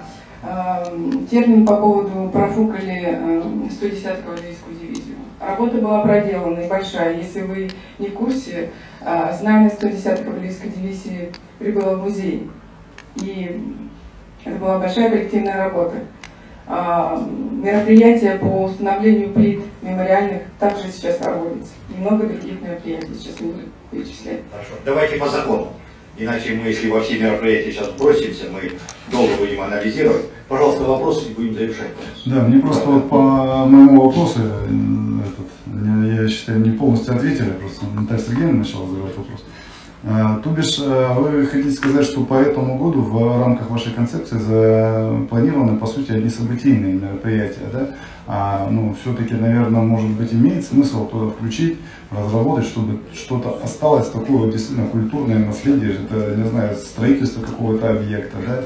А, который будет, как и наш хуру, да, помимо того, что это религиозный объект, но приносить, соответственно, тоже, ну, так, притягивать туристи... являться туристически привлекательным, соответственно, объектом. В этой части у вас что-нибудь распроектировано, есть ли какие-то действительно интересные Спасибо. Пожалуйста. И, и бюджет э, на этот год вы уже примерно планируете какой? Потому что уже март месяц и на... Пожалуйста. А, что касается событийных мероприятий, в столетие Кугутинова у нас запланирована установка памятника. Это тоже будет э, туристическое место, э, которое будет, я думаю, не менее популярным после его установки. Э, далее, для того, чтобы направить средства на строительство какого того или иного объекта, это нужно там, один или два года работы, чтобы создать ПСД, направить его в э, федеральный бюджет и затем только получить подтверждение и построить его через три года. Ну, а год культурного наследия был объявлен в начале этого года. Но хочу сказать, что на 23-24 год у нас запланировано строительство Центра культурного развития. Это будет э, новый объект э, на территории РДНТ через дорогу от э, музея Пальмов Джангара 20. Это, я считаю, что один из знаковых проектов Министерства культуры. Хорошо, спасибо. Ольга Юрьевна, пожалуйста. Ольга Юрьевна, пожалуйста. Здравствуйте. А, я не услышала, знаете, ответ э, по поводу, я правильно понимаю, формировать реестр данный будет экспертный совет по материальному культурному наследию, да? Кто вообще будет входить, кто будет решать, кто туда будет входить. И на сегодняшний день какие советы работают при Министерстве культуры, вообще работают ли они? И второй момент, э, все мы знаем, что в это воскресенье будет столетие народного поэта Давида Шпусинова, наше состояние. Вообще что-то планируется, или я, к сожалению, тоже об этом не слышала. Спасибо. Значит, по реестру.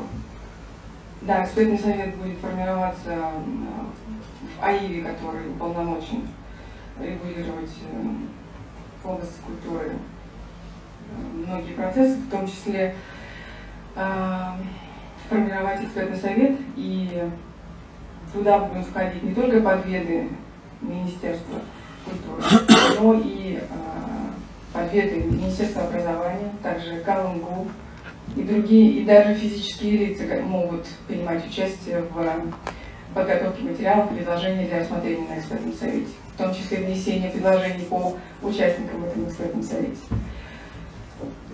Это раз. По Культинову. 13 марта состоится торжественное мероприятие в театре, э, Национальном театре имени Басангова. А, приедут писатели, друзья а, писать, поэта Давида Никитича. Также в тех регионах, где он жил, пребывал, и в тех регионах, где его знали, а, также запланированы ряд мероприятий, об этом нам сообщили в ответное письмо от главы республики э, другим главам и губернаторам. Если перечислять мероприятия, то также запланированы э, театральные постановки по сказке «Сабьерел» и относящиеся конкретно к личности Давида Никитича. И какой еще вопрос был? Два вопроса. Советы у нас есть? Советы. У нас есть художественный экспертный совет. Недавно мы проводили совещание по э, как раз таки году культурного наследия. К сожалению, половина участников, э, членов ХЭС не прибыли по разным причинам. И есть э, общественный совет. Да, он тоже функционирует, но, к сожалению, из-за эпид-обстановки не всегда есть возможность собрать всех очно. Спасибо. Уважаемые друзья, мы договорились. Вопросы? Вопросы? Давайте, завершайте вопрос, пожалуйста. Так, уважаемый Саглар Деняйну, ну поскольку вы являетесь у нас официально сегодня докладчиком по проекту закона да, о нематериальном культурном наследии, вы в своем выступлении отметили, что необходимо было а, давно уже практически вчера принять этот закон и так далее. Наверное, все-таки предварительную работу вы проводили в министерстве, да? Вот э, согласно вашим предварительным расчетам, а, какое количество у нас объектов да, нематериального культурного наследия войдут в реестр. Это один вопрос. Второй вопрос. Вот э, какой, эм, быстро хотела сказать, э, реестр объектов, о котором вы говорите, э, не потребует расходов из республиканского бюджета, то есть у вас на сегодняшний день материально-техническая база обеспечена, чтобы завтра уже начинать собирать этот реестр да, объектов нематериального культурного наследия. Третий вопрос. Вот э, в проекте закона у нас есть понятийный аппарат носителю объектов нематериального культурного наследия, да, сообщества, группы и в отдельных случаях отдельные лица. Вот по вашим предварительным расчетам, какое количество у нас уже сегодня есть а, носителей объектов нематериального культурного наследия.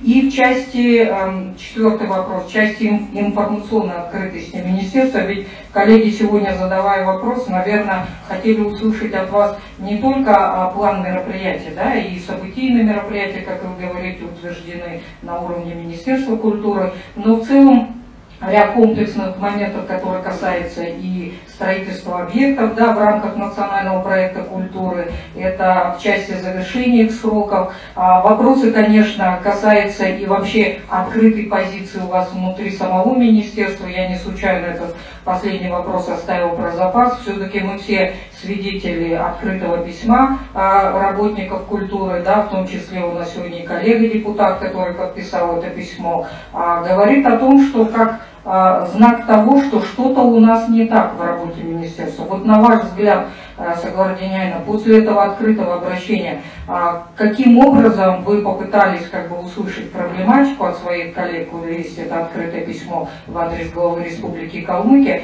и как наметили вообще взаимодействие? Спасибо. Вы на первый вопрос ответьте вот сразу. Да, благодарю за вопрос. По количеству объектов нематериального культурного наследия очень сложно сказать. Вот, например, по данным КЛНГУ около 300 э, наименований, не знаю, пунктов э, было собрано э, силами КЛНГУ студентов. И это может быть бесконечное количество предложений, но при этом только экспертный совет может принять решение о том, какое количество в итоге войдет в реестр. Дальше носительным объектом. События, событийные мероприятия. Какое количество носителей объектов нематериального культурного наследия, по вашим расчетам? В том числе, э, вы имеете в виду носители, это э, значит родители, передающие информацию? Да, да, да. Это тоже также сложно э, ответить на этот вопрос, потому что это может быть бабушка сельском поселении, который может знать э, отдельные обычаи, традиции, которые может также передать как любое физическое лицо свое предложение. Дальше, по открытости э, Министерства культуры информационной. периодически я даю интервью а, и о проделанной работе, и о планах на следующий год, а, где даю информацию о том, какие объекты будут строиться, какие планы а, и мероприятия на тот или иной год запланированы. Затем реестр объектов с завтрашнего дня, условно говоря, вы сможете его запустить, вот вы пишете, что не потребует расходов? Реестр объектов – это научная работа. То есть э, нам не, э, конечно же, это ляжет на плечи наших учреждений, и да, это будет дополнительная работа. Но мне кажется, что без этой работы мы э, не можем идти спокойно дальше и оставлять без этой работы вообще наш народ в целом. По открытому письму. Да, конечно же, я встречалась с сотрудниками, с руководителями учреждений, которые были в этом списке подписантов. И, конечно же, мы обсуждали, у каждого своя причина. Кому-то они дали финансирование на приезд гостей, например, э, к какому-то мероприятию. Кто-то воспринимает очень остро мои там, требования к тем или иным вопросам по поводу, например, адаптации к современному миру, ведение сайтов, инстаграмов и так далее. Ведь э, мы должны в первую очередь э, молодежь подключать к этому. Они об этом а, мало думают, они не ставят себе список мероприятий, посещения музея и библиотеки и так далее. А, и мы должны бороться на э, их территории за их внимание, мы, учреждения культуры.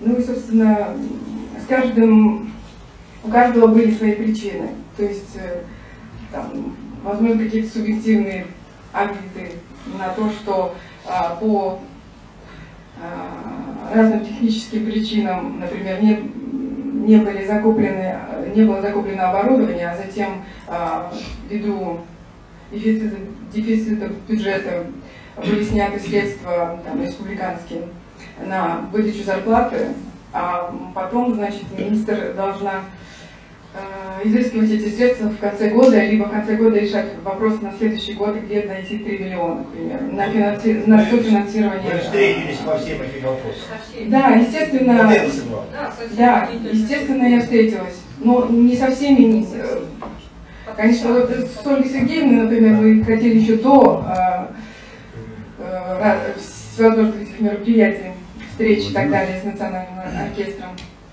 встретиться, но в целом а, я думаю, что многие подтвердят, что Министерство культуры и я, в частности, открыты к диалогу. А, просто не всегда бывает возможность а, Хорошо, уважаемые коллеги, спасибо, мы тут можем долго о министерстве говорить. У нас закон на повестке дня. Значит, в том числе мы направили это письмо, и нам пришло письмо, правительство. Мне в том числе прислал правительство ответ о том, что э, ну, таких серьезных объединений, которые там планировались, оркестр с национальным оркестром и так далее, это все э, исключают они. А то, что касается вот э, там взаимоотношений, ну, наверное, некоторая неопытность и, так сказать, ну, позволяет дальше двигаться. Ну, вот организационных дел, которые как-то там ломали структуру, ее не будет. Так, в крайнем случае, мы получили от правительства такое, такое письмо. Остальное это дело министра выстраивать рабочие отношения, куратора э, правительства выстраивать рабочие э, отношения э, с учреждением культуры.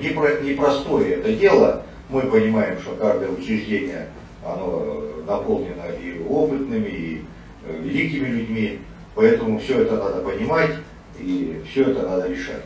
Ну, я э, тоже, как председатель, получивший это письмо, был участником тех или иных действий. Ну, направил правительству для того, чтобы они решили то, что можно решить. В крайнем случае, не, не, не, революции не, не творить там с точки зрения объединений, разделения, это мы уже проходили. Да, спасибо. А, я прошу дополнить э, по работе министерства за время моей работы. Прошлый год, 21 показал себя, по-моему, наглядным. И все федеральные средства были э, освоены в срок, э, все, э, все оборудование, там, книжное комплектование библиотек было закуплено вовремя, все объекты были достроены, слава богу, открылся театр кукол, после ремонта открылся русский театр, также филармония наконец открылась после четырех лет закрытия. Была проделана большая работа, поэтому говорить о некомпетентности там, министра э, в тот год, когда была проделана такая большая работа, на мой взгляд, э, не совсем соответствует. Значит, значит, уважаемые коллеги, значит, нет, минутку, минутку, мы, мы от головного вопроса отходим. Мы от проекта закона. Я по проекту закона Так, пожалуйста. Согласно еще раз возвращаясь к проекту закона, я не услышал ответ. Все-таки у нас э, к объектам нематериального культурного наследия по предварительной работе, которую вы проводили как уполномоченный орган предварительно таких объектов и того вместе с э, носителями объектов нематериального культурного наследия столько-то. Хотелось бы услышать. Спасибо. Хотя бы. Цифры.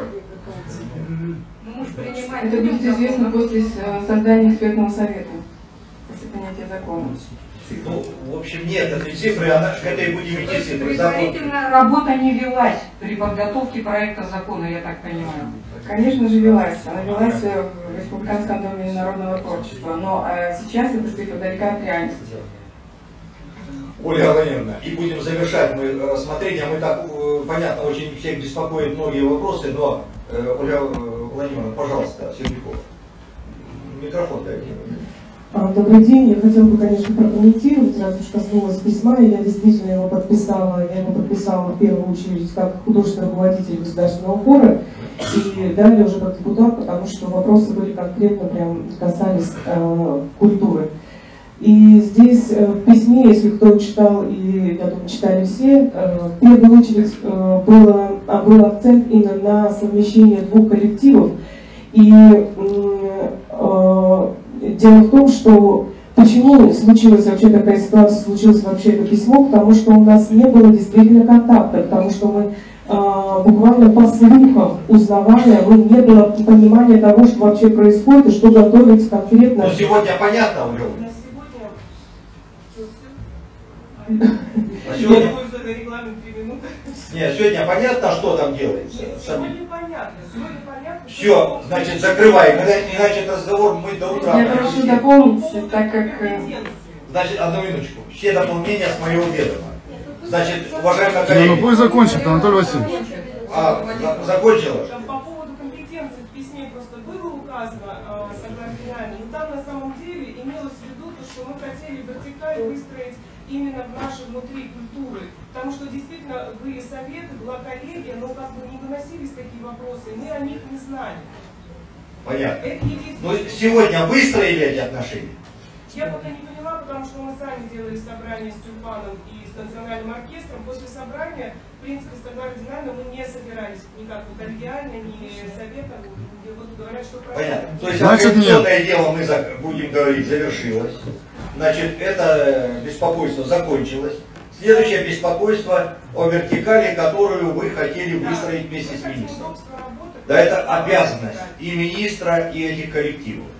Значит, я думаю, там письмо в правительстве находится.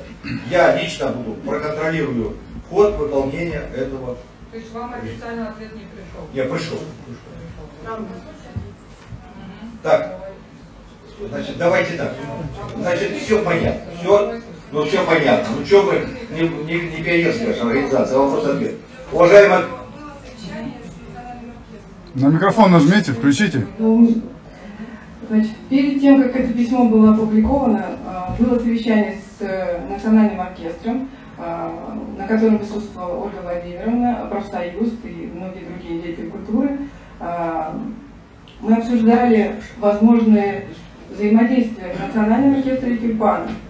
И после того, как э, стало понятно, что э, представители Национального оркестра против того, чтобы в будущем рассматривался такой вопрос, естественно, юридически нет смысла, ну, то есть я не буду объяснять причины потому что нет смысла э, объединять эти два коллектива. Они могут также э, оставаться юридически э, самостоятельными, но продолжать э, делать, создавать э, совместные проекты. Вот о чем шла речь. Хорошо, все, спасибо. итогу этой встречи с Значит, национальным согласен. оркестром Спасибо. Это вот кому интересно?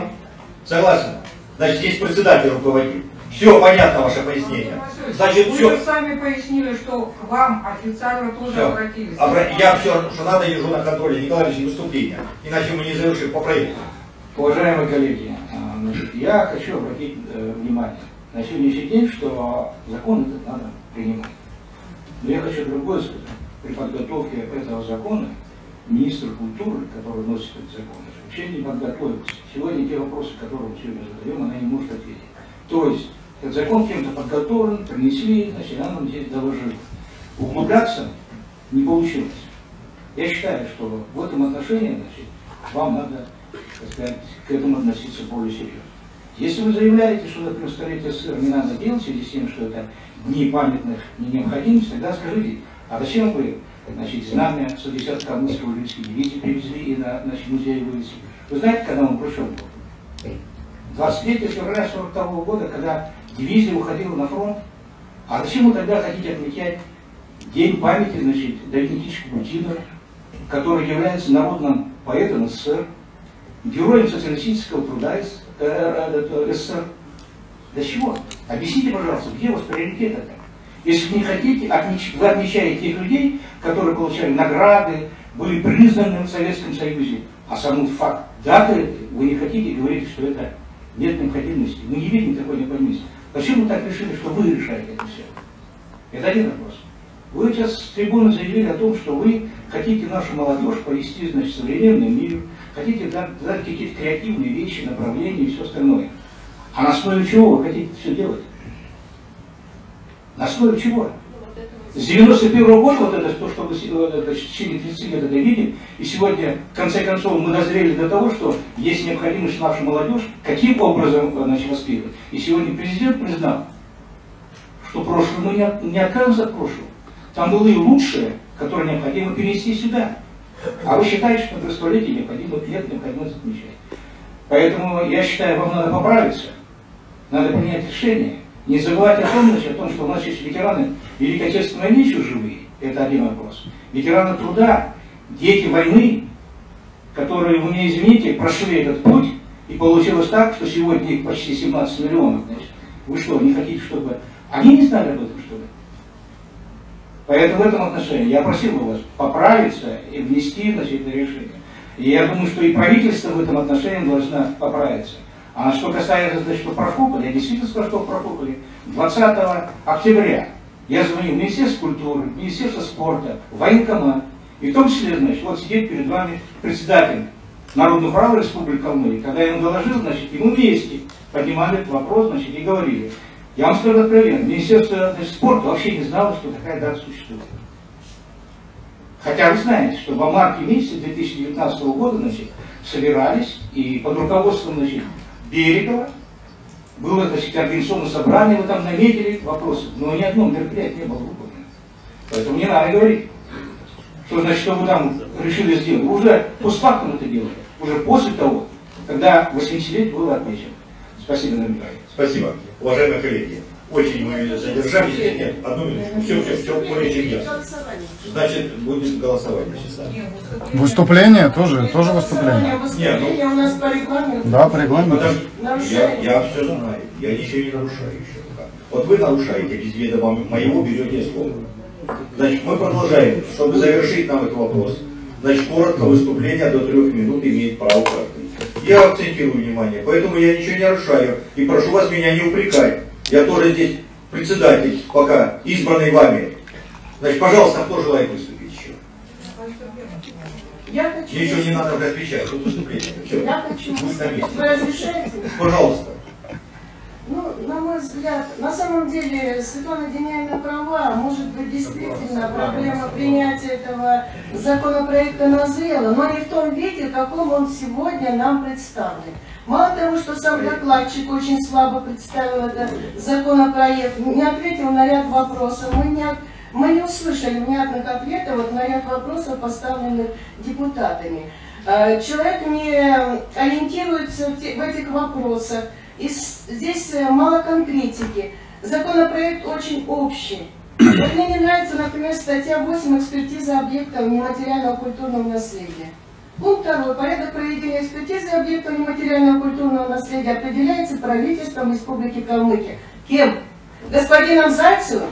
Господином Троицким? Господином Трапезниковым, который вообще, мне кажется, плохо разбирается в объектах нематериального культурного наследия Республики Калмыкия. Нет, я не унижаю, я о фактах говорю.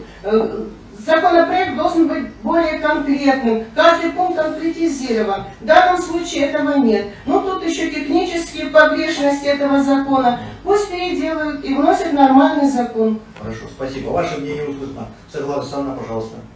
Уважаемые коллеги, ну, сегодня Саглара Деняйна в первый раз у нас на площадке да, Народного Урала Поэтому это ее дебют. Конечно, о том, что проект закона о нематериальном культурном наследии в Республике Калмыкия нужен, необходим и так далее. Части а, все-таки качественной проработки проекта закона Наталья Сергеевна действительно ряд, сделала ряд замечаний, я с ними согласна, потому что выхолачивать данный проект закона без предварительной проработки, вынося в том числе на площадку депутатов Народного Курала, это не совсем правильно.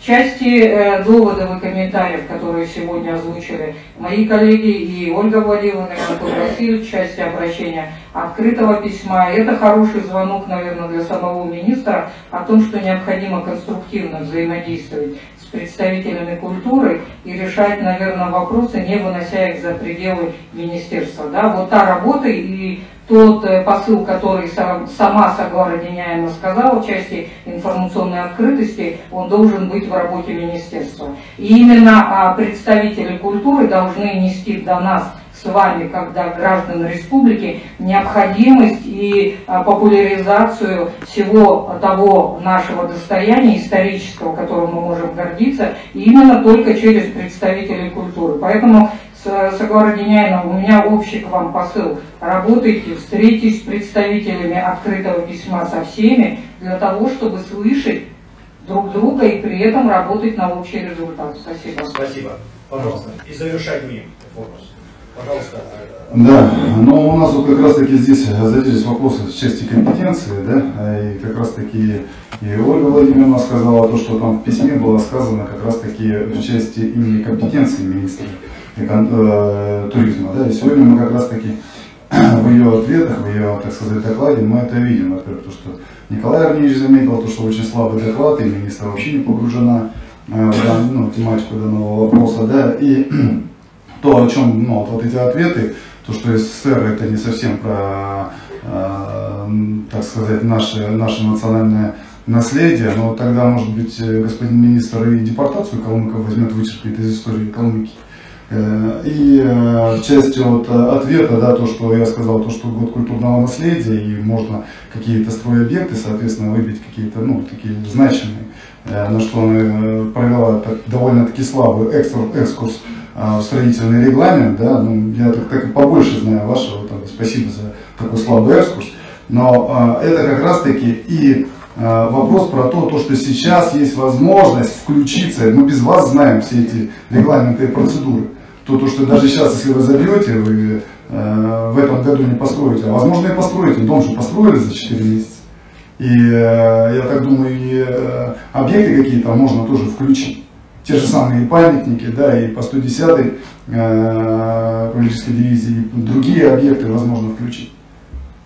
Поэтому, пожалуйста, вот именно по компетенциям, вы, так сказать, вы себя, господин министр, подтяните перед тем, как делать замечания другим. Уважаемые коллеги, ну, действительно, тут изменения разные. Проект вышел на комитет. Э, он принят комитетом. Я думаю, что мы в любом случае должны его принимать, как Николай и другие сказали. Если есть какие-то замечания, они, наверное, есть. То нас никто не возбраняет вносить туда поправки, не со слова там, или не понравилось слово, кто принимает решение, а обосновано на основе правовой экспертизы. Поэтому решение комитета, пожалуйста. Уважаемый Анатолий Васильевич, уважаемые депутаты, приглашенные. Вопрос рассмотрели, был рассмотрен на заседании нашего комитета. о нематериальном культурном наследии Республики Калмыкия.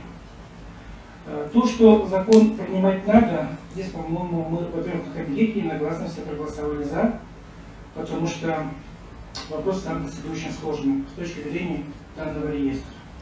Когда мы говорим о перечне и о, а затем реестре, это касается фольклора, это касается истории, это касается научных, в том числе, открытий.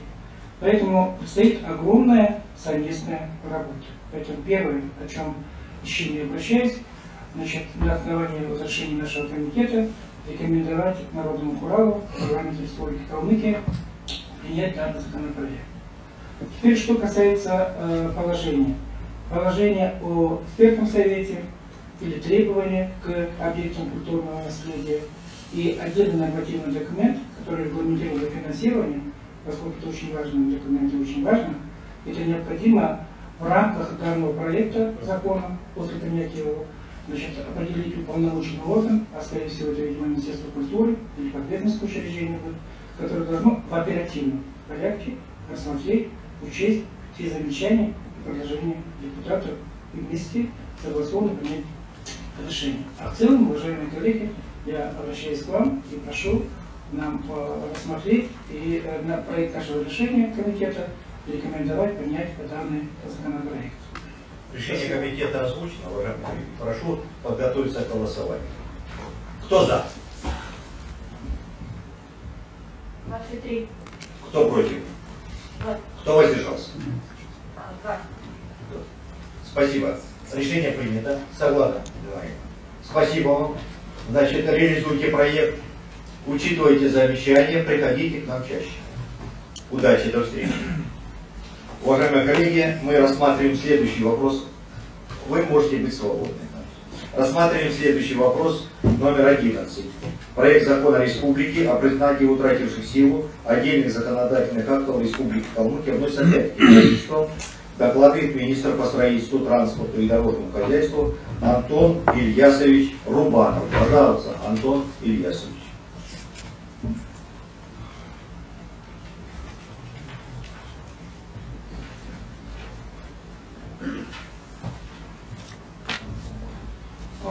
Добрый день, коллеги, депутаты Народного Хурала. А, вношу на рассмотрение проект закона Республики Калмыкия о признании утратившей силу закона Республики Калмыкия 3 ноября 2011 года за номером 297-4Z о региональном государственном контроле за соблюдением юридическими лицами и индивидуальными предпринимателями требований при осуществлении деятельности по перевозке пассажиров и багажа легковым такси на территории Республики Калмыкия. Настоящий проект закона разработан в, целях, разработан в целях приведения в соответствие действующего федерального законодательства. Федеральным законом от 11 июня 2021 года за номером 170 ФЗ о внесении изменений в отдельные законодательные акты Российской Федерации в связи с принятием федерального закона о государственном контроле и муниципальном контроле в Российской Федерации внесены изменения в федеральный закон от 21 апреля 2011 года за номером 69 ФЗ о внесении изменений в отдельный законодательный акт Российской Федерации в части исключения полномочий субъекта Российской Федерации по определению законом субъекта Российской Федерации порядка осуществления регионального государственного контроля за соблюдением юридическими лицами и индивидуальным предпринимателям требований, предусмотренных статьей 9 Федерального закона.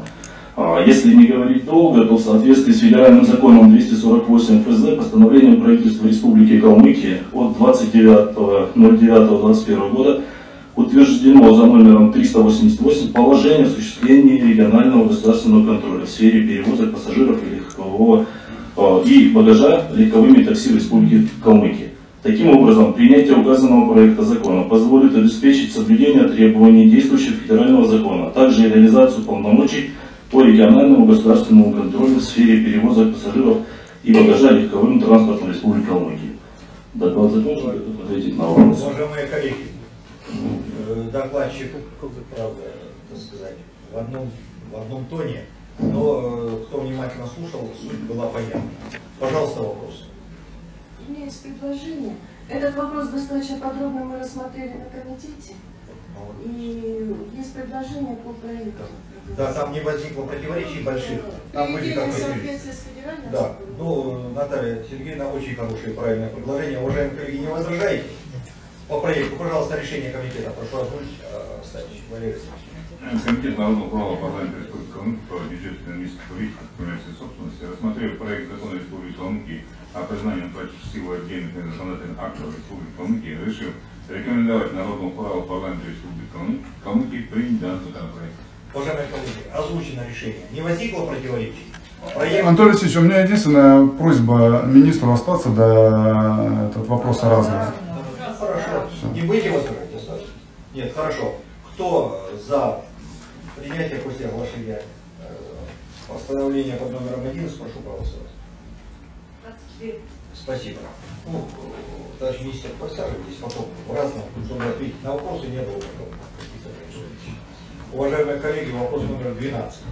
Рассматривается проект закона Республики о признании утратившей силу закона Республики о порядке взаимодействия органов муниципального жилищного контроля с органами государственного жилищного надзора и при муниципального жилищного контроля. Ну вот так звучит, так в, норме права, поэтому по-иному никак. Вносится правительством в Рио начальника инспекции государственного жилищного надзора э, Мингиян Мандолович Яванов ему поручено доложить. Пожалуйста, Вам слово. Добрый день, уважаемый председатель, уважаемые депутаты Народного права парламента Республики, приглашенные. Вашему вниманию представляется проект закона Республики о признании утратившим силу закона Республики о порядке взаимодействия органов муниципального жилищного контроля с органом государственного жилищного надзора при осуществлении муниципального жилищного контроля.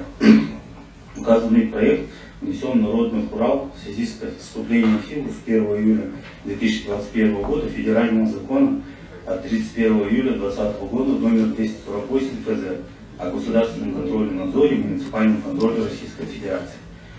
Таким образом, положение федерального закона от 26 декабря 2008 года 294 о защите прав юридических лиц и индивидуальных предпринимателей при осуществлении госконтроля надзора и муниципального контроля применяется с учетом особенностей, установленных статьей 26.3 294 федерального закона. Из содержания указанной статьи следует, что положение закона не применяется при организации и осуществлении жилищного надзора. Новый порядок организации и осуществления государственного надзора и муниципального контроля, в том числе регионального государственного жилищного надзора и муниципального жилищного контроля, установлен в 248 федеральным законом. В связи с изложенным предлагается привести региональное законодательство в соответствии с федеральным законом. О необходимости признания утратившим силу данного закона э, прокуратура Республики Калмыкия указывала в декабре 2021 года на имя председателя правительства. Спасибо за внимание. Уважаемый, э, э, доклад сделан. Возникли ли вопросы или без обсуждения? Уважаемые коллеги, предлагается по проекту принимать. Да, Уважаемые коллеги, здесь предложение без обсуждения. Э, Пожалуйста, решение комитета, Валерий Витальевич, пожалуйста. На комитете тоже. Это в соответствии с федеральным законом. Единогласно проголосовали, были обсуждения, и комитет решил э, рекомендовать Народному праву парламента Республики Калмыкия принять данный законопроект с учетом следующих изменений. Первое. Наименование законопроекта изложить в следующей редакции. О признании против силы некоторых законодательных актов Республики Калмыкия. Статья 1 изложить в следующей редакции. Статья 1 признать утратившую силу закон Республики Калмыкия от 19 ноября 2012 года под номером 386-4-С З. Порядке на взаимодействие органов муниципальных э, жилищного контроля с органами государственного жилищного надзора при осуществлении муниципального жилищного контроля. Второе. Закон Республики Калмыкия от 20 ноября 2015 года под номером 150-5-З внесение изменений в закон Республики Калмыкия о порядке осуществления муниципального жилищного контроля, взаимодействия органов муниципального жилищного контроля с органами государственного жилищного надзора при осуществлении муниципального жилищного контроля. Уважаемые коллеги, решение комитета озвучено. Если не возникло противоречий, прошу подготовиться к голосованию. Кто за принятие постановления под номером 12? Единогласно, спасибо. Спасибо, Емельян, вам. Удачи. Уважаемые коллеги, есть предложение на 15 минут прерваться, э, проветрить, потому что у нас дальше еще есть два отчетных вопроса. Да, там остальные вопросы мы повели по более напряженные, а здесь вопросы есть. Перерыв организаций, 114 дошкольными образовательными организациями и 42 организациями доп. образования. В разрезе каждого направления в части обеспечения доступности дошкольного образования – то оно осуществляется в 112 муниципальных дошкольных организациях и двух частных, а также 30 дошкольных группах при школах. Численность воспитанников, охваченных дошкольным образованием, составляет 11 721 человек. На 1 января 2022 года очередность дошкольной образовательной организации Республики Калмыкия в возрасте от 3 до 7 лет отсутствует. В период 2020-2021 года создано 810 новых мест в рамках реализации нацпроекта «Демография». Теперь по развитию общего образования. Общее образование реализуется в 161 общеобразовательной организации, в том числе в трех частных общеобразовательных организациях. Численность обучающих составляет 34 673 человека. За последние годы наблюдается стабильный рост контингента обучающихся в общеобразовательных школах. В целях ликвидации второй двухсменного процесса обучения в республике создаются новые места в общеобразовательных организациях. Так, в 2021 году введена новая школа село Малый Дербеты на 275 мест, село Троицкое на 528 мест. В 2022 году планируется создание 825 мест путем строительства четырех пристроек общей, мощи, общей мощности 825 мест действующим школам города Елисты. Это у нас третья школа, 17 школа, 18 школа и МГ.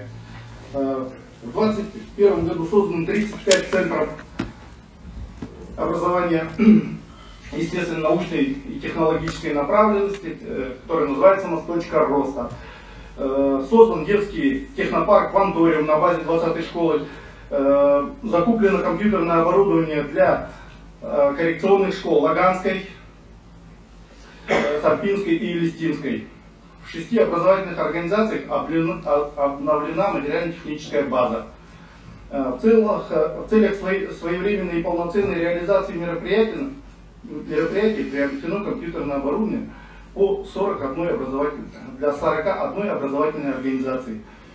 Создан и действует Центр цифрового образования IT-клуб на базе, на базе э, Русской национальной гимназии с местом размещения э, в Доме детского творчества. Э, в рамках реализации поддержки добровольчества, волонтерства по итогам Э, проведения ежегодного всероссийского конкурса лучших региональных практик «Регион добрых дел» делегация от Калмыкии э, ежегодно отправляет своих представителей на все, на все мероприятия в, данных, э, в рамках данной программы. Число образовательных организаций, реализующих образовательные программы по среднепрофессиональному образованию у нас на сегодняшний день 9 единиц с Калом госуниверситетом уже 10. Э, в котором обучается порядка 7200 человек. Позитивными моментами могу отметить то, что у нас э, наши студенты участвуют э, в движении Abilimpix, а также в центре Abilimpix и World Skills. Создан Центр содействия трудоустройству выпускников на базе Елисинского политехнического колледжа для лиц с ограниченными возможностями здоровья на базе Елистинского э, педколледжа созданы условия для образовательного процесса э, и индивидуальных с соблюдением индивидуальной возможности каждого э, э, такого человека. Э, в 2021 году регион принял участие в мероприятиях э, проекта «Билет в будущее». Во всех школах прошли онлайн Э, профориентированные уроки, в которых было охвачено порядка 900 человек. Регион принимает активное участие в реализации федеральной программы содействия занятости. Так в республике региональным оператором определен торгово-технологический колледж. В 2021 году выделено 80, 82 квоты на обучение различных граждан В 2024 году на базе ПТК будет создан Центр опережающей профессиональной подготовки. По итогам участия в конкурсном отборе финансирование из федерального бюджета составит 25 миллионов.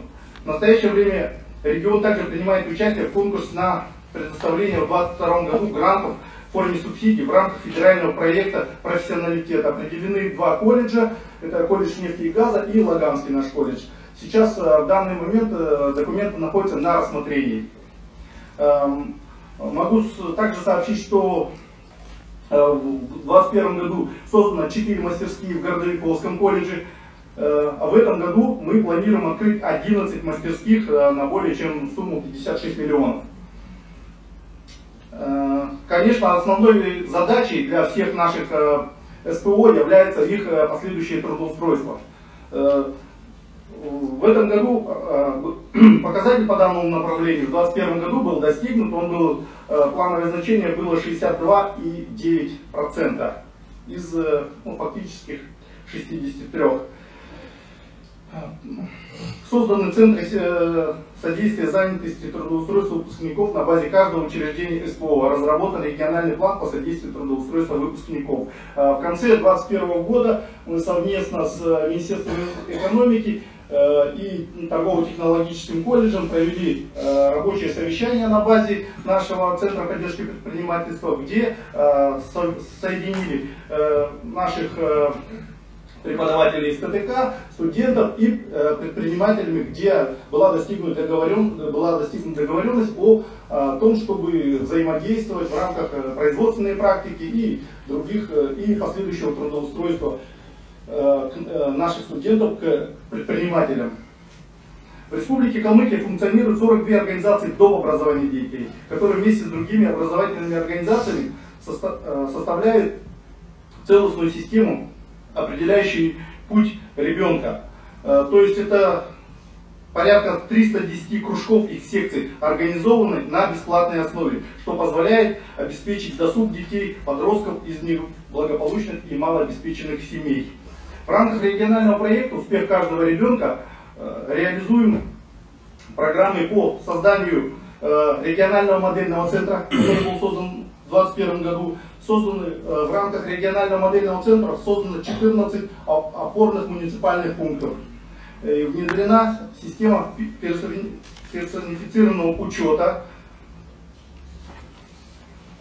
детей. Внедрен навигатор Э, дополнительное образование детей. На 31 декабря 2021 года в навигаторе зарегистрировано 306, э, зарегистрировано 316 учреждениях, 28 543 ребенка в возрасте от 5 до 17 лет, обучающихся по 1807 образовательным программам. То есть мы ставим задачу именно по охвату наших детей, для того, чтобы они как можно больше отражались в нашем навигаторе, э, и который постоянно отслеживается федеральным центром.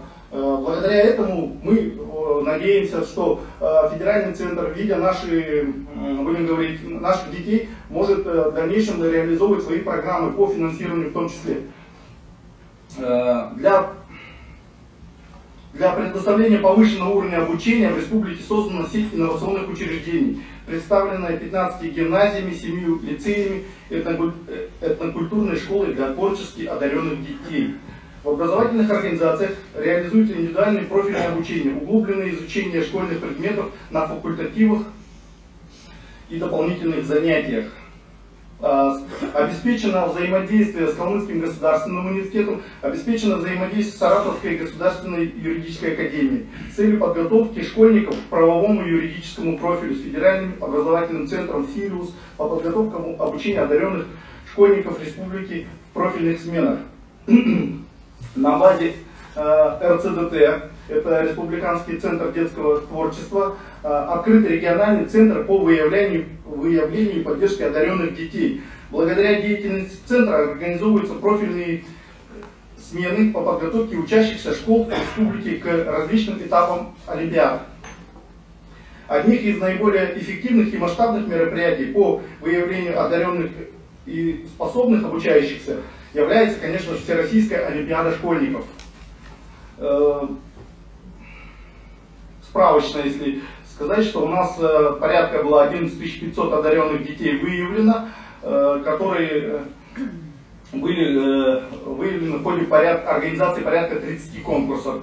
В 2020-2021 учебном году в этапах Всероссийской Олимпиады школьников приняло участие 643 школьника 9 и 11 классов.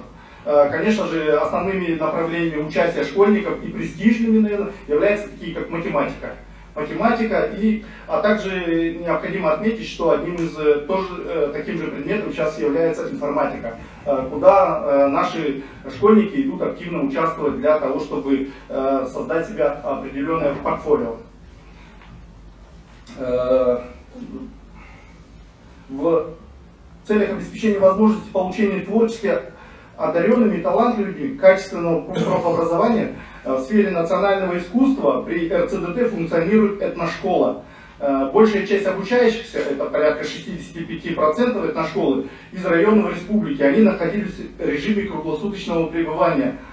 Однако в марте 2020 года, когда э, началась пандемия с коронавирусом, здание РЦДТ было передано под госпиталь, как вы все знаете, и до настоящего времени Э, здание еще нам не возвращено. И, конечно же, в этой связи, вот, уважаемые депутаты, э, здесь бы от лица министерства, конечно же, надо бы нашим детям это здание вернуть, потому что э, то федеральное имущество, которое было приобретено в рамках нас проектов, оно реализуется, ну, будем говорить, если честно, не в полной мере. То есть э, то здание было огромное, большое, понимаете, вот Сейчас, сейчас они переехали, находятся на пятом микрорайоне. Частично мы их разместили э, в нашем колледже, Палестинском политехническом некоторые этажи. Поэтому некоторые по некоторым направлениям вынуждены были, э, ну не сократить, а число ну, не, не так комфортно заниматься, как вот было э, ранее.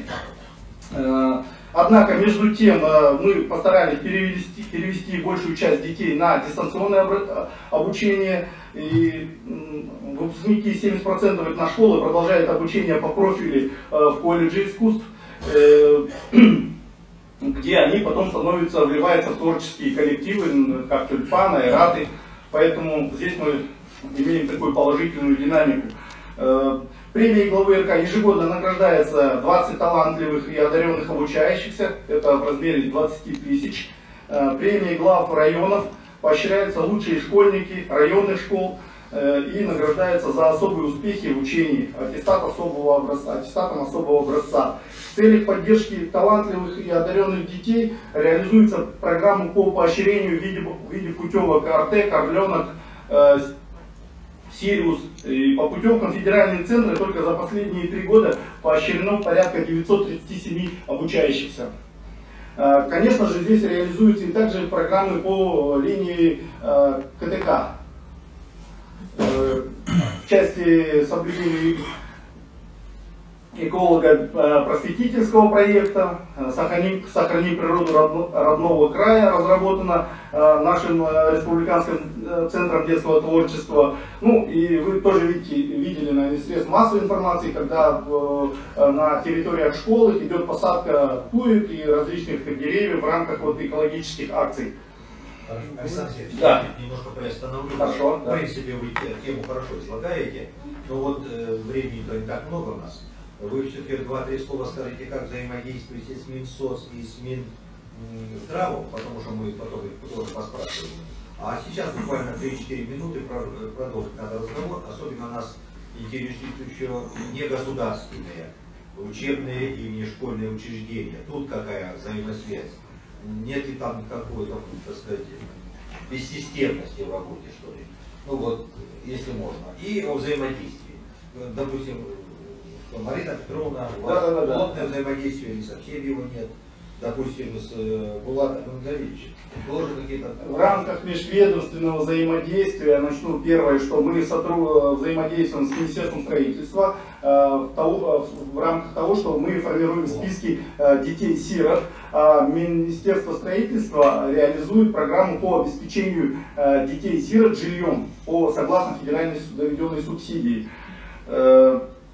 По, по линии Министерства социальной защиты, э, работая именно тоже в части э, опеки и попечительства.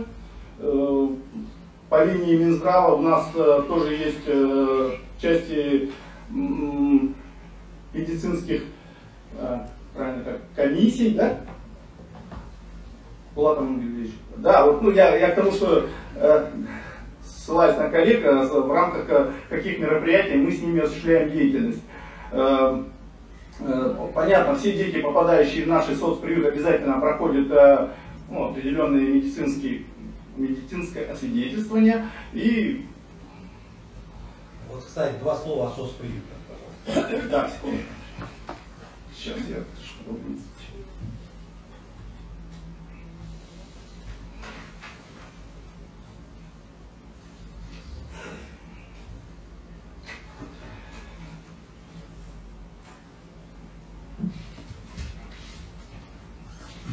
Немножко я нарушил свой. Ну ничего, давайте, исходя из того, что вы хотели. Да, контроль, э, сейчас начну тогда, контроль за и надзор за соблюдением прав и свобод э, детей-сирот и детей, оставшихся без попечения родителей, регулярно осуществляет прокуратура, Министерство образования, Минздрав, органы опеки и попечительства. Э, В 2021 году фактов нецелевого использования денежных средств, выделяемых на содержание опекаемых детей, ненадлежащего выполнения опекунами э, и попечителем своих обязанностей или жестокого обращения с детьми не установлено. Случаев гибели детей-сирот тоже оставшихся детей-сирот тоже не выявлено.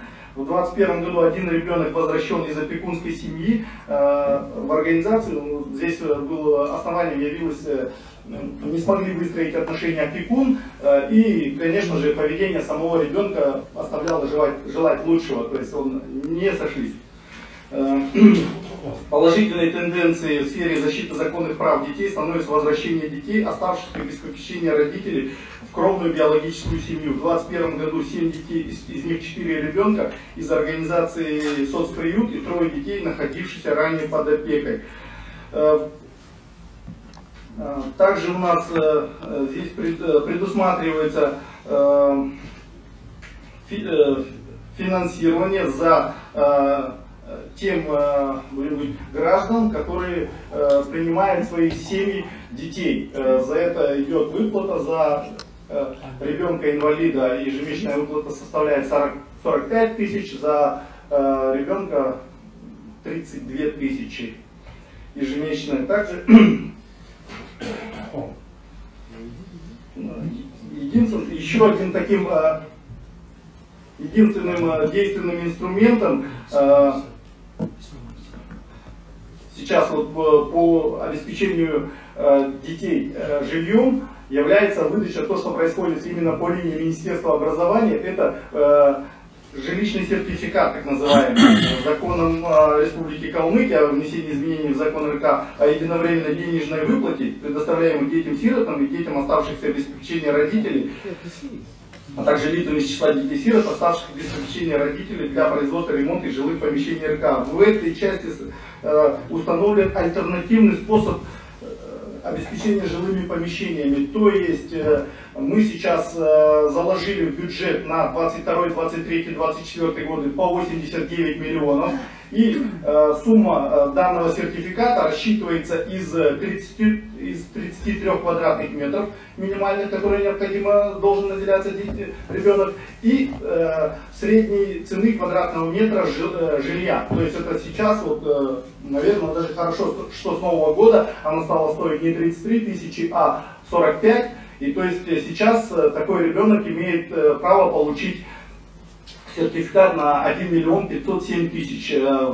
Сейчас в министерство поступило порядка 55 э, заявлений. Уже по шести направлены документы на, на, на финансирование. И планируем, что в этом году, так как у нас тоже имеем лимиты 89 миллионов, охватить порядка 60, 60, 60 человек. 60 человек. Да. Александр давайте так, ну, в общем-то, срез понятен. Давайте мы вот к вопросам. Я смотрю, многие наши коллеги хотят задать вопросы, ну, которые в общем, нас интересуют. У нас ну, еще строительство сейчас, конечно. Вот назовите одну цифру, сколько мы школ будем строить в этом и следующем году. Э, В этом году у нас э, подлежит сейчас э, в этом году- ремонту, да. Начну с ремонта. Э, в рамках э, э, программы модернизации школьных систем в этом году мы 25 ноября подали заявку и где определили 17 школ. 17 школ и на 23 год определили 18 школ. В этом году у нас заходят 7 городских на 22 год, 17, из 17 7 городских и 10 районных. 10 районов. Сумма финансирования или доведенной субсидии федеральных средств составляет 1 миллиард 647 тысяч. На, э, 20, да, на ремонт школ. На 23 год 1 миллиард 528. То есть э, нам сейчас надо реализовать. Городские школы у нас будут реализовываться по установленному, э, будем говорить, потолочной планки. Это была сумма 127 миллионов. Из, в том числе там находится оборудование на 9 900. То есть э, порядка 117 миллионов э, мы должны отремонтировать школу. Конечно, это э, для нашего бюджета и для нашей республики сумма такая беспрецедентная. Поэтому никогда, наверное, еще ну, то есть муниципалитет не мог выделить такие суммы на реализацию капитального ремонта. Капитальный ремонт осуществляется по 14 видам работ, укрепленных, то есть в периметре здания. То есть мы будем менять кровлю, то, что вот сейчас является наверное, самой насущной проблемы. Отопление, электрику, можем укрепить фундамент. И также э, рекомендовали активно привлечь э, штабы общественного родительского контроля для дизайнерского подхода именно в решении капремонта. Теперь по-новому. Теперь про новую школу. Я знаю, что всех интересует э, школа Шапшукова. Э, в рамках вот, строительства Шапшукова первоначально было выделено 569 миллионов. Мы понимали, что в период реализации 21-22 мы не успеваем. Не успеваем и не можем на эти деньги на 569 построить школу на 825 мест. Поэтому мы 7 июля заключили дополнительное соглашение с э, Министерством просвещения Российской Федерации, где сохранили целевой показатель 825 мест и ушли на строительство четырех пристроек. Это третья школа, 17 как я озвучил, 18 и бывшая 19 МГ. Таким образом, э, четыре пристроя мы строим. Сейчас вы видели, работа уже начата. Сейчас уже на базе у нас уже э, поднимаются фундаментные блоки. Где-то там уже на МГ у нас поднимается первый этаж. Э, трехэтажное здание будет емкостью, мощностью 209 мест, 206 мест, и таким образом все вместе в складче у нас получается 825 мест. По поводу строительства новых школ, именно такой, какой есть. Определили, что Шапшукова подали заявку, имеем заключенное соглашение с Министерством, промыш... Ой, с Министерством просвещения, э, получили 720 миллионов одобрения, но понимаем, что этих денег у нас, э, опять же, в связи с тем, что э, произошел рост на стройматериалы, не хватает. Сейчас этот вопрос находится в стадии будем говорить, обсуждения, решения, принятия решения по нему. Совсем недавно вышло 292 постановление, распоряжение правительства, подписанное Мишустиным, где э, в рамках э, выделения из резервного фонда дополнительных сумм на реализацию этих проектов. Там определено 144 миллиона, но нам их надо, конечно, будет доказать. Тогда мы, если все соберем, у нас докажем, что произошло увеличение средств, тогда мы сможем подтянуть до 700, 880 э, миллионов. Но, опять же, понимаем, что э, может денег не хватить, поэтому э, принимаем решение, в том числе с, с Минстроем, с, с ГУКСом и, конечно же, правительством. Э, в части того, что Шапшукова, э, уважаемые коллеги, там большой перепад, порядка 7 метров. Э, если реализовывать этот проект, любой проект на, данный, на данном земельном участке, э, дополнительно возникает порядка 250 до 300 миллионов. Где-то вот 200-300 миллионов, в зависимости от проекта, как его. Ну и что делать будем? Давай самое главное. То там перепады мы тут не, не решим сейчас.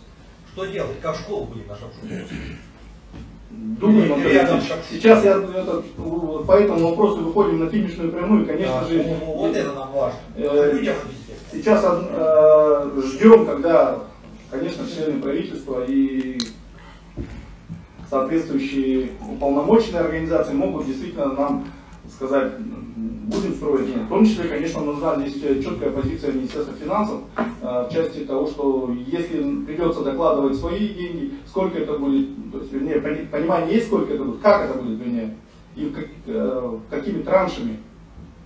Хорошо, Вот спасибо. всё. Пока по этому вопросу вопрос еще открыт, ну, работаем каждый день. Хорошо, спасибо. Давайте вот на этом э, э, остановимся. После вопроса. Пожалуйста, уважаемые коллеги. Да, пожалуйста, Сергей. Уважаемый председатель, уважаемые депутаты, уважаемый докладчик, у меня короткий вопрос. Вы сейчас упомянули про укрепленный перечень при проведении работ капитального ремонта образовательных учреждений, но туда не входит э, приведение в нормативное состояние стадионов. Как будет решаться этот вопрос? Потому что мы сегодня знаем, школа номер 4, реконструкция стадиона обошлась в 12 миллионов рублей, это были инвестиционные средства. Э, Есть ли понимание или решение у Министерства образования, как мы будем приводить нормативное состояние именно при школьные стадионы? Спасибо. То, что касается, да, э, мы этот вопрос э, поднимали перед Министерством просвещения Российской Федерации. Нам дали понять, что э, все затраты, связанные с выделением федеральной субсидии, должны быть потрачены четко в периметре этого здания и в рамках этих 14 видов работ. Никаких вопросов по благоустройству или даже там ремонта канализации. У нас даже, если честно, выпали школы, вы как знаете, у них сбоку прикреплены котлы отопления их вынесли за территорию, то есть сбоку сделали такую жестяную пристройку, там котлы поставили, но эти котлы не были в, э, э, оформлены в, в техпаспорт здания, поэтому нельзя. Вот даже некоторые школы выпали у нас. Другая программа есть или что? Да, я думаю, что по ремонту, ну, у нас есть, э, Сергей Александрович, э, программа, пока по малым городам в рамках успеха каждого ребенка мы ремонтируем спортзалы и э, строим э, плоскостные сооружения, наружные, как бы, ну, уличные плоскостные сооружения. В 2021 году мы построили в Икибукусе и построили в Шенмере, в поселке Шенмер. То есть там уже дети могут вполне играть в свободный футбол. В этом году запланирован ремонт шести на 22 год, ремонт шести э, спортивных залов. Что касается эм, будем говорить, э, именно вот ремонта вот городских э, школьных площадок, конечно же, мы все-таки надеемся, что э, программа такая с министерства, ну, то есть с российской, ну, с, с федерального центра поступит, и мы, конечно же, как что-то новое появляется, мы активно за нее хватаемся. Единственное, нам не всегда э, э, наш бюджет, э, с учетом софинансирования, не всегда бывает, может э, вытянуть некоторые вещи. Так, что ты ждал? Уточняющий вопрос. Вы сказали про программу, но насколько мне известно, она работает только для сельских школ. Да-да-да, для, я сказал. для города, для города она не, Не работает. не работает. Вот. Я почему хотел бы обратиться к вам, уважаемые коллеги. Может быть, мы в решении пропишем от обращения каком-то э, на нужный уровень, чтобы решить проблему э, реконструкции, вернее, приведения в соответствие спортивных площадок школ города, потому что они сегодня за бортом. И нет никакой программы, которая бы могла э, в этом, то есть в которой бы мы могли принять участие. 23-я школа, ФАКО, там пошла другая совершенно программа. Будет ли она продолжена, нам на сегодняшний момент неизвестно. А вопрос очень важный, потому что это касается физического воспитания э, нашего подрастающего поколения. То есть мы нормативное состояние в школу приводим, меняем коммуникации, а уроки физкультуры у нас остаются за здесь разумно, давайте мы подумаем. С обращением, может быть, на следующем заседании мы, ну, надо подготовиться. Наталья Сергеевна, пожалуйста. Ой, Буквально в воскресенье, вот я была в селе Троицком, их интересует, когда же все-таки будет завершено строительство средней школы в гор- селе Троицком. Это первый вопрос. Да. Сдан будет, но пока вот я сама убедилась, я была в воскресенье, там еще очень много работ.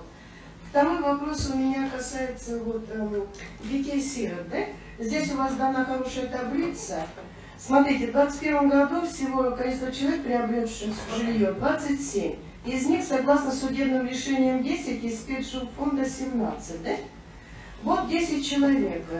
Вот скольким из этих 10 министерство помогло дойти до суда и ну, Получить решение. да. Скольким вы помогли, инициировали? Потому что вот Центр защиты прав граждан, который у нас работает, обращается очень много детей-сирот, и нашим специалистам, юристам приходится доводить их прямо до суда, до решения. Почему министерство не включается в эту работу? И третий вопрос, вот сразу три вопроса. Да, задам. хорошо, давайте Третий вопрос. Вы знаете, что у нас э, в республике есть проект региональный «Спорт норма жизни». У нас есть государственная программа развития физической культуры и спорта, да? Да. Но Вот я уже поднимала этот вопрос, по-моему, в прошлом году, и, как говорится, обоссаны не там. Спор- Открытые спортивные площадки при школах. Почему все лето закрыты? Дети не могут туда попасть, позаниматься спортом. Ведь на самом деле вот в рамках этих программ они же могут. Почему не открыты эти площадки? К сожалению, как только начинаются каникулы, закрываются. Детям негде заниматься спортом. Хорошо, понятно. Три вопроса, пожалуйста. Хорошо, так, э, начиная с первого вопроса, школа Троицкая на 528 мест. Она на сегодняшний день у нас сдана. Сейчас ведут... э, Там очень много Нет, смотрите. Сергеевна, вы задали вопрос. Не Да. внимательно Я, я вам говорю, я, ну, то, что видел сам. Я бываю на этом объекте каждую неделю, каждые выходные посещаю. Все работы, которые внутри здания завершены. Завершены. А сейчас остались некоторые во- вопросы по благоустройству.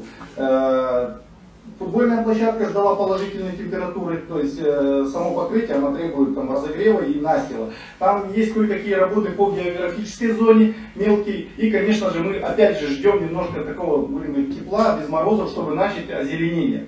В принципе, все. Параллельно сейчас ведутся все документации, офор- оформляется вся необходимая документация для получения лицензии, для получения соответствующих разрешений Роспотребнадзора и других. Поэтому, э, конечно же, мы безусловно 100% школа 1 сентября начнет функционировать, но мы сейчас э, э, ведем работу для того, чтобы постараться четвертую может я громко, Четверть. конечно, четверть, э, но мы стараемся, ведем к тому, чтобы все-таки попробовать организовать там учебный процесс. Или даже, возможно, э, в рамках летней оздоровительной кампании э, провести там лагерь дневного пребывания. Ну, пока, уважаемые коллеги, мы стараемся. второй вопрос, давай, второй Второй вопрос, что касается детей и сирот. Да, действительно, вы правильно сказали, у нас несколько. В части обеспечения жи- жилым фондом, да, э, как бы не совсем э, функционал Министерства образования. Мы э, занимаемся только формированием списка выдачи э, жилья и реализации именно вот этого, будем говорить, этих квартир напрямую и непосредственно занимается Минстрой. Это определено уже. В части оказания помощи мы, наши специалисты, оказывают всяческую помощь. Всех практически, э, будем говорить, э, из этого списка наши специалисты знают прям поименно, обзваниваем. И то, что касается сейчас вот именно альтернативного способа выдачи сертификата, мы уже даже слишком вперед ушли, и то есть порядка 55 человек у нас уже сегодня написали заявление, и там, по-моему, если не ошибаюсь, 47, я сейчас не вижу, э, порядка 40, 47 уже в работе, и по 6 уже ожидаем финансирования. То есть, Это э, вы здесь вместе работаете с теми, кто... да, да, мы непосредственно. Знаете, в чем проблема? Не от того, что мы не хотим, ни мы, ни Минстрой не хотим э, выдавать, э, будем говорить, квартиры. Дело в том, что вторичный рынок э, в городе Листа, он, э, э, будем говорить, ну, ограничен определенными вот этими квартирами, 33 квадратными. Построить э, одно здание, куда мы заселим э, всех, э, допустим, там 20-30 человек, мы тоже не можем, потому что есть нормы, там не более 30%, если не ошибаюсь, э, чтобы не создавать определенную социальную напряженность в этих домах. Мы знаем, есть у нас э, на первом микрорайоне, э, ну, 10 микрорайон, жилье, где у нас постоянно идут побоища. Поэтому, чтобы избежать, э, реализуем вот в таком направлении. По поводу второй очереди, э, судебных решений, возникла вторая очередь, потому что идут те, кто по, будем говорить, как вот шли по списку, но часть из них обращалась в прокуратуру, э, после этого выносилось определенное судебное решение обеспечить, и появлялась вторая очередь. И правильно и те правы, и эти правы. Здесь проблема такая, ну, не, не глобальная, но она есть. И стараемся ее конечно, судебные Третий, понятно, в теме вы. Третий вопрос. Третий, ну какой? Спортивная Спортивные площадки почему закрыты? Да, ну, э, э, в силу того, что у нас э, была не- неблагополучная эпид-ситуация, конечно же, мы э, часто уходили на дистант в этом году. У нас даже, э, э, вы знаете, что летняя оздоровительная... Спортивные площадки были закрыты и до пандемии, не только в пандемии. Хорошо, я понял. Давайте мы этот вопрос еще раз поднимем. Э, Как бы у нас есть управление образованием города Елисты, которые непосредственно должны решать этот вопрос. И, в принципе, в любом, э, в любом рабочем совещании мы, думаю, этот вопрос решим. Нет, вы эту тему обозначьте, она действительно Хорошо, существует. хорошо. Да, Ольга Юрьевна, пожалуйста. Спасибо. У меня три вопроса. Первый вопрос касается обеспечения доступности дошкольного образования. А, Согласно региональному проекту содействия занятости женщин, создания условий дошкольного образования для детей в возрасте до трех лет, национального проекта «Демография», а, согласно вашему докладу, было создано 200 мест, все они в районах республики. Правильно ли я понимаю, что за, на э, период, скажем так, за период 2021 года не создано ни одного дополнительного места в дошкольных учреждениях именно данного возраста? То есть у нас предложение опережает спрос, да? Насколько мне известно, что э, есть желающие женщины, которые хотят ну, на работу, которые хотят, скажем так, э, отдать детей в детские сады данного возраста, но не хватает мест. Это первый вопрос. А, Дальше а, такой момент, он тоже как бы пересекается с э, первым вопросом. А, Из вашего доклада на достижение высокого качества услуг дошкольного образования в республике нацелены направления развития системы дошкольного образования. Это развитие негосударственного сектора в сфере дошкольного образования. Насколько на сегодняшний день увеличилось негосударственное образовательное учреждение в сфере именно дошкольного образования? А, Из доклада тоже я его очень внимательно изучила. Написано, что создано очень много а, дополнительных моментов для негосударственного сектора. Но насколько мне известно также, что на период 2021 года, наоборот, у нас закрылись да, а, негосударственные образовательные учреждения именно для дошкольников. А, Значит, также один из пунктов у вас стоит это укрепление и развитие материально-технической базы а, дошкольных учреждений. Знаете, я часто посещаю детские сады, в частности в городе, и вот, к сожалению, до сих пор а, я вижу тот момент, что материальная техническая база ну, очень плохо обновляется, и у нас вынуждены воспитатели э, использовать там, не знаю, подручные средства, свои личные средства для того, чтобы а, как-то улучшить материально-техническую базу в детских садах. У нас 19-20 прошел Робофест, а, это фестиваль для детей по робототехнике. А, Кстати, большое спасибо Министерству образования. Мы проводим данный фестиваль 5 лет. И впервые за 5 лет Министерство образования, наверное, так а, тщательно и очень хорошо помогло в организации данного процесса. Спасибо огромное. Но есть такой факт. Всего приняло участие 525 детей в очно-заочном формате, 65 организаций. А, Из них всего два детских сада. Почему? Потому что, к сожалению, материально-техническая база детских садов у нас оставляет желать лучшего. Когда в наших дет- детских садах будет современная материально-техническая база? Мы, и третий у меня есть вопрос. Мы все знаем, что этот возраст очень важный, до 7 лет. И я считаю, материально-техническую базу надо обязательно обновлять в свое время. И третий вопрос по обеспечению доступности общего образования. Э, касается ряда инклюзивного образования. К сожалению, инклюзивное образование у нас должным образом до сих пор не работает в образовании школы. Мы встречались еще в прошлом году, мы говорили на этой площадке, в 2021 году говорили с э, предыдущим министром Барином по вопросу доступности инклюзивного образования. На сегодняшний день вообще что сделано? Год уже прошел, даже может быть больше. А, К сожалению, в прошлом году, в начале этого учебного года, в сентябре, только после моего обращения, обращения детей, э, родителей детей-инвалидов, а, повесили необходимую интерактивную доску в коррекционных классах. И на сегодняшний день коррекционные классы не устроены должным образом, мне кажется, ни в одной школе у нас. Спасибо. Александр Васильевич, ответы очень лаконичные. Хорошо, Вот это есть, это будем делать, здесь не получается. Вот прям конкретно. По детским садам могу сказать, что в 2021 году, у меня сейчас с собой нет прошивки на 810 мест за, за два года создано, именно за 2021 год, но могу сказать, вот там где был, садик есть, построили, э, в Кигульте построили новый сад. Про в- город. Я в- спрашиваю про город. Я видела А, вас город? Са- Я Полностью садики, те в рамках э, у нас проекта демография, те садики, которые построены, они полностью оборудованы э, соответствующими кроватками, э, пищеблоками, всем-всем. Э, По детским садам э, сейчас, которые у нас э, вы в городе, да, имеете в виду? Пока, э, пока программы именно строительства детского сада у нас сейчас нет, мы, мы ждем ее. А, По ремонту, ну, в этом году я знаю, что у нас э, идут э, в э, не в капитальный, а в ремонт кровли городские детские сады.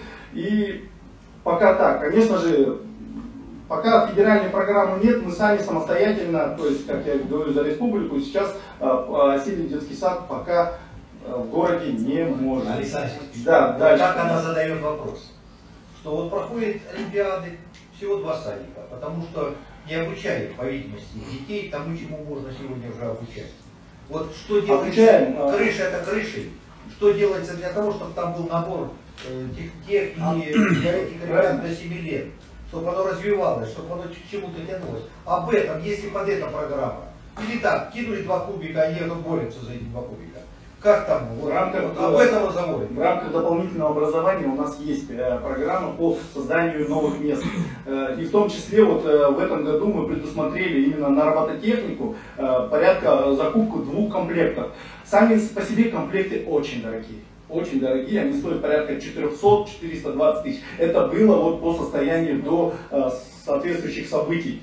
Сколько, сколько они сейчас стоят, ну, еще пока не можем э, собрать. А сколько надо? Два запланировали, сколько? Они большие, они включают полностью весь набор со столами, со всей... э, Ну, это два садика. А у нас сколько в листе садиков? 31, да? Да, 31 сад. Хорошо, давай. Конечно, ну, дело хорошее, ну, дело, конечно же, именно что касается с развитием робототехники, да, другие программы реализуем, реализуем. Сейчас планируем реализовывать тот же флорбол, да, флорбол это что-то, будем говорить, легкая форма хоккея, то есть с мячом, как вот раньше, вы помните, было такое. Сейчас э, тоже в рамках вот, э, КТК дали заявку на приобретение соответствующего оборудования. Конечно же, здесь, э, уважаемые депутаты, вы все знаете, что десятилетиями системе образования, именно в части капитального ремонта, обновления материально-технической базы, да, э, не было средств, не было. Сейчас они в рамках нацпроектов, там, образования, демографии, эти средства идут. Но не по всем мероприятиям еще есть. Мы также ждем, также можно вопрос задавать о детских оздоровительных лагерях. У нас их э, Сайгачонок, э, г- Березка, лесная сказка, да, э, потом, то есть, э, если честно, ни один из них, из сегодняшних лагерей нормальный, не в, на- в ненормальном состоянии, потому что это постройки 70-х годов.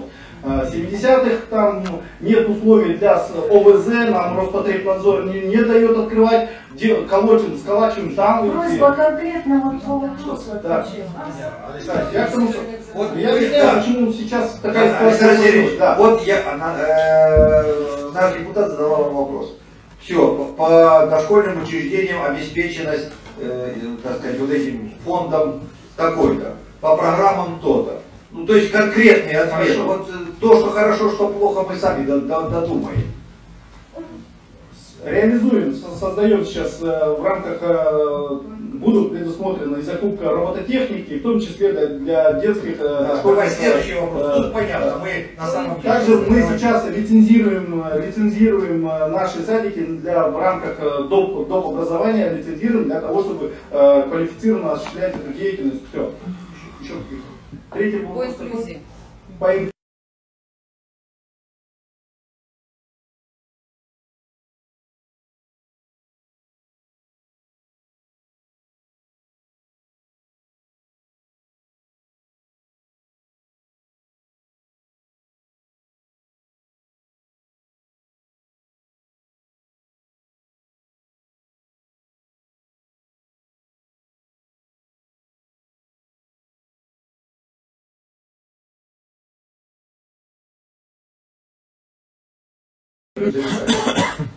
Пожалуйста. Уважаемый Александр Сергеевич, ну, в рамках рассматриваемого вопроса доклада о положении дела о защите прав, то один вопрос у меня, один вопрос, а второй пожелаем. Все-таки право на отдых, в первую очередь, на отдых. С этим два момента. Нашу службу обратить ваше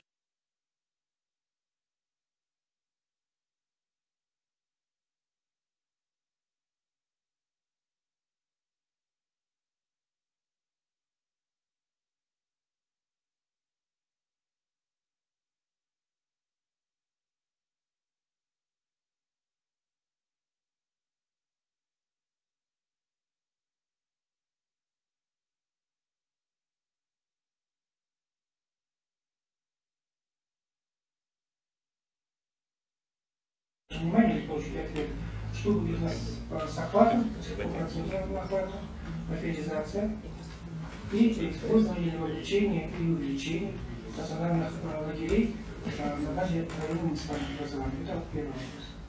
А что касается пожелания, Наш Андреевич, по созданию психологической службы по республике. Что планируется, есть ли планы на это, какие точки от должности или статус психолога, хотя бы, хотя бы как минимум в приоритетном плане в инновационных учреждениях. Все, понятно. Есть ли видение? Спасибо, Владимир Владимирович. Да, действительно, оздоровительная кампания является важным, наверное, аспектом, который вот, э, которым уделяется большое внимание. В силу того, что в 2021 году у нас бушевал ковид, была загруженность 75% в детских оздоровительных лагерях.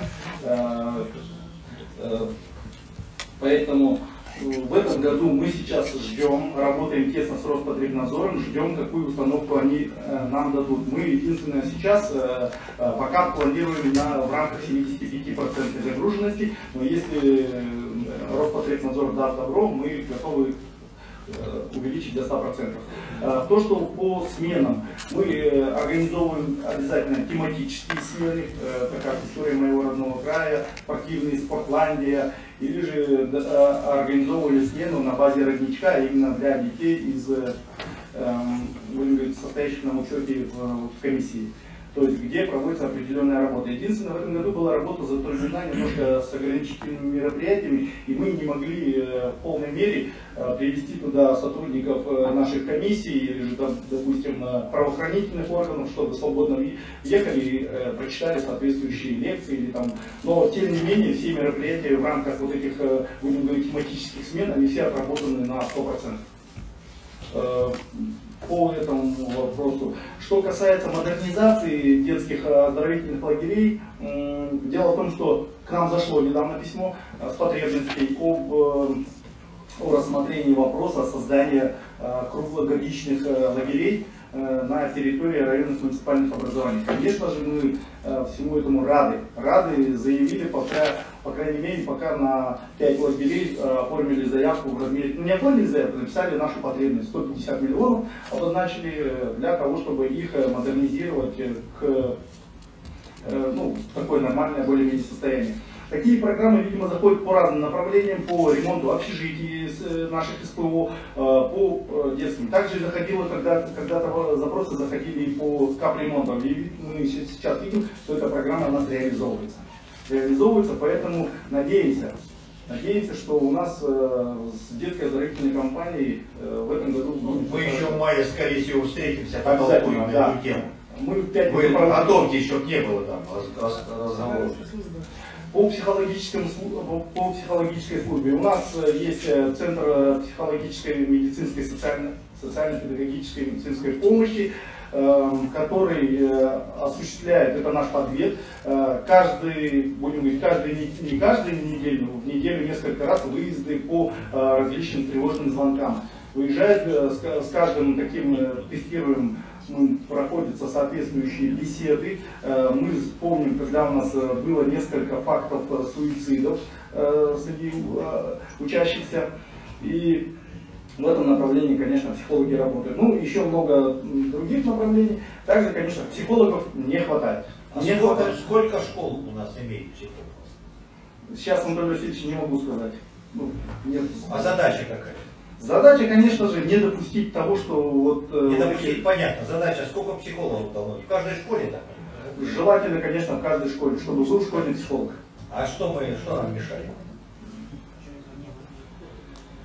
Низкая заработная плата, низкая заработная плата, наверное, и не такая не, не особо престижная. Ну, вы выносили этот вопрос э, правительству, просили расшифровать эту тему. Ну, мы пока ведем вот работу с нашим центром, да, Татьяна Григорьевна у нас постоянно э, всегда ее двери центра открыты, э, э, делается, будем говорить, такой выезд в районы пока в каждой школе. Но в рамках, э, смотрите, Андрей Васильевич, для того, чтобы э, мы видим, что у нас не хватает психологов, мы проводим ежегодное социально-психологическое тестирование. То есть охватываем практически всю целевую аудиторию наших школьников, включая первокурсников, СПОшников, СПО и даже университета. Э, в рамках э, делим э, проведенного социально-психологического тестирования делим на группы риска суицидального характера, такого характера. И где есть, будем говорить, такие точки риска, туда выдвигается группа. Работают как индивидуально, так и в коллективном формате. Еще, можно добавлю? Сейчас мы ушли на, в рамках вот проведенного тестирования социально-психологического, мы сейчас работаем с автономная некоммерческая организация Центр исследований сетевого мониторинга. Там э, э, определяются уже группы, чем занимаются наши дети, вот, то есть э, когда они посещают определенные сайты. То есть для того, чтобы исключить э, э, посещение нашими детьми деструктивных сайтов. И проводится, конечно, нас очень же волнует вот так э, резонансные, особенно не э, занимаются ли они там поиском на страничках где-то суицида или же, не дай бог, э, школьной стрельбы, скулшутинга э, так называемым. Поэтому в рамках этого мы вот э, провели так называемое тестирование на базе второй школы и на базе КЭГа. Да, взяли мы, как раз эти две школы были выбраны как вторая школа немножко с низким результатом, ну, как говорить, с, с, с определенными рисками, и КЭГ взяли, где были результаты социального тестирования выше. И в рамках этого провели, да, выявили двух подростков, двух подростков, которые, э, видимо, э, искали ну и тенденцию. Да, и с ними отработали психологи. Сейчас мы в этом году планируем охватить все школы республики э, для того, чтобы выявить, посмотреть, чем же все-таки занимаемся, занимаются наши дети, что они посещают. Спасибо. Николай Ильич, пожалуйста, и завершаем. Александр Сергеевич, коротко, четко и ясно ответьте 34 603 человека у нас тренер школьник. Из них, значит, 3402, 583, значит, это ОВЗ. В 18 школе, значит, в прошлом году, в ноябре месяце, заместитель министра республики докладывал о том, что выделены 17 миллионов рублей на оборудование инклюзивного образования. Где эти деньги? Это первое. Второе. Значит, капитальный ремонт, вы говорите, что там выделено около миллиарда, полтора миллиарда, миллиард шестьсот. Миллиард шестьсот сорок семь. Миллиард шестьсот сорок семь. Большие деньги и все остальное. При э, правительственной документации вы вообще, в принципе, предусмотрели горячее питание, оборудование, которое было бы э, все за, за все 17 школах. Или вы опять там насчет? Еще раз, это, а, а, а потом ответите. Еще один вопрос. По улице Шевшукова вы говорите о том, что у школы там деньги добавили дополнительно надо, необходимо. А вы вообще выбрали и требовали с города, значит, из тех э, людей, которые на сегодняшний день значит, э, занимаются этой проблематикой, проблематикой значит, да? там же идет 110-я высоковольтная линия. Вы знаете о том, что вам не дадут добро строить школу там? Там 60 земельных участков, люди, которые построились, до сих пор не имеют свидетельства на эти участки. А вы туда вколачиваете, значит, школу. Она идет прямо рядом со школой. Кто вам вообще такое разрешение? Значит, вопрос этот необходимо решать сегодня же, иначе никаких денег, ничего там не будет у вас. Определяйтесь. Еще один вопрос. По закрытию школ. В Кибрусском районе, Приютинском районе, Фистинском районе, Горликовском районе. Значит, идет вопрос все время постоянно, постоянно поднимается, значит, и муниципалитеты, значит, стараются закрывать там школы. На сегодняшний день в Кибрусском районе закрыты две школы. Максимкетцев, Манычи, и там стоял вопрос буквально перед э, началом учебного заведения закрыть Хамутниковскую школу. Бельбишево, Кардиковский район, школу закрыли. Почему, на каком основании, кто просил закрывать эти школы? Почему Министерство образования принимает такие решения? А я вам скажу. Нам же не скрывай, не говорите. Бельбишево закрыли, потому что не смогли обеспечить горячее питание. Это чей вопрос? Ответьте мне. Все, спасибо. Хорошо. Очень да. того коротко. Да. Ваш вопрос или не ваш, сделали или будете делать? По поводу оборудования на 17 миллионов, с собой, к сожалению, не имею вот, э, расшивки, э, но скажу, что не, не целевых денег по этому нет, все использовано, то есть, ну, то есть, э, я хочу сказать, что все использовано. Все освоено э, в рамках э, той э, целевой субсидии, которая была выделена на данное мероприятие. По поводу капитального ремонта школ, действительно, мы сейчас было выделено на городские школы 9 900 миллионов на закупку оборудования, на сельские школы от 3 от 3300 до 6,5 до 9 по некоторым. То есть нам Минпрос выделил Э, одну целевую сумму 6600 на каждую школу, но с возможностью или э, разрешил нам варьировать от 50% до 150%. И мы таким образом э, городским школам уделили внимание. Конечно же, в первую очередь вопрос именно обеспечения или замены оборудования пищеблоков стоял, потому что это, наверное, самый такой один из основных вопросов нормального функционирования школы. Э, дело в том, что у нас все знаете, что у нас э, само оборудование уже в городских школах э, мало того, что устарело, там, плиты 70-х годов, ну не во всех, но мы настоятельно рекомендовали, рекомендовали закупить именно школьное оборудование, школьное, для обновления школьных пищеблоков. Также, конечно же, и э, необходимо, конечно, нам заменить и учебное оборудование, парты, доски, Поэтому, по этому вопросу. По поводу закрытия школ. Э, здесь, конечно, ответственность идет э, глав муниципалитетов. Ответственность глав муниципалитетов. И я этот вопрос, э, давайте еще раз, чтобы сейчас в двух словах его не отвечать, я могу его проработать и потом вам с вами обсудить. Хорошо? Еще был вопрос? Шаптукова, да, по десятке, да, то есть, насколько нам управление строительства города Элисты, там есть управление капитальным строительством, они сказали, что эти работы по переносу, в принципе, могут быть осуществлены, осуществлены там, или же это будет перенос, или же это будет, э, или же там, я ну, был на том участке, который как бы выезжал, это чуть ниже садика, чуть ниже садика, там, в принципе, 50 метров санитарного зоны. Чуть ниже садика, прямо туда ковырял. К чему я это говорю? Дело в том, что это вопрос очень серьезный. Его решение, город не решит, я имею в виду. Закладывайте деньги, чтобы его перенести эту линию полностью. Деньги закладывать, проект сметную документацию.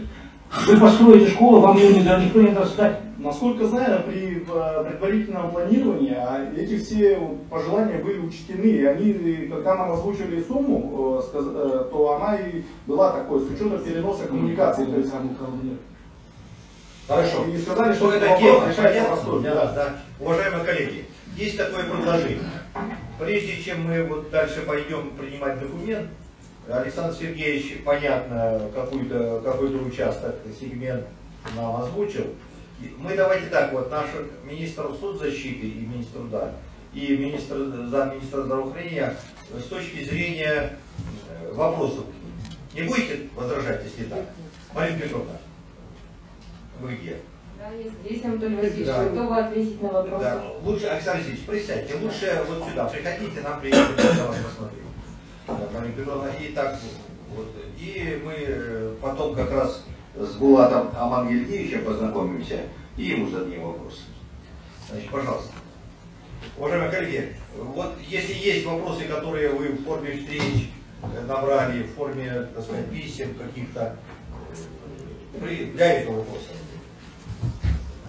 По детям, по социально обслуживанию ребят. Пожалуйста. И тут, тут тоже. Есть вопросы? Пожалуйста, Николаевич. А, ну, такой вопрос. Значит, ну, я, я думаю, что ну, ответ, но все-таки не интересует. Вот я стал обозначить цифры 34 603 э, человека учеников у нас. Из них детей-инвалидов, я тоже озвучил. И вот, значит, детей-инвалидов проживательных организаций 1701 человек. А сначала было 1298. Прибавилось 400 человек. Вы можете объяснить? Дети, инвалиды. Или вот что за показатели Добрый день, уважаемый Анатолий Васильевич, э, уважаемые депутаты. Николай Ильич, э, отвечу на ваш вопрос. Э, вот эта часть именно была подготовлена Министерством образования и науки, видимо, на основании данных образовательных организаций. К К сожалению, не всегда учет образовательными организациями соответствует тому учету, который ведется в Федеральном реестре инвалидов. В Федеральном реестре инвалидов, это официальный реестр, полномочный орган Пенсионный фонд э, Российской Федерации, э, у нас на сегодняшний день около 1700 детей-инвалидов всего.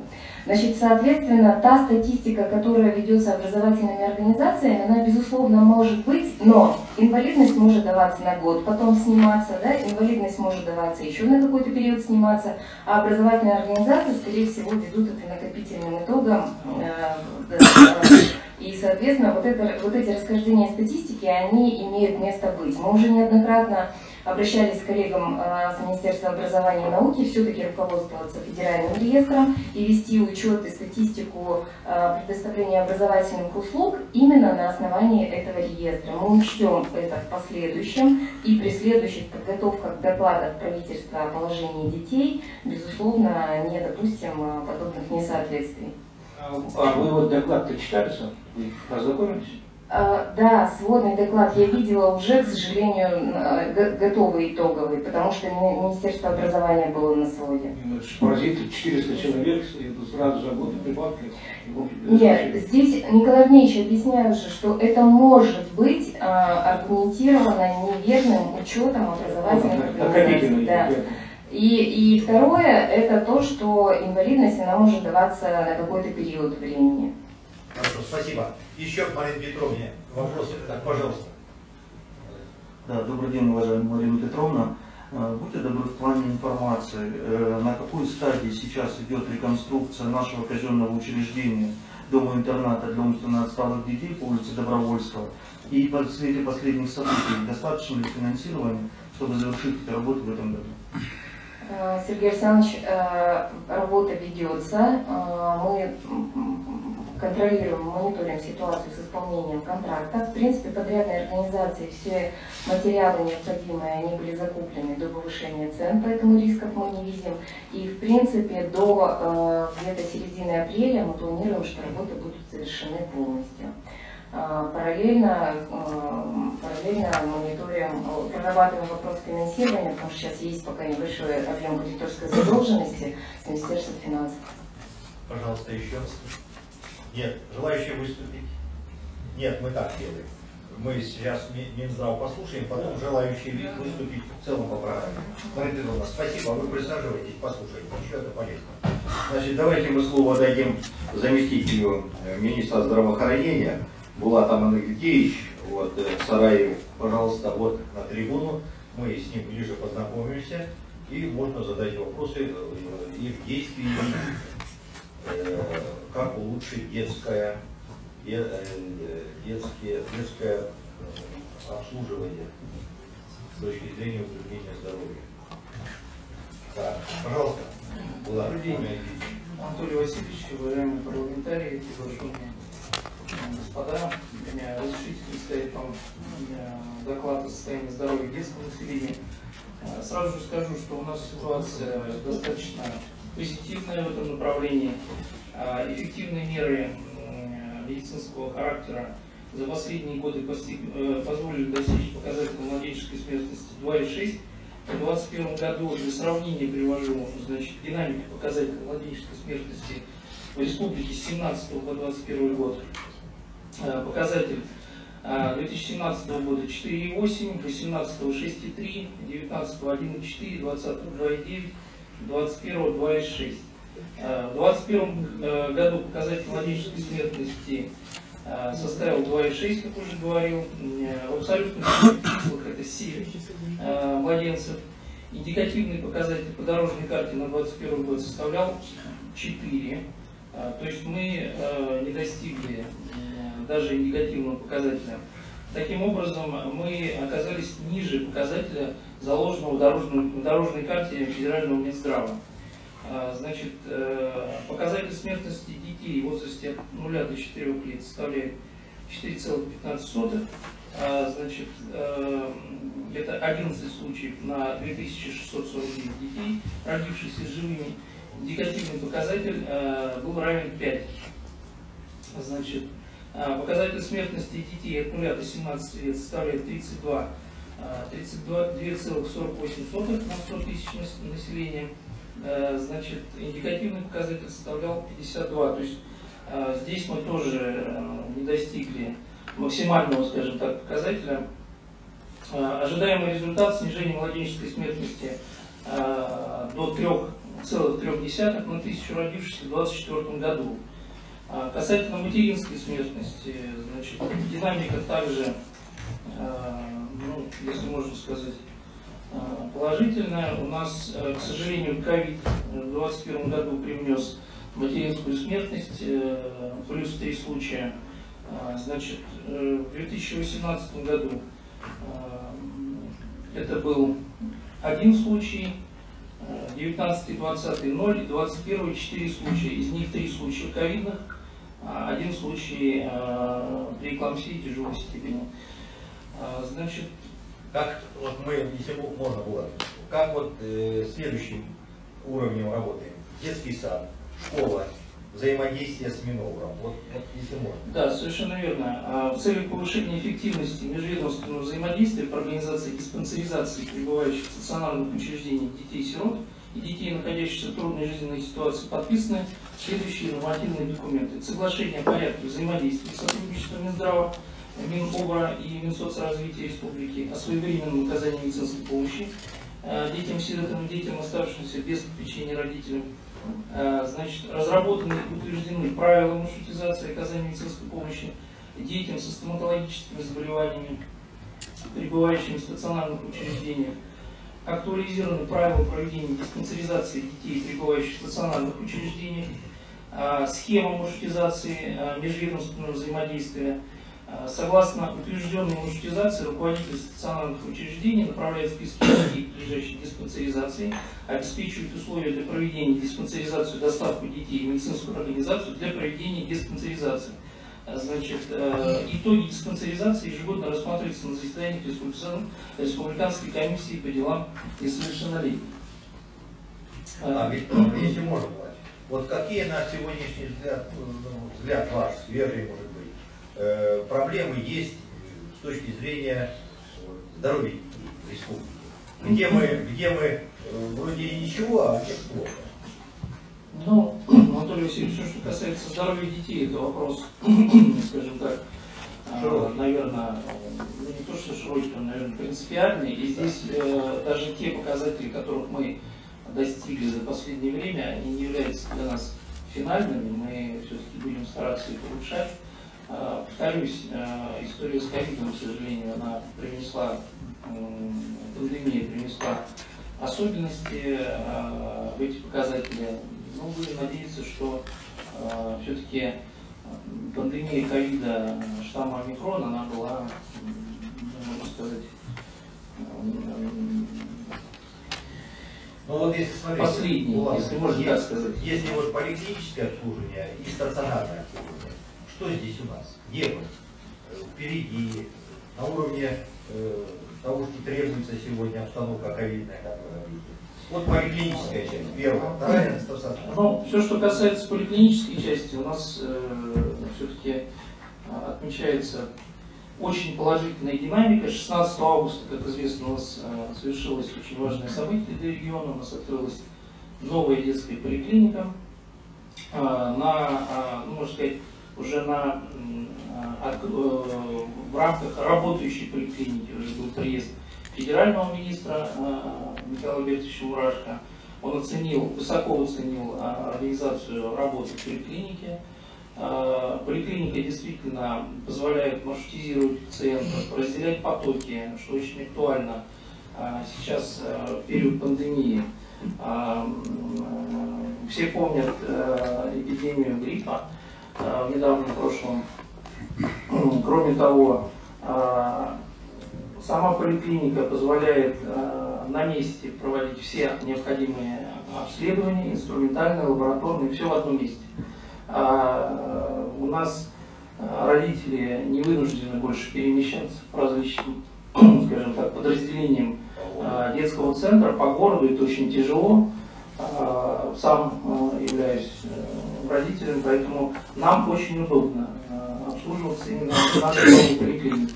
Плюс э, все, э, кто там был, видели, что э, широкие коридоры, э, это условия э, для работы наших докторов э, максимально, скажем так, э, удобные. Это э, рабочие места, э, полностью оборудованные для врачей, и компьютеры, и мебель, Ну, соответственно. стационаров, куда- мы там идем? Стационар, комплектованность и так далее. А, Укомплектованность, э, ну, наверное, не вызову удивления, скажу, что у нас, к сожалению, с кадрами есть определенный дефицит, но мы тоже движемся в этом направлении. Вы все знаете, что у нас открывается медицинский факультет в этом году, Бадмак Акинович. Огромное спасибо за совместную работу. У нас э, предполагается 50 мест на этом факультете, 25 для педиатров, 25 для лечебников. И э, по решению главы региона совместно с э, министром Юрием Кикиновым все-таки наш регион, региональный бюджет профинансирует обучение наших ребят. Первого набора. Хорошо, давайте вопросы. Одну минуточку, минуточку, минуточку. Сейчас сразу вопрос. Давай, значит, мы основную тенденцию, э, так сказать, уловили, так сказать, ле- лечебная база, клиническая и так далее. Поэтому, Николай Ильич, давай тогда с женщин, пожалуйста. Булат Армандович, да? Ну, я вообще вас первый раз вижу. Откуда вы появились и где до этого работали? Это следующий Первый вопрос, да. А, вот, значит, А вопрос обсуждаем. Нет, почему? Интересно. Не Республика небольшая. Это вы подойдете к нему, интересно. пообщаетесь в перерыве. Да как-то Давайте. не хочется тет Э, У меня следующий вопрос. Не Вот хотите, смотрите. согласен. Вот сейчас ограничения по пандемии снимаются. Насколько полностью восстановлена плановая медицинская помощь как детям, так и взрослым, да? Потому что недавно был просто страшный случай. Человека вот с аппендицитом везли из э, Садовки, и по пути он умер. Не успели оказать э, вовремя хирургическую помощь. Поэтому меня интересует очень много нареканий по плановой медицинской помощи. Насколько она восстановлена сегодня? Ну, вот. Второй вопрос. Вот вы привели цифры, все это хорошо. А какие конкретные мероприятия были вот министерством запланированы и проведены по профилактике заболеваний детей? Понимаете, мы все время говорим, вот лечим, лечим, лечим. А ведь нужно заниматься профилактикой, вы же врач, вы понимаете. Совершенно с вами согласен. Хорошо, спасибо, пожалуйста. Ну, начну с последнего вопроса, мне так удобнее. Спасибо за вопрос. Здесь э, чисто технически самая главная работа это э, внештатного а, и штатного специалиста по педиатрии. Именно этот специалист выстраивает всю работу педиатр- педиатров в регионе и курирует. У нас, понимаете, у нас, э, ну, может быть, синдром малых цифр, у нас все-таки не такое боль- большое количество населения, и можно каждого ребенка и каждую, каждую беременную отслеживать пофамильно. И, собственно говоря, в таком ру- ручном режиме вот это регулирование работы, оно и позволило снизить достаточно быстро. Это тоже очень тяжелая работа была. Мне а, сейчас коллеги рассказывают, как тяжело было выстроить именно а, маршрутизацию пациентов, например, с районных а, наших больниц до а, республиканского детского центра. Но тем не менее, скажем так, в, в телефонном режиме а, конкретно по каждому ребенку отрабатываем, и именно это позволяет снижать э, количество умерших детей. А по второму вопросу, да, действительно, планово, вот э, в настоящий момент а, заболеваемость э, ОРВИ и коронавирусной инфекции, она позволяет, снижение заболеваемости позволяет нам, позволило нам а, открыть оказание плановой медицинской помощи. А, В настоящий момент, э, как на амбулаторном, так и на стационарном этапах, медицинская помощь оказывается в полном объеме.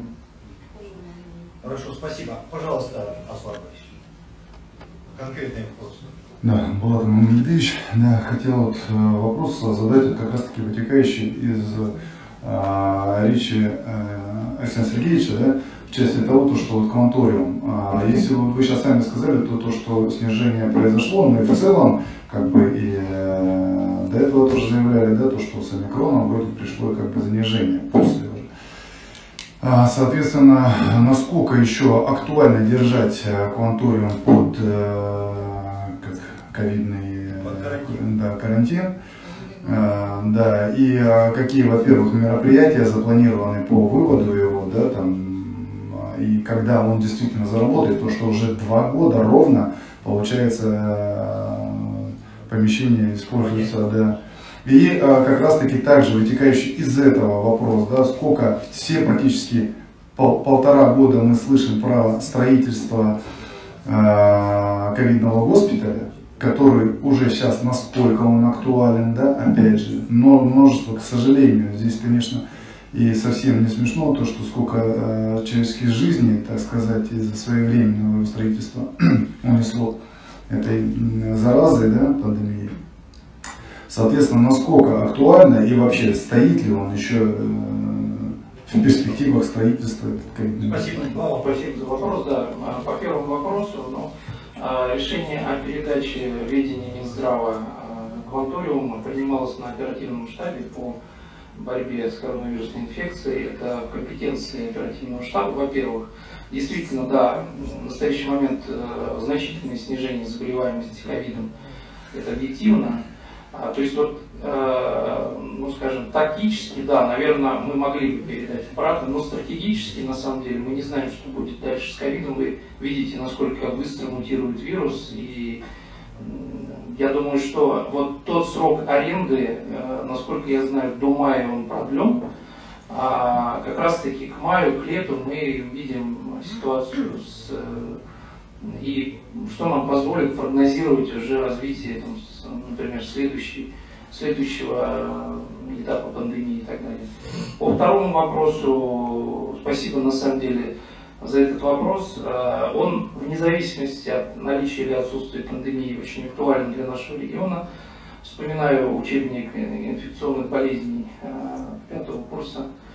А, практически, ну, наверное, большая часть инфекционных заболеваний в виде природных очагов присутствует и в Калмыкии.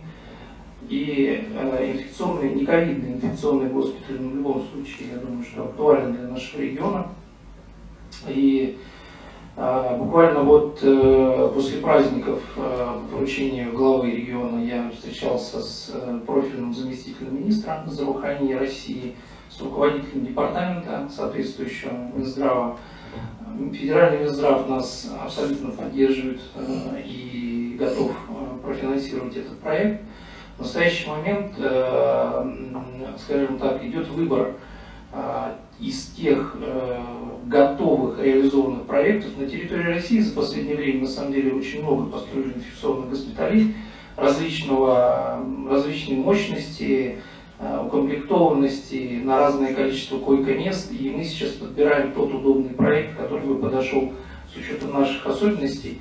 Э, Это будет сделано буквально в ближайшее время. И как только мы разработаем проект, мы сможем попасть, соответственно, в программу финансирования данного строительства. Работа, работа ведется активно э, всеми сторонами, очень активно взаимодействуем по этому поводу с федеральным Минздравом. Спасибо.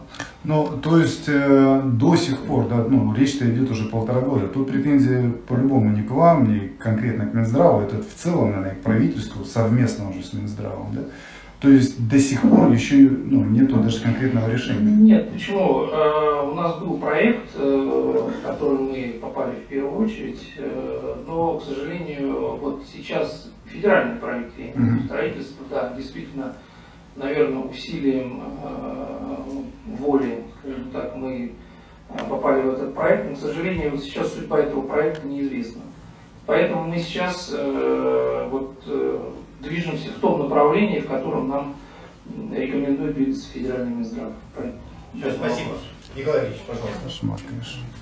Значит, э, Булат Англидович, меня вопрос интересует. В докладе отмечено, там 506 детей, по-моему, примерно, которые подлежат диспансеризации.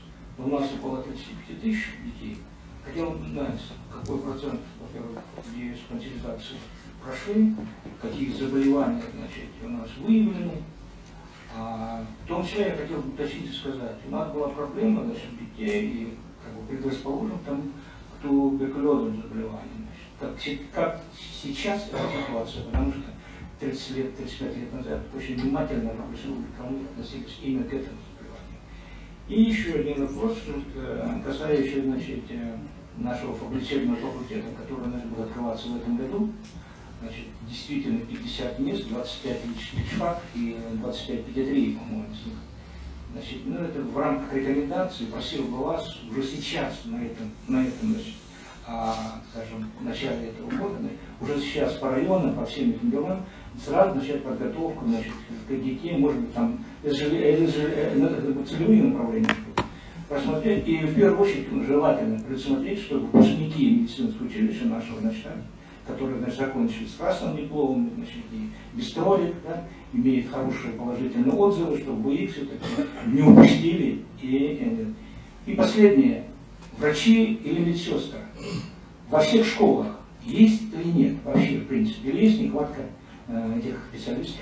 Спасибо. За вопросы. Да. А, значит, по последнему вопросу это не входит в компетенцию Минздрава, это не наши сотрудники, которые работают в образовательных учреждениях, поэтому статистики по этому поводу не могу сообщить. Значит, э, по поводу э, количества детей, да, у нас, я считаю, что одна из самых незащищенных категорий детей это те дети-инвалиды, которые находятся у нас в стационарных учреждениях социального обслуживания. Сам недавно, в прошлом был руководителем такого учреждения, знаю не понаслышке об этих проблемах. А, хочу сказать, что именно вот касательно таких детей у нас предусмотрено с 2013 года проводить э, диспансеризацию таких детей, которые находятся именно в социальных учреждениях стационарных. Да. Почему? Потому что а при диспансеризации таких детей выявляется очень, впервые выявляется большая, в большом количестве различные заболевания. А, ну вот по статистике здесь, а, значит, впервые выявленных заболеваний у таких групп детей это порядка 50% это заболевания сердечно-сосудистой системы, костно-мышечной соединительной ткани на втором месте, на третьем болезни органов пищеварения – а, значит, э, и... Булат Амадилович, это я сказал, что мы это все знаем, 500 значит, я имею в виду, вот э, среди, значит, диспансеризации среди 34 643 ребенка. Значит, диспансеризация проводится, у вас есть вообще цифры? И какие заболевания сегодня, значит, у нас э, в республике среди учащихся? Ну вот касательно 500 детей из общего количества инвалидов, э, это э, цифра, э, скажем так, тех, кто подлежит именно диспансеризации. Не все же дети подлежат диспансеризации, правильно? Вот. Я имею в виду стационарных учреждений. То есть те списки, которые нам подают, соответственно, наши коллеги из таких учреждений, мы их и отрабатываем. А, это во-первых. Во-вторых, то количество подлежащих диспансеризации детей, а, оно, к сожалению, ну, не было исполнено на 100%. Почему? У нас ковидные ограничения были. Мы просто не могли физически а, проводить это, эти мероприятия. Значит, э, и третий вопрос, прошу прощения, вот уже... Это вопрос связан. А, с лечебным факультетом, да, действительно, с директором а, медицинского колледжа ведется активная работа. Сейчас составляет список э, желающих э, и в ближайшее время нам представит. Естественно, мы рассматриваем медицинский колледж наш, ну, наверное, как э, приоритетный, основной да, для наших выпускников, абитуриентов на медицинский Спасибо, Влад. Спасибо. Значит, уважаемые коллеги, мы действительно вот, очень немало вопросов подготовили для наших докладчиков. Они очень принципиально важные. Хотелось, чтобы принятый наш, нами документ ну, был на контроле в правительстве. И мы вот следующий год, если придется вести заслушивание, отчет, отчета, то должны почувствовать, что сделано за этот период э, в комплексе всеми министерствами и в итоге правительством. Поэтому, уважаемые коллеги, в любом случае очень полезно, даже вот для каждого из нас, я же вижу, мы сидим, каждый через себя трансформируем вот те мысли, те предложения, те э, действия, которые докладывают наши руководители министерств, они очень важны. Поэтому, э, Булат Аман Альевич, спасибо вам. Аня, Анатолий Васильевич, а можно еще один вопросик актуальный просто вот в тему санкций? Вот, ну, вот если очень Да, да, да, да. Вот, Роман Ильич, да, вот, вот тему санкций как раз таки хотел вот точно так же, как вот по Минсельхозу, по Минздраву узнать, насколько, соответственно, сейчас наше здравоохранение возможно пострадает. Был ли уже анализ с вашей стороны министерства, да, то, что много э, лекарств, да, много препаратов, а, возможно, какие-то запчасти к оборудованию, да, это КТ, МРТ, пневматигели, там все это, программное обеспечение, которое, это какие-то обучения в части, а, да, там, это про- профобучение, еще что-то. Каким образом оно может, ну, как вы правильно говорили, стратегически, грубо говоря, повлиять там, на ближайшие полгода на нашу медицину, на наших граждан? Спасибо. Спасибо за вопрос. Да, действительно, сейчас э, в очень таком жестком режиме проходит э, совещание по этому поводу с федеральным Минздравом. А по розничной сети, по аптекам ничего не могу сказать, потому что это находится в видении федерального органа Росздравнадзора. Именно он мониторит цены в рознице. По текущим контрактам на лекарственные препараты проблем у нас нет. То есть поставки исполняются вовремя, а, соответственно, никаких э, пожеланий и претензий от поставщиков в плане повышения цен мы пока не услышали. Мы не знаем, что будет дальше, понимаете, да? Но на сегодняшний день пока э, как бы таких сигналов от поставщиков лекарственных препаратов не поступало. Мы мониторим активно эту ситуацию. А по оборудованию тоже, значит, э, с текущими поставками по законтрактованным значит, позициям э, никаких вопросов не возникает. Единственное, мы сейчас экстренно провели совещание э, по поводу будущих закупок. Э, Это вопрос именно в приоритете закупки оборудования отечественного производства, происхождения. Это очень важный вопрос. И все-таки мы будем, наверное, смещаться. Но, как нам сказали на правительственном заседании, сейчас, наверное, все-таки рынок будет направляться, соответственно, в сторону Востока, азиатского, я так думаю. Вот. Но пока, вот сейчас, в настоящий момент, именно на сегодня никаких сигналов таких не поступало. Хорошо, спасибо. Э, Ольга Юрьевна, и завершаем, уважаемые коллеги. Все э, потом желание вот в перерыве под ручку побеседовать замминистра и уточнить вопросы. Пожалуйста. Ольга На прошлой неделе у нас проходил прием граждан по вопросам здравоохранения на площадке региональной общественной приемной. И поступило немало вопросов, связанных с обеспечением прав детей на отдых и оздоровление. А, э, По мнению граждан, знаете, очень много таких моментов, что нет э, доступной информации по тому, как можно отправить вообще ребенка в санаторий. Э, Граждане считают также, что очень сложно это сделать на сегодняшний, э, вообще, на сегодняшний момент. Есть ли у вас цифры, какое количество детей вообще воспользовались путевками в санатории 2021 году? Второй момент, да, конечно, хорошо, что у нас открылась новая поликлиника, просторное здание, хорошо, что у нас открывается факультет медицинский при Калмыцком государственном университете. Ну вот я как мама многодетная, да, хочу сказать, а что вы делаете нам? Вот у меня трое детей маленьких, да, и невозможно записаться к участковому педиатру. Лично я не пользовалась ни разу, не посещала кабинет, потому что невозможно педиатру, невозможно попасть, записаться. Нехватка. Вот что делать сейчас нам, родителям, у которых дети, маленькие дети на руках? И не один, а несколько. И второй момент, как проблема с узкими специалистами. Вот, я не знаю, что там будет делаться, не будет. В частности, с э, аллергологом детским, например, да, пульмонолог тот же. Спасибо. Понятно.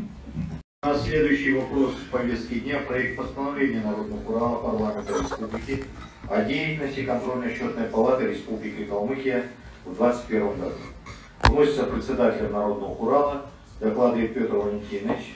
Петр Валентинович, э, вам сколько минут? 15? 10 минут. Э, Пожалуйста, затем вопрос о ответы и принятия документов. Пожалуйста, Петр Валентинович, вопрос о деятельности контрольно-счетной палаты в 2021 году. Пожалуйста. Васильевич, уважаемые депутаты, уважаемые, в соответствии с законом полномочий плана работы палаты, с учетом изменений, носимых сложных эпидемиологических обстановки, связанных с распро- с распространением коронавирусной инфекции, в 2021 году проведено 44 мероприятия, из них 15 контрольных и 29 экстренных честных. Контрольными мероприятиями охвачен широкий спектр вопросов, это реализация региональных проектов государственной программы Республики Калмыкия, поддержка малого и среднего предпринимательства и отраслей экономики, оказавшихся в зоне риска в связи с распространением коронавирусной инфекции. Осуществление бюджетных инвестиций в форме капитального вложения в объект государственной собственности. И меры направлены на сокращение объема и количества объектов незавершенного производства, строительства. Действия территориального фонда ОМС Калмыкии, анализ защиты, анализ системы защиты прав застрахованных лиц сфере обязательного медицинского страхования.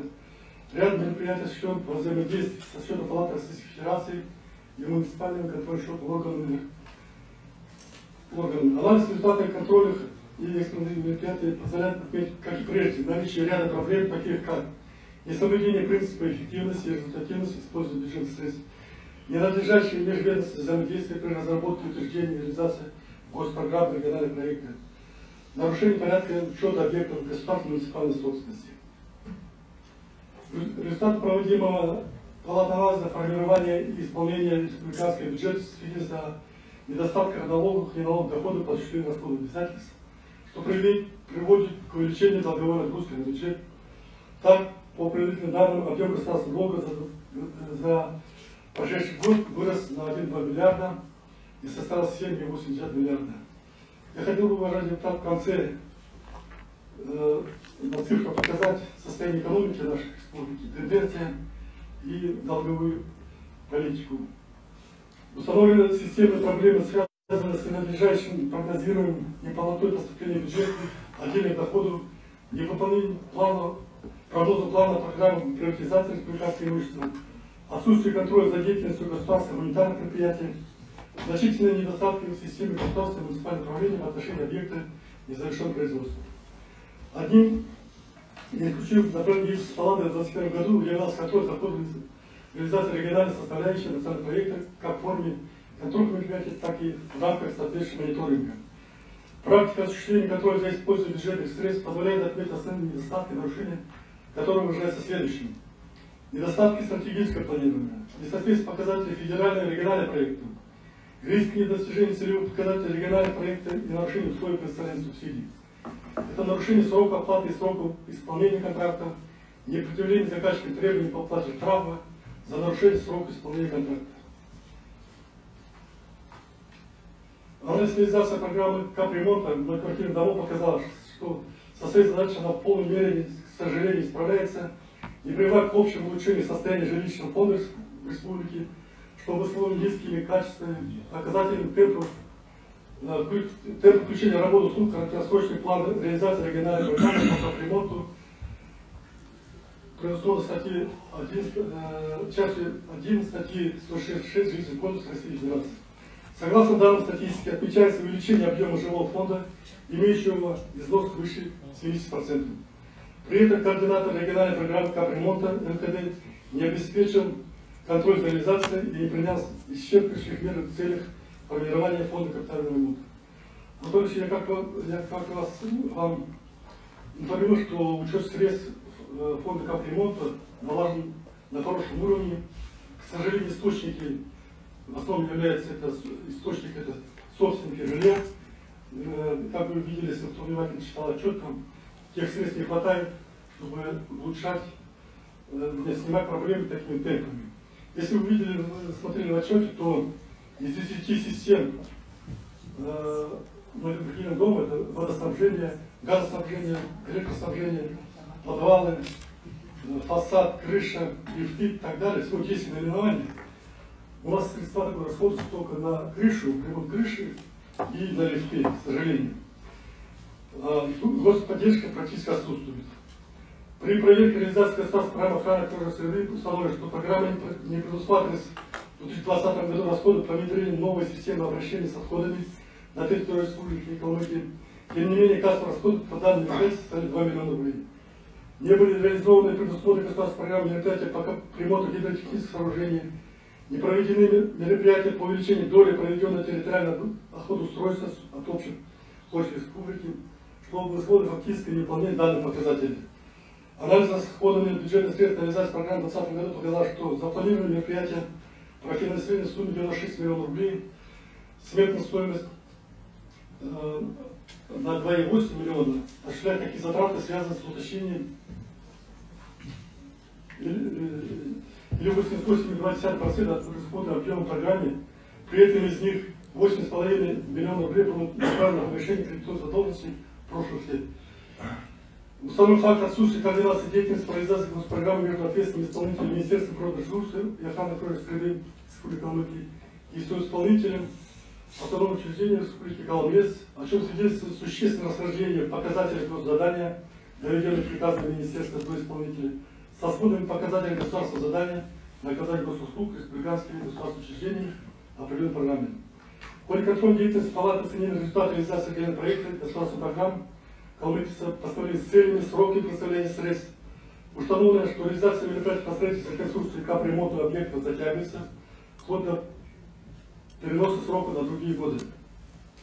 Так, с опозданием введена в эксплуатацию республиканской больницы имени Жемчуева, городская детская поликлиника, 150 посещений смены города Листа, общеобразовательная школа Малой Дербеты, стадион поселок Печенеры, стадион Восточный, каток с искусственным домом для тренировочных и населения в городе Листа, здание бюджетного учреждения Целин дом-интернат, недостижение результатов проекта по присвоению финансового обеспечения связано прежде всего недостаточностью ведомственного контроля со стороны ответственных исполнителей программы и заказчиков строительства объектов. Основной причиной нарушения срока послужили недостатки проектной документации, несвоевременное выполнение работ подрядчиками по установлению графика работ и многочисленные нарушения установленных в ходе государственного строительного надзора. Кроме того, нарушение срока обусловлено несвоевременности проведения закупочных процедур. Так, например, при заключении соглашения о представлении из федерального бюджета в 2020-2022 годах бюджета республики субсидия на софинансирование федерального проекта «Старшее поколение» орган исполнительной власти республики не учтено, что сводная сметная стоимость строительства объекта предусмотрена к строительству, э, предусмотрено финансирование рассчитано на целых четвертый квартал 2019 года, а сроки строительства приходятся на четвертый квартал 2020 года. В результате недостающий объем средств восполнен за счет республиканского бюджета. Стоимость третьего монтажа работы увеличена на 9 миллионов 967 тысяч. Расходы на приобретение оборудования превысили предусмотренную сметную стоимость на 2,8 миллиона рублей. Осуществляются также затраты, связанные с уточнением проектной смены документации и выполнением дополнительных работ, стоимость которых на момент проекта составила 1 миллион 369 тысяч рублей.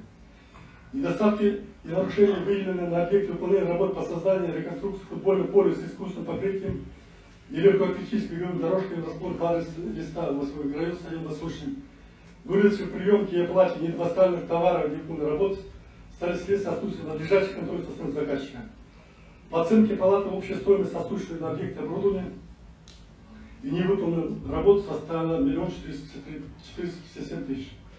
При этом функциональное оснащение школы позиционки Малой Дербеты в рамках предусмотренного финансового обеспечения не представило возможность обеспечить.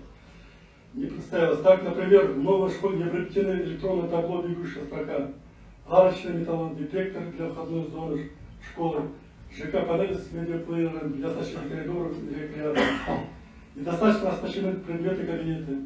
Для обучающихся сравнить возможности здоровья и инвалидности приобретено 7 позиций оборудования из 46. Ненадлежащее исполнение полномочий заказчика и некачественные проекты решений приводят к рискам и своевременного исполнения муниципальных контрактов, изменения цены и условий контрактов и, соответственно, достижения показателей результатов национального проекта «Жилье Республики Калмыкия». Индивидуальной программы социально-экономического развития Калмыкии на 2020-2024 год. Так, например, при строительстве инженерных сетей электрогаза, водоснабжения, водоотведения по трем объектам города Листа южнее ГРС, города Листа южная часть города Листа и города, и города Листа Правда, три. Проведены срок исполнения контрактов в связи с внесением изменений в проектную документацию. Кроме того, при строительстве инженерных сетей э, селе Троицкое увеличена стоимость муниципального контракта по изготовлению ПСД вследствие формирования заказчика некачественного технического задания. Общая Площадь застройки составляет 26, а заявлено было 16,5. В связи с отсутствием градостроительного плана земельного участка технических условий на подключение объекта к сетям электроснабжения по объекту строительства создания бюджет учреждения, республиканский комплексный центр социального обслуживания населения, Министерство строительства, транспорта, дорожного хозяйства Республики Калмыкия перечислено вас, подрядчику, в сумме 930 тысяч рублей, который впоследствии отказался от исполнения контракта. В рамках государственной программы комплексного развития сельских территорий в 2020 году были исполнены две программы. Это создание условий для обеспечения доступным комфортным жильем сельского населения и создание развития инфраструктуры для сельских территорий предусматривается выполнение комплексных мероприятий направлено на повышение качества жизни сельских жителей, сельских жителей, в том числе на улучшение жилищных условий граждан, благоустройство территорий и развитие инженерной инфраструктуры на сельских территориях. Несмотря на реализуемые по госпрограмме мероприятия, доля сельского населения в общей численности населения республики продолжает сокращаться. Целевой показатель составил 53,8% при плане 54,4%, то есть снижение составило 0,6%. В отчетном году Палата проведена проверка использования бюджетных средств и выпадает доходов бюджета на поддержку малого и среднего предпринимательства и отраслей экономики, оказавшись в зоне риска в связи с распространением новой коронавирусной инфекции за 2020 год и, и первый полугодие 2021 года. Основной целью представления субсидий, выделяемых на выполнение предусмотренных плана мероприятий и предоставление налоговых преференций являлось сохранение численности занятых в сфере малого предпринимательства в условиях новой инфекции. Меры по государственной поддержке э, э, субъекта малого и среднего предпринимательства осуществляют деятельность наиболее пострадавших отраслях, позволит сохранить имеющие потенциал и занятость населения в сфере малого и среднего бизнеса. Вместе с тем, имели место задержки перечисления средств, что не позволяет получить максимальный результат от представления соответствующей поддержки в отчетном периоде не может отражаться на достижении значений целевых показателей. Так, субсидии из бюджета Республики субъекта малого и среднего предпринимательства на погашение кредита, полученного кредитной организации в 2020 году, на выплату зарплаты в условиях ухудшения ситуации связи с новой инфекцией COVID-19 перечислить субъектам предприятия деятельности только 10 февраля 2021 года, несмотря на то, что план ре реализации данной меры поддержки предусматривался в течение второго квартала 2020 года. В отчетном году параллельно со счетной палатой Российской Федерации был проведен анализ системы защиты прав застрахованных лиц в сфере реализации медицинского страхования. Результат контроля свидетельствует о том, что граждане республики недостаточно информированы о существующих инструментах защиты их прав, об участниках системы ОМС, ответственность за защиту таких прав, о возможности выбора медицинской организации. Кроме того, граждане республики слабо осведомлены о возможности выбора и использования медицинской организации. В результате нарушается право граждан на бесплатную медицинскую помощь, отвечающих кредитной доступности ее оказания и выбор медицинской организации. Существующая модель информационного сопровождения застрахованных лиц республики недостаточно эффективна, не в полной мере направлена на защиту прав застрахованных лиц и профилактику нарушений. Анализ формирования исполнения объема медицинской помощи в рамках программы ОМС за 2020 год показал, что нормативы объема медицинской помощи и финансового течения в целом соответствуют нормативам, установленным базовой программой. Фактически медицинская помощь оказана не в полном объеме по всем формам и условиям ее представления. Исключение составляет выполнение объема посещения в неотложной форме и проведение компьютер, компьютерной томографии при, оказании медицинской помощи в амбулаторных условиях, что, естественно, связано с распространением новой коронавирусной инфекции. Из результата проверки Федеральной службы по надзору в сфере здравоохранения следует, что невыполнение утвержденных объемов здравоохранения следует, что, невыпол... что невыполнение утвержденных объемов медицинской помощи может свидетельствовать о недоступности медицинской помощи и нарушении прав застрахованных граждан на получение доступной качественной медицинской помощи. Недостаточно реализованы задачи и функции Координационного совета по организации защиты прав застрахованных лиц при предоставлении медицинской помощи и реализации законодательства в сфере обязательной медицинского страхования Республики Калмыкия. В части внесения предложений по совершенствованию системы обязательного медицинского страхования обеспечение защиты прав застрахованных лиц и контроля объема, срока, качества и условий представления медицинской помощи в сфере МВС, чем не достигается цели его создания. Как следствие не обеспечивается должный контроль объема, сроков, качества и условий представления медицинской помощи по системе МВС, а также предупреждение нарушений при оказании медицинской помощи.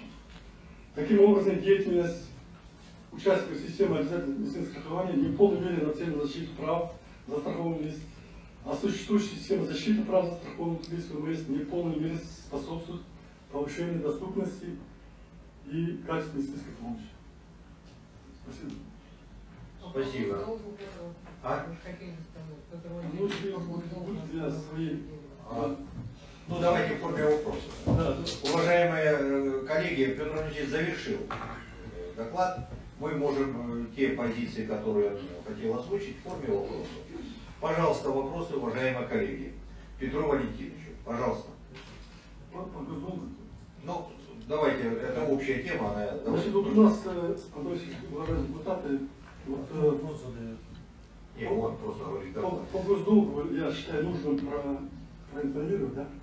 Значит, у нас э, много берем, много берем, но много все относительно, да. То есть, смотрите, вот, тенденция за последние ряд лет, я не первый раз говорю тенденцию, как в экономике по росту валового продукта, по долгу. Если вот э, за 16 год у нас госдолг вырос на 298, за 17 год он вырос на 492 миллиона, за 18 год 108 миллионов, за 19 год 659 миллионов, за 20 год на миллиард 974, ну 2 миллиарда. И за 21 год он вырос на миллиард 189, ну миллиард 200. Я хотел бы в то же время сказать, что вот, э, расходы, по расходам, такой возьмем статью расходов, как э, расходы из бюджета на дорожное хозяйство. Средств бюджета, значит, в 2016 году мы израсходовали на дорожное хозяйство средств бюджета, чисто для субвенций, 93 миллиона, в 2017 году 226 миллионов, в 2018 году мы направили на дорожное хозяйство 563 миллиона, в 2019 году 427 миллионов, в 2020 году, внимательно, миллиард 171. В 2020 году. В 2020 году госдолг вырос на 2 миллиарда. То есть мы сами санкционируем это, да, расходы. Потом говорит, Минфин, где вы долг берете, откуда? Это все санкционируется. Правительство делает проектное решение, целеполагание, а народу Курал законодательный орган утверждает. Поэтому вопрос, когда госдолгу, Минфин это отношения не имеет. Минфин исполняет бюджет, утвержденный законодательным органом. Старый проект правительства, он исполняет, исполняет бюджет, чтобы все расходы обязательства выполнены. Поэтому кредитуется, он берет кредиты, перекредитуется и, и значит, э, чтобы исполнить те расходы, которые законом предусмотрены. Поэтому госдолг, Минфин это вообще отношение. Тут принимает правительство и народу Урал. С левой стороны доходы, принимаемые, ну я имею в виду, второй расходы. Санкционируются. Поэтому к, Минфину, я уже раньше говорил, это отношение не имеет к госдолгу. Он исполняет, если он возьмет лишние кредиты, как вот соседи Астраханской области, они взяли лишние кредиты при, при отсутствии необходимости, когда на счетах, они представили правительство, Минфинансов, ответственности осуждены. Поэтому тут э, Минфин берет много, мало, это для обывателей, скажем, 5 миллиардов взяли, просто идет кредитование, он берет кредиты, перекредитовывается, но в пределах тех программ по заимствованию, которые определил закон. А закон утверждает народный право. Поэтому вопрос к госдолгу – это вопрос правительству. И, потому что теперь второй момент. А, извиняюсь, 20 год миллиард 171 дорожных хозяйств, да? Здесь спускал как миллиард 972 госдолг. В 2021 году миллиард 702 мы направили средств бюджета собственных средств на БКД. Мы направили. И выскакивает здесь миллиард. Поэтому здесь надо думать. Или мы направляем, это только одна статья, направляем, но тогда никого не виним. Или мы смотрим, потому что заказчики, подрядчики, они будут свои средства, они могут направить 3 миллиарда свой также. Поэтому надо смотреть. Если мы идем на это, на эти расходы, мы должны знать, что там выскочит. Если мы знаем, что это здесь расходы какие-то, но доходы сейчас позволяет, идет наличие, тогда может делать. Поэтому, Анатольевич, я просил бы депутата, когда рассматривать бюджет, внимательно читать и доходную часть. Вот по доходной части тоже. Это же слева доходы, справа расходы. Значит, э, вот в последнее время э, на комитете бюджетном э, палаты, налоговой инспекции, прокуратуры, вот сейчас по налоговой инспекции у них своя свой прогноз цифры, а Минфин свою. И вот на 400 миллионов, 500 миллионов даже по, нашим, по нашей проверке внешней, значит, на 400 миллионов уменьшается сумма по факту, чем было. Чем утверждено было, принято над правом. Это говорит о чем? Значит, на те доходы были забыты расходы, здесь расходы фактически исполняются, там заменский доход получает долг вылезает. И это вопрос не к этому, не к министру финансов, кстати, я хотел сказать, что Министерство финансов это министерство, которое работает очень качественно, э, не кадры состав такой квалифицированный, поэтому здесь вопросов нет. Поэтому по госдолгу вопрос к правительству и к народному праву. Чего себе.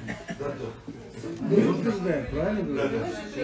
Так, Стоп, стоп, стоп, стоп, стоп, подожди, подожди, подожди, мы тут не, не, не, Федор Иванович, вы за, давайте. Да, да, да. Значит, Федор Иванович, все, вы заложили. Ну цифры-то нам не мы же даем. Я всеми говорю, Не, не, мы утверждаем. Я в курсе. Значит, все, уважаемые коллеги. Еще можно Да. Одну минуточку, давай завершай, да. экономику, да, как тенденция экономики. Э, информирую, значит, у нас э, последнее было спад был, когда был мировой финансовый кризис был в 2007-2008 году. Потом мы оправились, значит, и пошел рост. Рост был вначале большой, потому что эффект базы. Рост был до 2014 года, такой небольшой, вот такой 2,6%, 4,7% это существенно.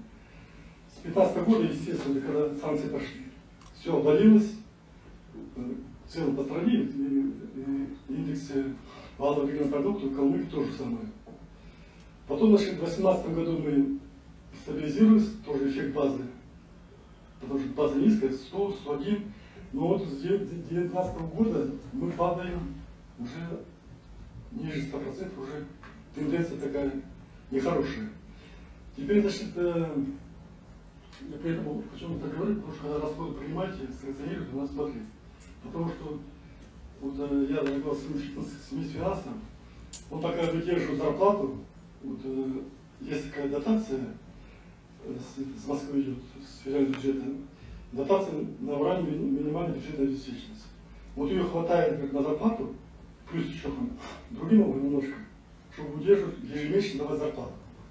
Потому что 2-3 дня зарплаты и более, если будет перерыв, это будет, коллапс. Иванович, уже вы 25 минут говорите. Давайте вопросы. Иначе мы, тема большая, можно ее долго обсуждать. Пожалуйста, мы депутату Миручи. Петр Валентинович, разрешите с вами не согласиться, да? Я прекрасно принял ваш месседж по поводу того, что а, вы, депутаты, голосуете за этот бюджет, а потом задаете глупые вопросы, откуда долг. Извините, если бы нам а, на рассмотрение предлагался бы бюджет, в котором министр финансов, который нам его представляет, говорил бы о том, что у нас, извините, вот на такие э, доходы и такие расходы слева-право, да, то, что у нас не хватает разница э, в бюджете там миллиард, и надо будет потом взять долг. Это одна история. Но нам каждый год из года, из года в год дают практически бездефицитный бюджет. И теперь ваши претензии к нам, типа вы за него голосовали, и теперь вы спрашиваете глупые вопросы задаете, это вообще считаю неуместно. Хорошо, ладно, одну минуточку. Я тут вопрос не сказал. Да, нет, давайте мы так договоримся. Значит, не мы перед, Петром Валентиновичем отчитываемся, а Петров Валентинович перед нами. А то мы тут оправдываемся перед Петром Валентиновичем. Значит, он отчитывается перед нами. Депутаты несут консолидированную ответственность за принятие э, документа. Ну, есть документ, который представляется, пропускают все дела. Поэтому мы давайте задавать вопросы, что сделано контрольно-счетной палатой по выявлению тех или иных э, направлений работы по использованию программных задач, ну и так далее. То есть проектов, да. Можно? Вот так, пожалуйста. Петр Иванович, тогда по делу. Смотрите, вот из года в год, а, заслушав ваш доклад, слышу все эти ужасные цифры, э, я вам практически каждый раз задаю вопрос. Какой КПД от того, что вот вы провели огромную работу, что-то выявили? Вот какой КПД от этой работы? Понятно, что или просто это констатация факта, то что, ну да, вот там что-то такие нарушения. Либо же вот, вот сейчас я вижу, например, да, с вашего отчета по стадиону Восточный, вы обнаружили на полтора миллиона. Это огромные цифры. Есть уголовное дело по этому факту?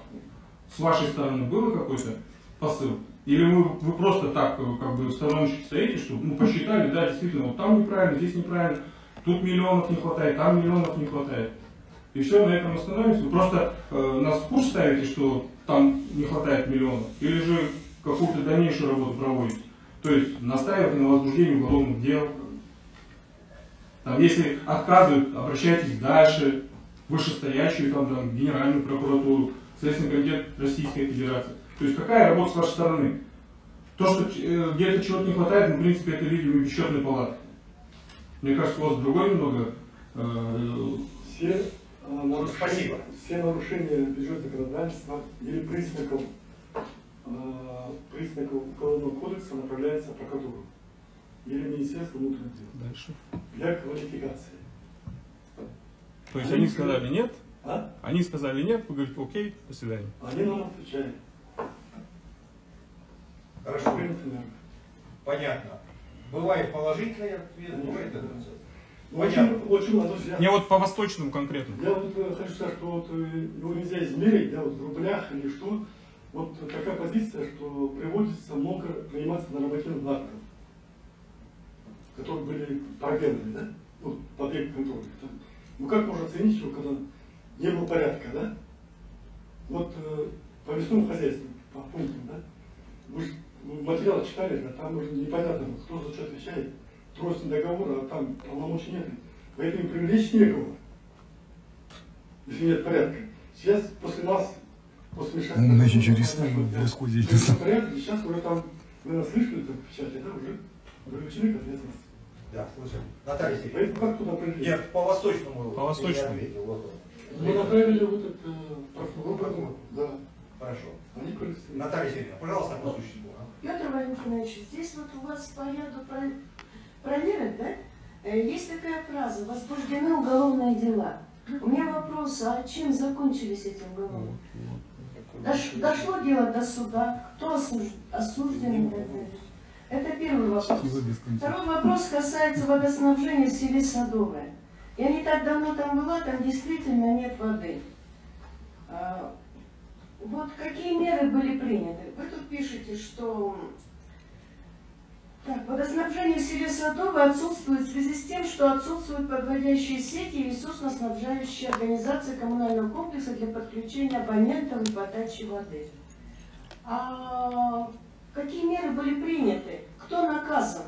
Вот э, я знаю, на главу Сарпинского района там прокуратура пыталась возбудить уголовное дело. Что-то до конца доведено. Ведь люди-то до сих пор без воды. Поправим. Деньги мы потратили почти 6 миллионов, 5 миллионов 293, да? А воды в домах нет. Это вот, вот просто результат действительно этой проверки. По воде, по воде И защита. третий вопрос у меня. Давайте я сразу задам все вопросы. Так. Вот э, по работе девяти ГУПов. На 1 января 2021 года, да? А, в 2021 году мы получили от них поступление в республиканский бюджет 0,0 да, рублей. То есть 9 ГУПов у нас сыграли, как, я не знаю, как в ничью или обманули государство. Какие-то меры были приняты, как минимум поменяли руководство ГУПов, еще что-то. Это полномочия правительства. Я понимаю полномочия правительства, но что-то должно было, какие-то результаты. А? направили материал, правительство направляем. И правительство ничего не делало, да? Она пока нет. Я не видела никакой информации. Пока нет. Ведь на самом деле, ну что это такое? Значит, э, плохо работает руководитель. На самом деле до 2021 года какие-то поступления шли же в бюджет, пусть небольшие, но были. А тут вообще нулевые. Три вопроса, То есть, мало того, тут еще и кредиторская задолженность выскочила 54 миллиона. Это вообще убыточная деятельность, и никаких мер не при- правительство не приним- принимает. В основном кредиторка, в основном это группа эффективного управления, которая находится сейчас. Сейчас. Эффективное управление. По, по предыдущим вопросам. То По есть порядку. эффективное управление оказалось очень неэффективным. Да, как называется группа? Я знаю. Название группы. Хорошо, по первым По вопросам. воде, значит, мы, Вот Садовки, что мы писали, когда проверяли, что не было водопровод, не было источников Вознесеновка и Сарпинских. Но потом, после проверки, по ходу они уже отчитали, что вода подведена и Садовки, и Вознесеновки. Кто читался? Глава? Главарь, ну, В домах нет не, Вознесеновка вода ж пошла. Не, Вознесеновку нет, не забывала. Соблюдил, И Садовки тоже читали, да. Хорошо, второй вопрос. Все вопросы ответил? Хорошо, еще А вопрос. второй вопрос вот по, по уголовным делам. А, мы направляем, мы, это у нас не входит в эти как бы, полномочия отслеживать, потому что они бывают, они бывает, что отменяется, потом опять прокурор их э, от- отменяет, да, отмену подказывает, потом, поэтому мы, мы не отслеживаем, постоянно отчитываемся в соответствии с соглашением. Хорошо. Спасибо, Николай Иванович, пожалуйста. Ну, Петр Владимирович, я, в принципе, с вами согласен в связи с тем, что за бюджет мы голосуем, за бюджет отвечаем мы перед населением, перед своими избирателями. В принципе, мы, комиссии и фракции всегда говорю, мы за этот бюджет никогда не голосовали, голосовать не будем, потому что мы знаем, какие, какие там дырки и все остальное. Поэтому ответственность то большинство, которое принимает этот бюджет. Это первое. Второе. Мне, Владимирович, я хочу узнать, э, значит, кто вообще э, санкционирует э, приобретение кредита председатель правительства, глава, экспертный совет, МВД, прокуратура. Кто конкретно значит, на сегодняшний день санкционирует э, взятие кредита? Это первое. И еще один момент. Значит, вот вы проводите проверки. У нас на территории э, Республики Калмыкия находятся значит, э, обособленные соучреждения, это этих буржуев, да, олигархов, которые сегодня у нас добывают здесь нефть и так далее, и так далее, и так далее. Значит, э, вопрос. В 2021 году, значит, э, кто проверен? Как они там с налогами с нами поступают, да, к нам в бюджет? И второе. Кто, значит, запланирован на 222 год? И последнее. А, Как-то в справке я прочитал ваши о том, что в 2021 году значит, федеральный бюджет или республиканский бюджет значит, для поддержки а, тех предпринимателей, которые занимаются, значит, ну, скажем, э, фарм, фармакологией, и лекарствами и все остальное во время пандемии, что им было значит, разрешено получить а, значит, дотации, субсидии как-то там для поддержки, так сказать, да? И у нас в республике получилось так, что, по-моему, одна или две фирмы получали, значит, эти субсидии и на уровне федеральном уровне, и на уровне э, республиканского бюджета. Как это связано, почему так получилось, у нас что больше никого поддержки, что? Спасибо. Да, по, по, по тому плану, значит, э, получили субсидии две фармкомпании, которые отнесли как мы тоже к отраслям наиболее пострадавшим в период коронавирусной инспекции. Одной, одна компания получила средств бюджета полтора миллиона рублей, а вторая получила где-то 200 тысяч. Это ну, факт есть. Но их отнесли, Министерство экономики отнесло к, к отраслям наиболее пострадавшим. Это факт есть. Хорошо, еще вопросы?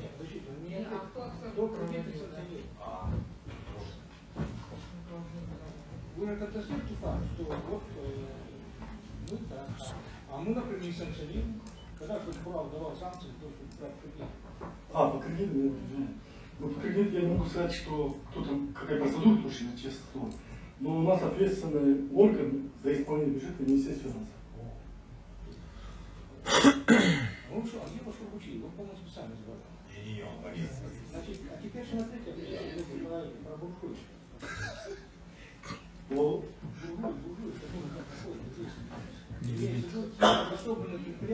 смотрят... Микрофон, пожалуйста, Иванович, и выражение, что там не буржуи, а как? Как буржуи есть, буржуи были. Значит, я- говорю о тех обособленных значит, предприятиях, которые на территории Республики Калмыкия э, значит, э, занимаются э, добычей нефти, газа и так далее, и так далее. И другие, в том числе, значит, и солнечной и ветряной энергии. Кого вы проверили в 2021 году, значит, результаты, и кого вы хотите проверять в 2022 году. Значит, э, контрольная палата проверяет средства, связанные с расходом республиканского бюджета. В том числе пользующие налоговыми льготами.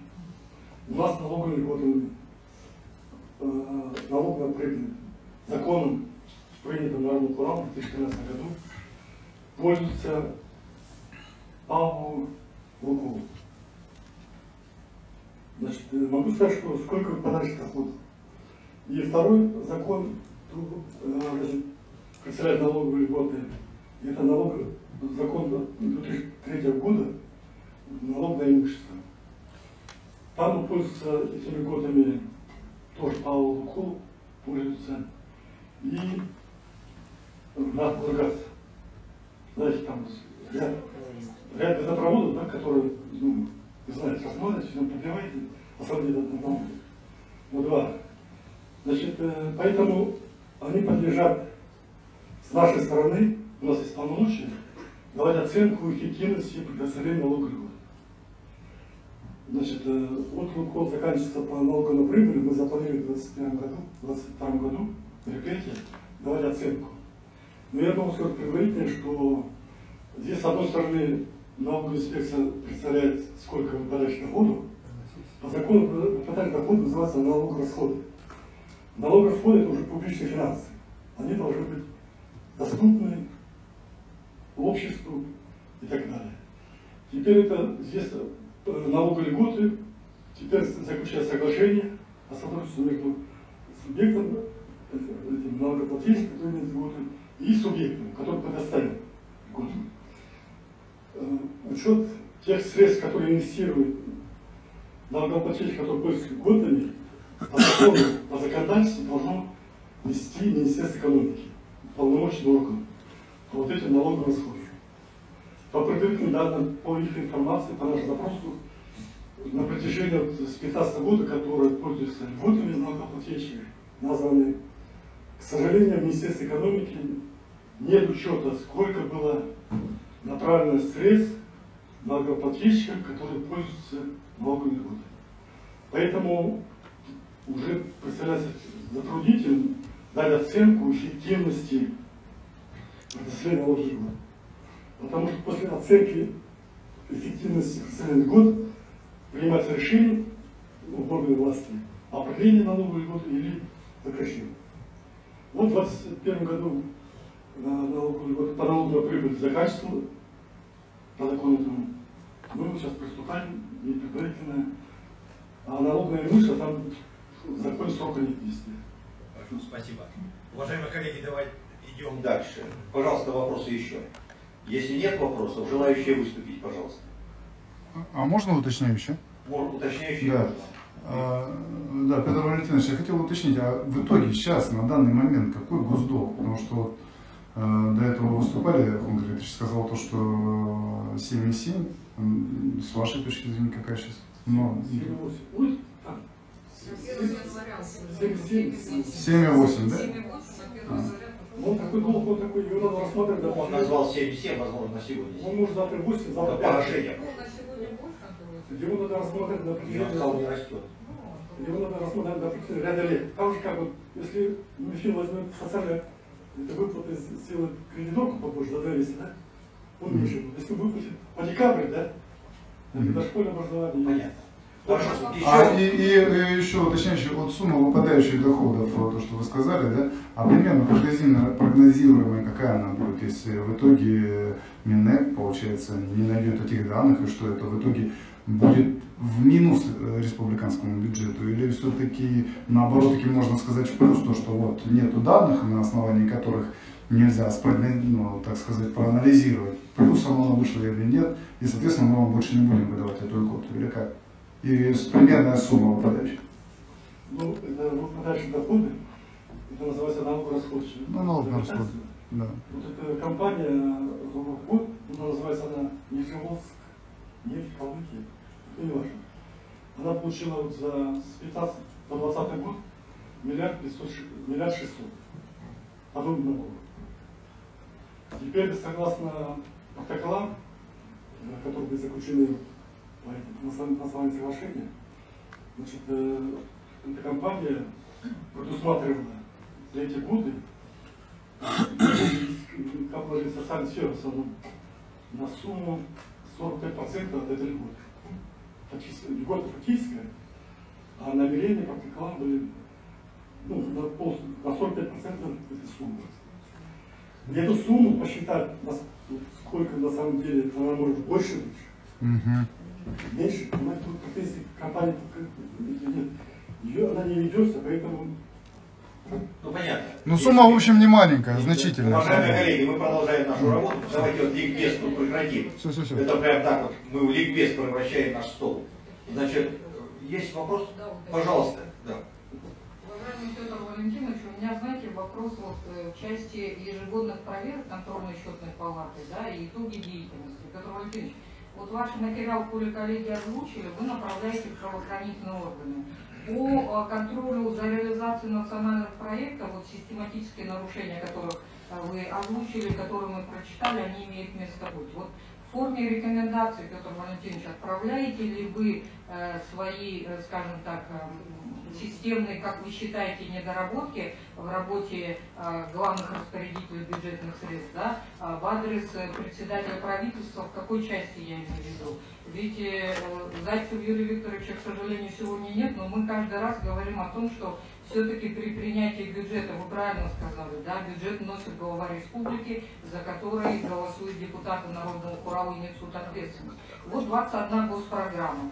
А каждый раз заключение прокуратуры, контрольно-счетной палаты, а, управления Федеральной налоговой службы это не достижение целевых показателей, предусмотренных в рамках 21 госпрограммы. На уровне правительства есть правительственная комиссия, оценка эффективности вообще работы этих госпрограмм, достижения конечных целей. Нельзя вам, Петр Валентинович, все-таки с учетом того, что у вас достаточно наработан материал по этим проверкам, направить в правительство о том, что все-таки пересмотреть критерии, да, и определиться с количеством этих госпрограмм. Давайте мы, коли если депутаты несут ответственность, доведем до стопроцентного финансирования одну из программ и будем говорить о том, что сегодня мы знаем, что есть КПД, о чем сказал сегодня коллега. Это один момент.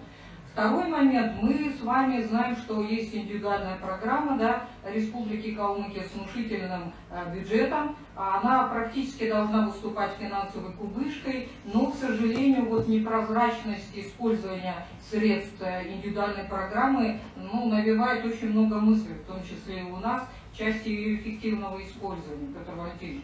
Вот у меня вопрос. План проверок вами утвержден на коллегии и на 22 год. Есть ли, э, скажем так, э, э, в- в провер- в проверочных мероприятиях, в том числе и использование средств индивидуальной программы? Спасибо. Валентинович. Нам мы в 20 в 21 году мы ИПР э, не смотрели так, потому что деньги были зачислены, но не использованы.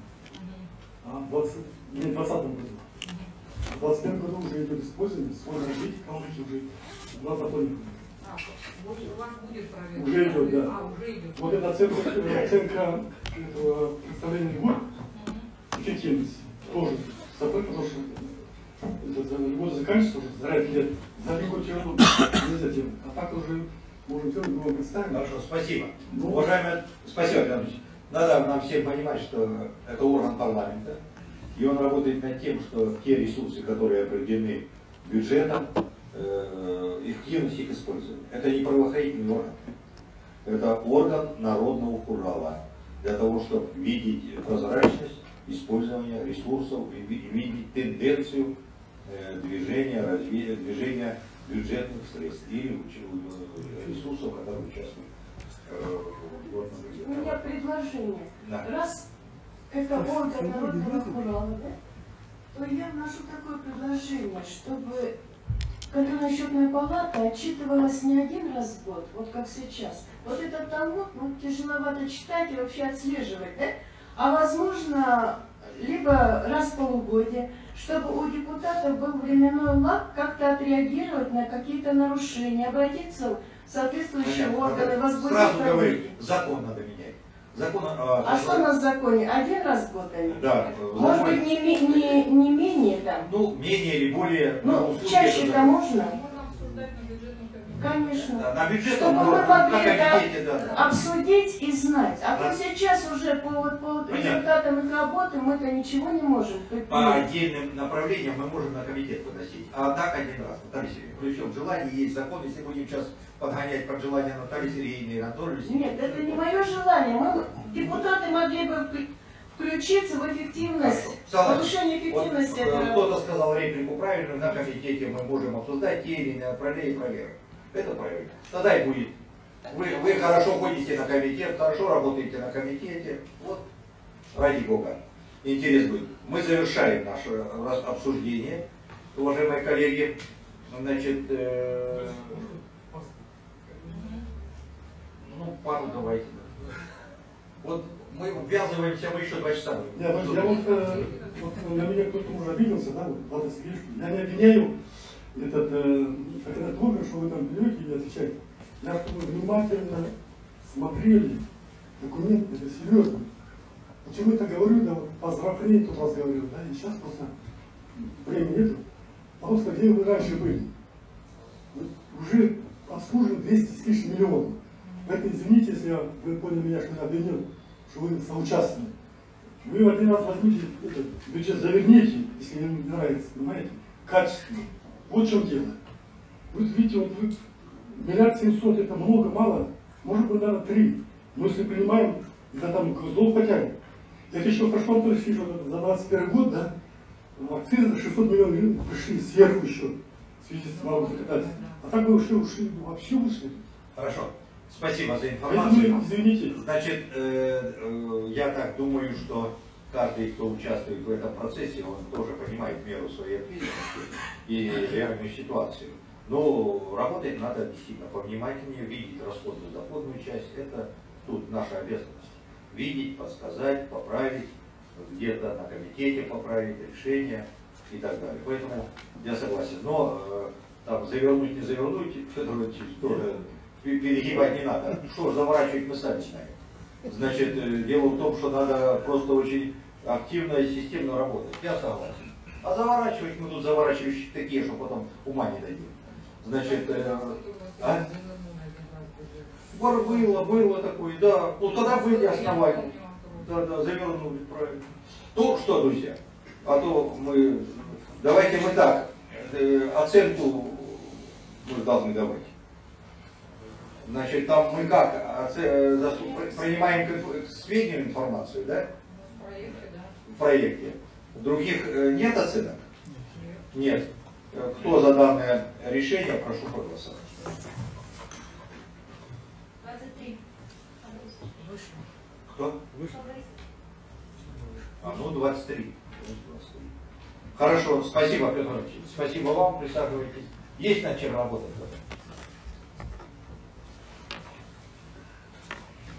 Ну что, мы продолжаем работу, там более у нас оперативные вопросы. Вот у нас есть о праздничных и памятных днях. Следующий проект закона о внесении изменений статью 2 закона о Республике Калмыкия о праздничных памятниках республики вносится депутатами Махалаева и Сухинина. Ольга Юрьевна инициатор, ну, затем и Сухинин вместе с ней по этим дням. Слушаем, нет информации? Нет, по проекту. По проекту. Нет возражений? Решение комитета, пожалуйста. Да, пожалуйста. Почему второе воскресенье сентября? День правды. Ой, вторая суббота, точнее. Долго вообще обсуждали ну, по поводу даты, действительно. Было несколько круглых столов проведено. А, Обращались к научному сообществу, потому что хотелось привязаться к истории, а, в том числе к профессорам Калмыцкого госу- госуниверситета. И научным сообществом было выдвинуто несколько а, дат, несколько месяцев, даже не дат, а месяцев.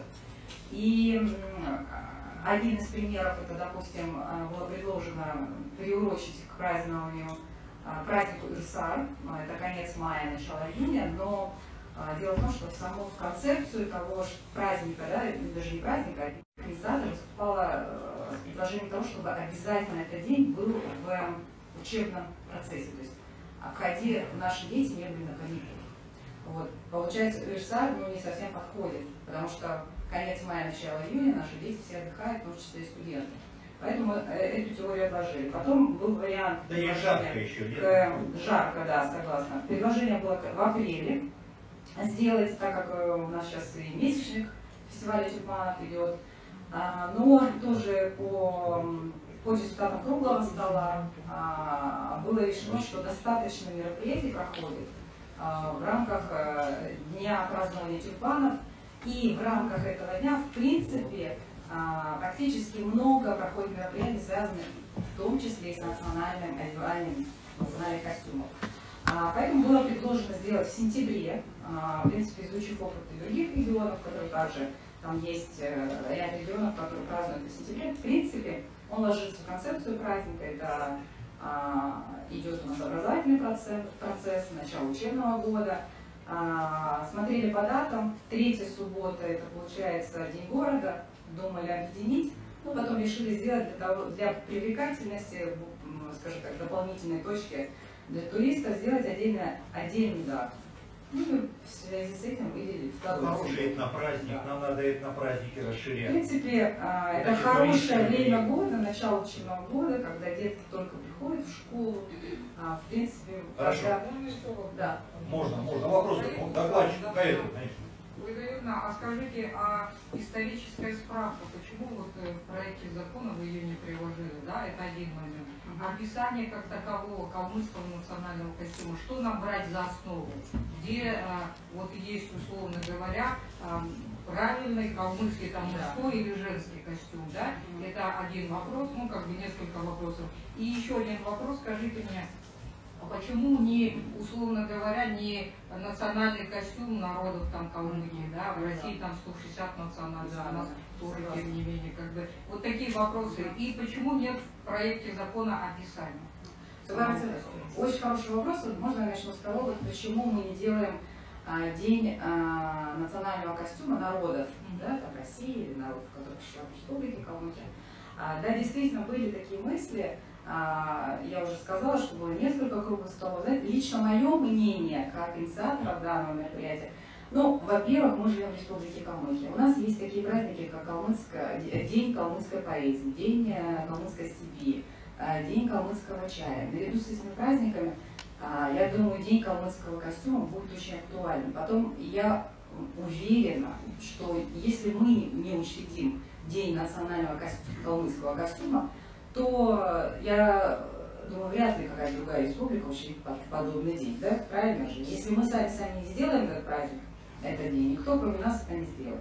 Поэтому я считаю, что это правильно, если у нас будет день национального калмыцкого костюма. Также у нас есть праздник, 12 июня проходит День России.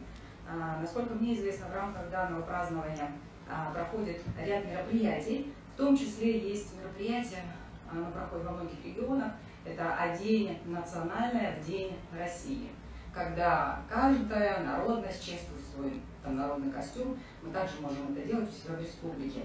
А Потом 1 декабря, а, также по, при моей поддержке, а, был открыт, э, прошлого года был открыт Дом национальности, в который также, а, ну скажем так, отлич- соответствует, да, э, соответствует межнациональным, межнациональному согласию, и он также, э, в его задаче стоит проведение ряда мероприятий, связанных с э, ну, межнациональными вопросами, скажем. Хорошо. Вот поэтому, да, да. Еще раз напомните, дальше. Нет, Ага. вот я, знаете, уважаемые коллеги, вот вы на меня обижаетесь иногда, да, но я искренне вам говорю. Ну вот увидели вопрос, да, есть сомнения, ну приходите на комитет, вот там пообсуждали, рассмотрели, может Виктор быть... Вы предлагаете на сессии вообще депутатам молча приходить? Не-не-не, Когда ну, вообще не, дискуссия? не, а почему на комитет не приходить, согласен? Ну, я, я думаю, У так. меня нет времени, Может, сожалению. я Антон А. Можно мне? Пожалуйста. Значит, ну я считаю, Сейчас. что это интересный Сейчас, день, день национального калмыцкого костюма, закон надо принимать. Я хочу привести вот э, такой случай, я как-то была э, на фестивале, посвященном культуре Калмыкии, да, в Рутгас университете в Америке. И вы знаете, все вот местные калмыки пришли на этот праздник в национальных костюмах, калмыцком национальном костюме. Даже афроамериканцы были в калмыцких национальных костюмах. Очень смешно, ну, э, смотрелось, конечно, странно, но это хорошо. Это хорошо, надо принимать все. Наталья Сергеевна, никто не спорит. Я говорю описание калмыцкого костюма, калмыцкого национального костюма. Мужской, женский описание, шеверлики и так далее. Где взять за основу? У нас же сейчас много стилизаций. Монгольских, бурятских. Что вы знаете, понимаете? Мы живем вы полностью правы в том, что действительно у нас сейчас огромная проблема идет, а, скажем так, дезинформации того, какой должен быть национальный костюм. А, вот в рамках круглых столов, привлечения нашего научного сообщества обсуждалось то, что есть такая проблема. И именно данный день, лично мое мнение, он поспособствует тому, чтобы углубиться в этот вопрос, привлечь больше интерес к этому. У нас даже на сегодняшний, к сожалению, вот сценический костюм, который выступает, да, наши артисты, к сожалению, и в нем много искажений. У нас есть ряд проблем пошения одежды. К сожалению, наши мастера не все владеют информацией. Поэтому я считаю, Спасибо. данный, данный день, он, я можно закончить, данный день даст э, дополнительную возможность именно к этим проблемам обратиться еще раз. Образец у нас нацмузей получается. Да, да, да. Ну, более чем понятно, уважаемые коллеги. Мы к одному и тому же вопросу возвращаемся. Вот поэтому этот день даст возможность действительно не на что. Уважаемые коллеги, все, спасибо. Комитет решения. Все. А можно пожелания? Пожелания? Сколько народе, сколько мыслей. Анатолий Васильевич, Пожелания. Да, коротко, коротко. Нет, коллеги, я считаю, конечно, это вообще нужный э, законопроект, и к тому же ну, праздник, э, к тому же именно в год э, культурного наследия народов России, да, это прям вообще актуально, так считаю. Э, к сожалению, то, что это не Министерство культуры, а вот тут наоборот таки отрадно, что это как раз таки наши коллеги э, выходят с такой инициативой. Более того, я так думаю, я вот э, с э, представителями культуры разговаривал еще в прошлом году, да, они говорили, было бы вообще хорошо проводить какой-нибудь фестиваль в части вот именно национальных костюмов. Говорит, даже у нас можно было бы на территории Калмыкии э, в части именно ну, там, азиатского ко- костюма, да, это там рядом Казахстан, там приглашать там тувинцев, бурят, там этот. А здесь в данном случае, я думаю, можно вообще расширить именно фестиваль какой-нибудь. Да, да, да. У нас просто появится праздник, и мы к нему можем приурочить какой-нибудь расширенный фестиваль. спасибо. Поэтому прошу поддержать. Спасибо. Уважаемые коллеги, ну практически мы все за. Да. Значит, решение комитета, пожалуйста. Решение комитета рекомендовать Народному Уралу парламенту э, принять данный законопроект. Уважаемые коллеги, давайте проголосуем. Кто за постановление? Спасибо вам. Я думаю, это правильно. Надо, во-первых, показать э, в Телеграм, в нашем, в нашем, в нашем сайте, все надо вот показать, что, а то иногда говорят, вот депутаты там, точно, вот показывать это все. Так, уважаемые коллеги, мы движемся дальше. У нас дальше инициативы, с которыми мы выходим и на ЮРПА, и э, хотим э, выйти, соответственно, э, сюда, Думу и... Уважаемые коллеги, тут вот Николай Евгеньевич Батмайкатинович предлагает по проекту. 16 вопрос о внесении изменений в Государственную Думу Федерального Собрания, э, внесении изменений в второй части статьи 228 Налогового кодекса э, вносится комитетом по бюджету. Документы у вас на руках. Антон Васильевич, там несколько значит, предложений по проекту мы предлагаем в связи с тем, что они все пойдут и дорабатываются, они все пойдут на ЮПА. И, в принципе, значит, я думаю, что все эти проекты, ой, э, да, проекты принять их мы по каждому должны проголосовать. Не, да, ну, конечно. Вопрос по номер проекту. 16. Валерий Оставич, Болдырев, решение комитета. Так, ну это рассматривалось на комитете, и комитет решил внести рекомендацию в парламент Республики Калмыкии и принять данный э, проект э, постановления. Уважаемые коллеги, нет возражений? Нет. Проголосовать. Кто за? Да. Следующий вопрос, номер 17. Рассматриваем проект постановления Народного Урала о обращении Народного Урала представителя Государственной Думы Володину представителю правительства Мишустина по вопросу всей изменений законодательства по налогообложению движимого имущества, применяемого, применяемого в производстве электрической энергии с использованием возобновля- возобновляемых источников энергии. Вносится комитетом. Пожалуйста, решение комитета. В общем, тут суть с фун- с фундаментом без фундамента. Как без фундамента э, недвижимое имущество, э, с фундаментом недвижимое, а без фундамента движимое. Ну, так. Уважаемые, уважаемые коллеги, приглашенные, это тоже вопрос рассматривался на, на комитете, было тоже много вопросов задано, и вот комитет решил внести и рекомендовать народному праву парламента Республики Калмыкии принять данное законопроект, постановление.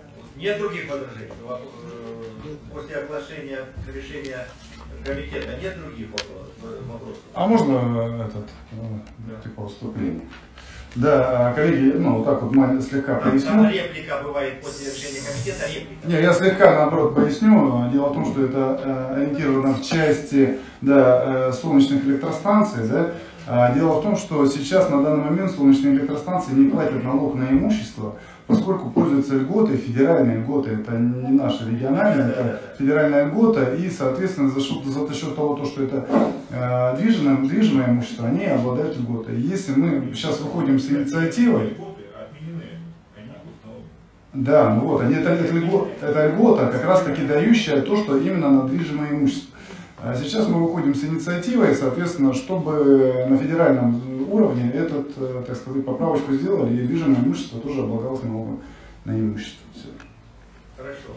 Уважаемые, понятно. Это в нашу пользу. Если да, всё да, хорошо. однозначно. В пользу бюджета республики. Да, следующий вопрос. Обоснова э, рассматриваем. А, ну, видите, реплик вот видите, сбивает. А. Значит, пожалуйста, кто за э, решение комитета? Мы не сбиваем. Решение комитета огласил председатель. Реплика есть. Кто за это предложение? 24. Спасибо, уважаемые решение Следующий вопрос 18. О проект постановления Народного Урала о внесении в Государственную Думу Федерального собрания проекта федерального закона о внесении изменений в федеральный закон об основах охраны здоровья граждан Российской Федерации. Вносится комитетом по молодежной политике. Он у вас на руках. Акатьевич, пожалуйста. Уважаемый Анатолий Алексеевич, уважаемые коллеги, значит, э, речь идет об организации обеспечения граждан лекарственными препаратами э, опасных заболеваний. И инициатива заключается в следующем. Предлагается Народному прокурору внести в Государственную Думу проект федерального закона, предусматривающий вопрос о внесении полномочий по финансовому обеспечению граждан лекарственными препаратами для лечения редких опасных заболеваний по полномочиям федеральных органов государственной власти. На заседании комитета рассмотрели, и комитет рекомендует Народному прокурору принять данный проект. Уважаемые коллеги, решение комитета озвучено. Э, Если нет реплик, прошу проголосовать. Кто за? Единогласно. Спасибо, уважаемые коллеги. Следующий вопрос у нас э, рассматривается проект постановления Народного Урала парламента республики о досрочном освобождении Тюльбеева Боева Васильевича от обязанностей члена избирательной комиссии. Вносится комитетом Народного Урала по законодательству, законности и так далее. Пожалуйста, решение комитета. А, Уважаемые коллеги, ну, Боир Васильевич на имя э, председателя парламента написал заявление о э, сложении полномочий, об освобождении от обязанностей члена избирательной комиссии до истечения срока полномочий. Поэтому предлагается принять постановление в связи с переходом на другую работу. Уважаемые коллеги, э, решение комитета озвучено. Если нет реплик, прошу проголосовать. Кто за? Вопрос номер 19. Спасибо, уважаемые коллеги. Мы рассматриваем следующий вопрос повестки дня. Проект постановления Народного Урала об утверждении плана законопроектных работ Народного Урала на 22 год. Вносится председателем. Э, Докладывает председатель комитета. Ну, уважаемые коллеги, на комитете рассмотрен план законопроектных работ. Все предложения, которые вами были внесены, они учтены. Вот, ну, по кварталам, по кварталам разбросали. Если решение комитета, пожалуйста. Решение комитета рекомендовать Народному Уралу принять данный проект постановления. Уважаемые коллеги, если реплик не возникло, прошу проголосовать. Кто за? Спасибо, уважаемые коллеги. С этими вопросами. Обоцева, 20, вопрос 21. Обоцева на проекте федеральных законов. Председателем выносится доклад заместитель председателя Уважаемый председатель, уважаемые депутаты, вашему вниманию представляется проект постановления Народного права парламента Республики Калмыкия об отзывах на проекты федеральных законов. Представленный проект постановления Народного права с учетом решений профильных комитетов Народного права предлагается рассмотреть 76 проектов федеральных законов. Из них поддержать 61 проект, не поддержать 15 проектов. На основании изложенного прошу утвердить данный проект. Уважаемые коллеги, ну как мы всегда это делали, комитеты все рассмотрели, разные там были предложения, пришлось даже менять решение комитета, но мы это сделали правильно, я считаю, поэтому если нет возражений, предлагаю Александрович, а вот по... Учли, Наталья Сергеевна, учли, учли. Вот как раз комитет еще раз. Я уточняю, еще 58 за у меня в раздатке, 18 не поддерживаю. Это что? Это у вас, наверное, раздатка. э, А? А ну-ка, девочки, подскажите. А?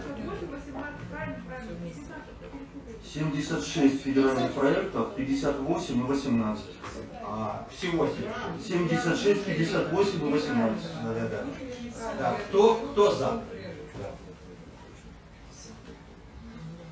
Спасибо, уважаемые коллеги. Ну и э, у нас вопросы э, в разном, раз два прошу регламент только соблюдать, чтобы мы могли учесть те предложения, которые были. Вот товарищ э, Кузьминов вносил предложение по, мы его оформим в форме запроса.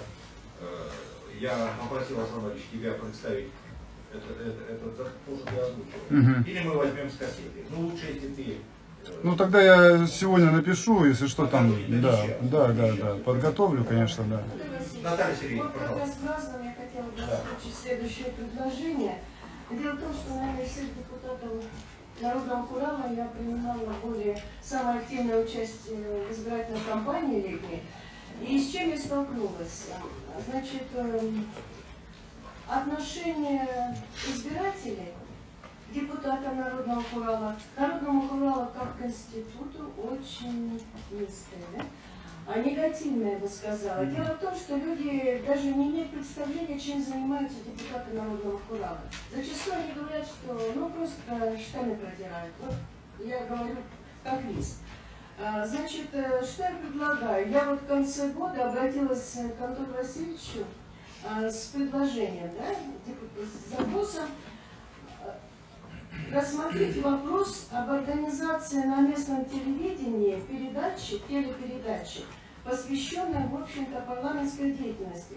А, Может быть, ее назвать там парламентский час, парламентский вестник. Вот у нас соседи Волгоградская область, такая передача называется «Слово партии». Вот в рамках этой передачи депутаты Народного Курала всех фракций могут обсуждать законопроекты высказывать комментарии, свои мнения, предлагать что-то.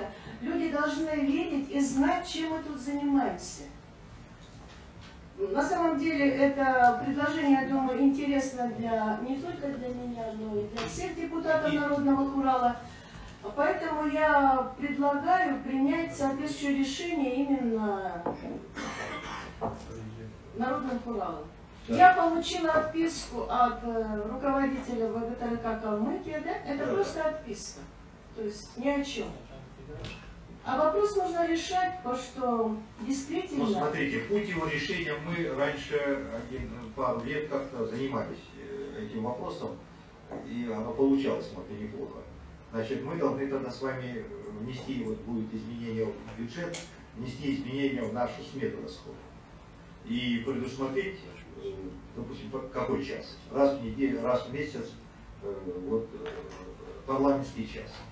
Значит, такой, вот, ну, без денег э, федералы не решают. Мы же с вами Что значит без денег? Вот посмотрите на программу нашего местного телевидения. Они зачастую им просто нечего крутить, они крутят какие-то архивные э, сюжеты.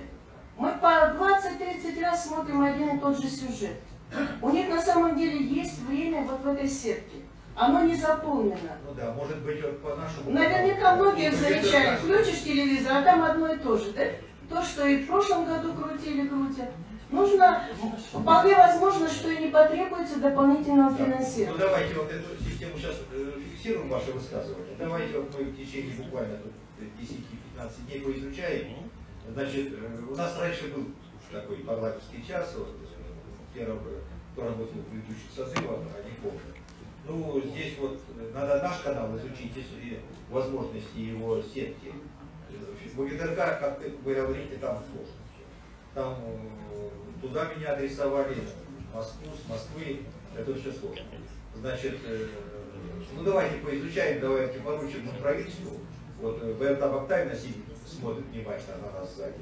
Вот она как раз этим процессом сейчас вот мы и получим заняться, варианты. Давайте, чтобы мы практически решили. Не просто, а решили. Так, пожалуйста, еще. Пожалуйста, Здравствуйте. Вы последний раз в парламентской вести когда выступали? Что? Парламент Баранинский вестник когда последний раз выступали? Газете? Газете. А мне ни разу не предлагали. А вы хотите, чтобы вам не не дали слуху? Ну вы, я- я не ну не дадут.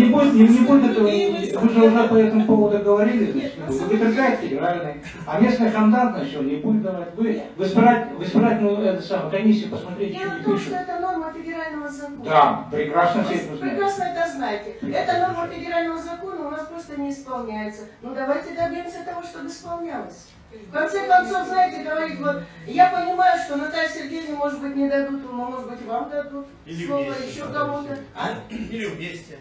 Или, или вместе. Но на самом деле нужно добиваться исполнения норм федерального закона Значит, на давайте фиксируем эту тему, мы Это ее потом доложим. Так, давайте еще. Значит, по, мы э, э, по Кузьминову тему тоже поймали. Что еще? Так, пожалуйста. Э, Если возможно, по-моему, министр остался. Да, да, да. Вот мы как раз таки. Значит, у меня к вам вопрос будет такой, вопрос довольно-таки серьезный. Мне ко мне были, значит, избиратели мои по улице Шевчукова, значит, мы туда выезжали, посмотрели. Значит, конечно, может быть вопрос не к вам. Но ситуация, значит, так, министр, Да. профильный министр, отраслевой министр, который Министр, да. отвечает за национальный проект, значит, когда, когда вы, значит, вместе с, с руководством правительства, с органом, с городом решите вопрос по а, значит, улице Шевчуковой, значит, там первый вопрос. Когда вы с этим ВВРом решите вопрос, значит, там люди, они имеют свидетельство на дом, а на земельные участки, значит, им не выдаются с тем, что не дай энерго, там, какой-то еще энерго, значит, они не согласовывают все эти вещи. Этот вопрос уже в течение 30 лет уже стоит. Сегодня вы забиваете туда школу. Школу забиваете. И, значит, вот, значит, замминистра дает такой, знаете, браурный ответ нам и все остальное.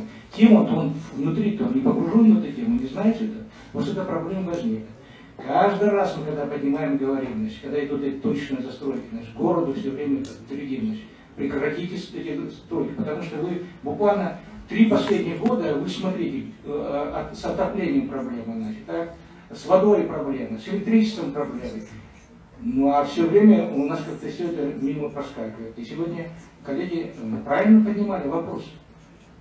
Когда, значит, эти градостроительный э, кодекс будет у нас выполняться, когда генплан утвердится, и в конце концов, значит, прекратятся эти все строительства.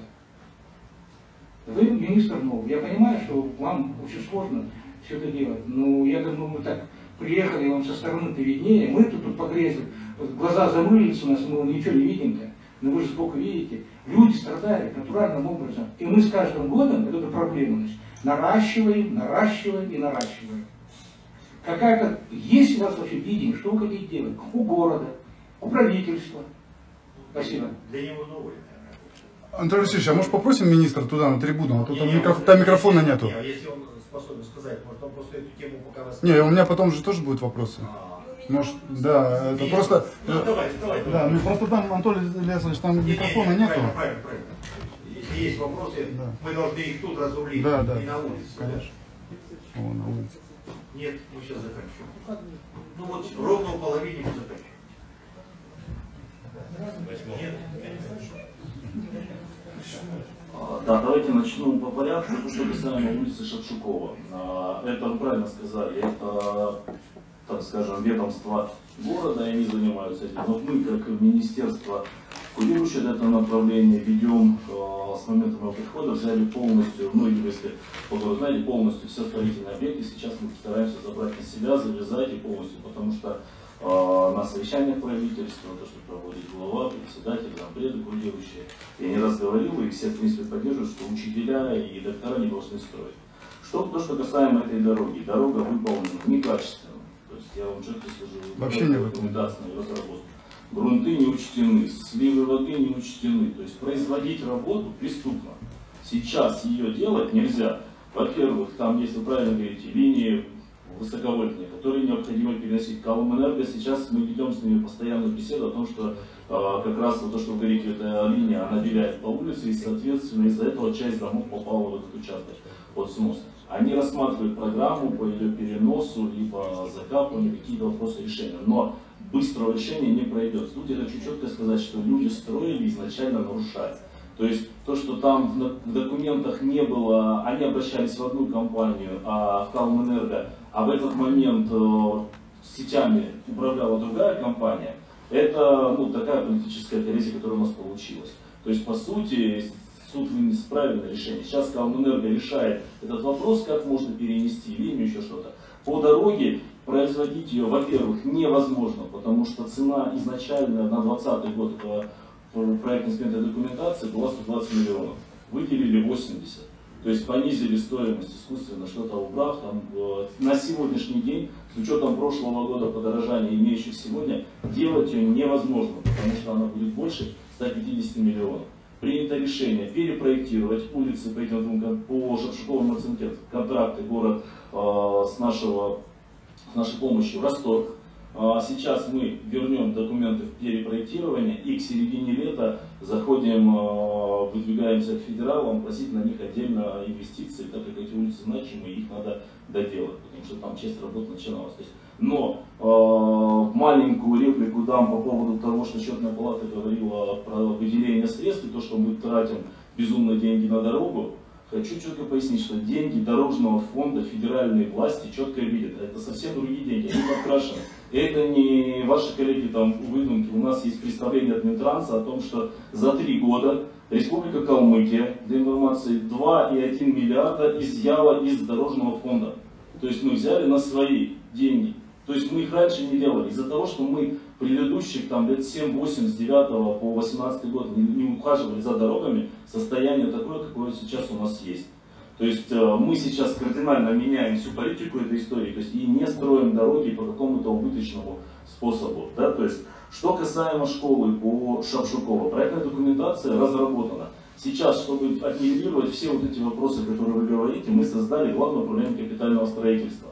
В регламенте ГУКСа четко прописано взаимодействие министерств, о том, как они происходят, все эти действия. Вот то, что вы говорите, когда первым пунктом стоит создание комиссии профильного министерства с ГУКСом на определение земельного участка.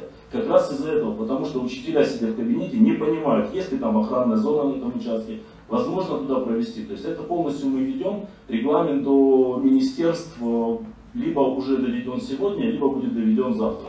Он уже разработан, со всеми согласовывается, в том числе Минфин, прокуратура, Минюст, его уже с корректировками все прошло.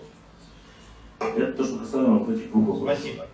Аслан Да, Антон Алексеевич, вернемся к э, вопросу, который я сегодня уже озвучил по а, дому на третьем микрорайоне, дом 7, да?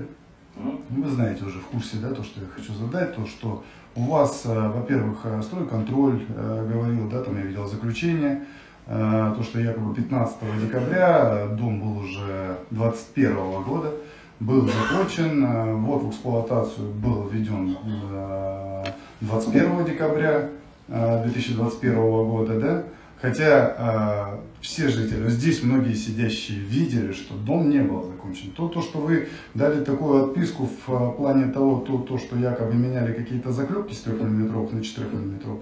Ну, во-первых, конечно, посмотреть бы тогда не просто на переписку, да, которую вы там, э, так сказать, сделали между субподрядчиком и подрядчиком, и заказчиком. Во-первых, весь все видели. Вот вы сейчас здесь вот будете сейчас утверждать всем, обманная, да? Потому что есть даже у блогеров, э, который 25 декабря на крыше этого дома работал и снимал и говорил, вот он, он делает дом, там стоят уже, стоят э, строительные леса, э, еще даже, они даже не докончили этот дом. Точно так же, соответственно, даже сам директор этого компании питерской, да, там 25 декабря у себя в инстаграме публиковал, как дом сейчас выглядит. И вы после этого говорите, что якобы 21 декабря дом был полностью выполнен, 27 декабря якобы заказчик сказал то, то что надо бы с чего-то, непонятно, он взял, сказал, хотя ветронагрузка все э, заранее делается на уровне проекта. Э, и дана полная ветронагрузка, а не так, то, что с 21 декабря случайно какой-то ветер подул, и вы подумали и решили, надо бы укрепить заклепки. Во-первых, чем вы снимали эти заклепки? Вы сами видели хоть эти заклепки? Вы подойдите, посмотрите. Нет, Антон Васильевич, просто принципиально важно, это министр. Тут сидит, сидит э, зампред, который принципиально врали, во-первых, всем, в эфирах врали, да. Там столько людей живет рядом, дом не останавливался э, ни днем, ни ночью. Не то, что там 21 декабря. Даже 31 декабря не останавливался строительство. И тут нагло врать у всех на виду, то, то, что он был закончен 21 Просто к чему это, Анатолий Васильевич? Я очень искренне рад за жильцов, которые, да, э, переселились туда, да. Я считаю это главное. Вот у меня в том-то и дело, то, что парадоксально, вот, принципиально было, зачем врать перед всеми. Просто отсюда, э, соответственно, вырисовывается ярко э, именно коррупционная спайка, да, связка всех. Там еще даже, знаете, то, то что субподрядчик, ну, подрядчик, он должен был, там перечень работ, который он должен был делать самостоятельно, и прям в контракте сказано. Там порядка 90% всех работ. А он выполнил всего лишь там максимум, он даже вообще ничего не выполнял. А из 173 миллионов он забрал только 10 миллионов. 160 миллионов он дал суд, суд подрядчику. Это тоже нарушение. Более того, они сами, что министр, что зампред, они говорили, что именно этого субподрядчика э, привел глава республики. Это обход 44-го федерального закона. Это также коррупционная, соответственно, составляющая. И они это сами в своих эфирах подтверждали. И вы даже в своем эфире от 20 января, э, который я также пересматривал, да, вы говорили, то, что вы сейчас с этой стройки приехали, и там вот маляры работают, все дела. Вы тем самым подтверждали, а у вас акт уже там от 20-го был сначала от контроля, потом 21-го вы ввели в эксплуатацию. Отсюда идет, соответственно, понимание, то, что вам доверия вообще нет вашему слову, то, что вы даже сейчас говорите, утверждаете. И отсюда же, соответственно, национальные проекты в части дорог, городских дорог, да, то, то, что выполняла компания «Эра», ни одной дороги не сдано. И то, то, что вы сейчас говорите, да, вы отчасти лукавите. У меня сейчас на руках есть протокол э, под э, председательством как раз таки зампреда, да, Кюкеева, и э, где он дает вам поручение, вам, Шу, Шурунгову, о том, то, чтобы расторгнуть, это 9 февраля, Анатолий Васильевич, 9 февраля данный протокол был составлен. Он дает поручение, чтобы они расторгли договор, э, договор с компанией «Эра», рассмотреть, как расторгнуть. То бишь, они должны были в период, как раз таки прошлого года, в период контракта, стройконтроль, компания, да, которая оплачивает по каждому участку по 500 тысяч рублей с лишним, правильно же? И, э, соответственно, она еженедельно должна была делать э, замеры, то, как э, выполняются работы. Тогда еще в прошлом году должны были расторгнуть а и подать... Нет, подождите, Андрей Васильевич. Ну, и я понимаю, ну извините, но я тоже целый день ждал, чтобы задать эти вопросы. А, и, соответственно, по этим а, компании, по, эти, э, по компании Эра и по Шапшуковой, непосредственно Мансенкетс, да, также в этом протоколе уже было сказано, то, чтобы э, рассмотреть перенос э, данного финансирования на въезд в поселок Вознесеновское. То бишь они уже, понимаете, жильцы, Анатолий Васильевич, которые ждали, у которых якобы начали делать дорогу. Сейчас мы слышим лукавство, что они только сейчас выяснили то, то что оказывается запроектировано неправильно. Проектировку кто делал? Кто утверждал проектировку? Как, как вы тогда проектировали и такой проект выставили на конкурсную документацию? В этом вопрос. Тогда вообще вопрос профессионализма всего правительства как такового вообще. Каким образом вы из э, девяти дорог, да, вы там вот две дороги, вообще непонятно каким образом вы сейчас ну, переносите. Ну, в целом, здесь, да, здесь заместитель правительства как раз таки сидит, да, в части этого, да. И также, соответственно, в части вот, вот этой а, дороги Шевчукова, да, там а, этот а, подрядчик, начал э, делать э, дорогу, как вы сказали, да, изначально, а тем самым перенаправил э, там рус восточных вод а, через частное имение, частный дом. Там наша, ну как сказать, землячка построила новый дом, еще даже не заселилась, он полностью треснул. Кто за это будет нести ответ? Она написала, соответственно, в мэрию, ей написали отписку. И вы хотите данную компанию просто отпустить? Вы должны, во-первых, ее подать в список недобросовестных, э, взыскать полностью штрафные санкции. Плюс вы еще даже этой компании за, за 50 тысяч выдавали э, наш э, асфальтный завод, который на Астраханском выезде находится, без учета до 223 ФЗ. И аналогично, соответственно, ситуация по участку дороги Елистар-Сгир, там 25 или какой там километр, 40 -й. Также, соответственно, там э, на протяжении там, целого года работа якобы ведется. На самом деле там вообще ничего, там 2 километра дороги, там вообще даже э, асфальтом и не пахнет. И опять же, по данной, э, это та же самая компания, владелец, э, точнее, у этой компании тот же самый, что и владелец у компании Эра. Спасибо. Соответственно, опять же, не понесет никакого ни наказания, ни это. Тут опять же посматривается, как из первого вопроса по этому дому номер три. То, что вы все друг друга просто покрываете и все. Он ответит, может быть, и того наказание понести. Так, пожалуйста. Да, давайте начну с чуть-чуть отвлеченной темы. Хочу и вас попросить, других коллег, да, о том, что когда вы высказываете какую-то точку, прошу не затрагивать профессиональные качества мои личные, в моем министерстве, потому что вы не владеете компетенцией, чтобы определить, насколько я профессионален или нет в данном вопросе. Многие ваши высказывания очень хорошо звучат э, риторикой для людей. У нас с вами не монолог, вы рассказываете ветронагрузках, рассказываете еще о чем-то таком умном, рассчитывая людей этим запу- запутать. Но вы же почему-то не берете, если вы так погрузились, что проект этот был разработан экстренно за два месяца с применением проектов, которые строились в Турции, чтобы успеть в срок.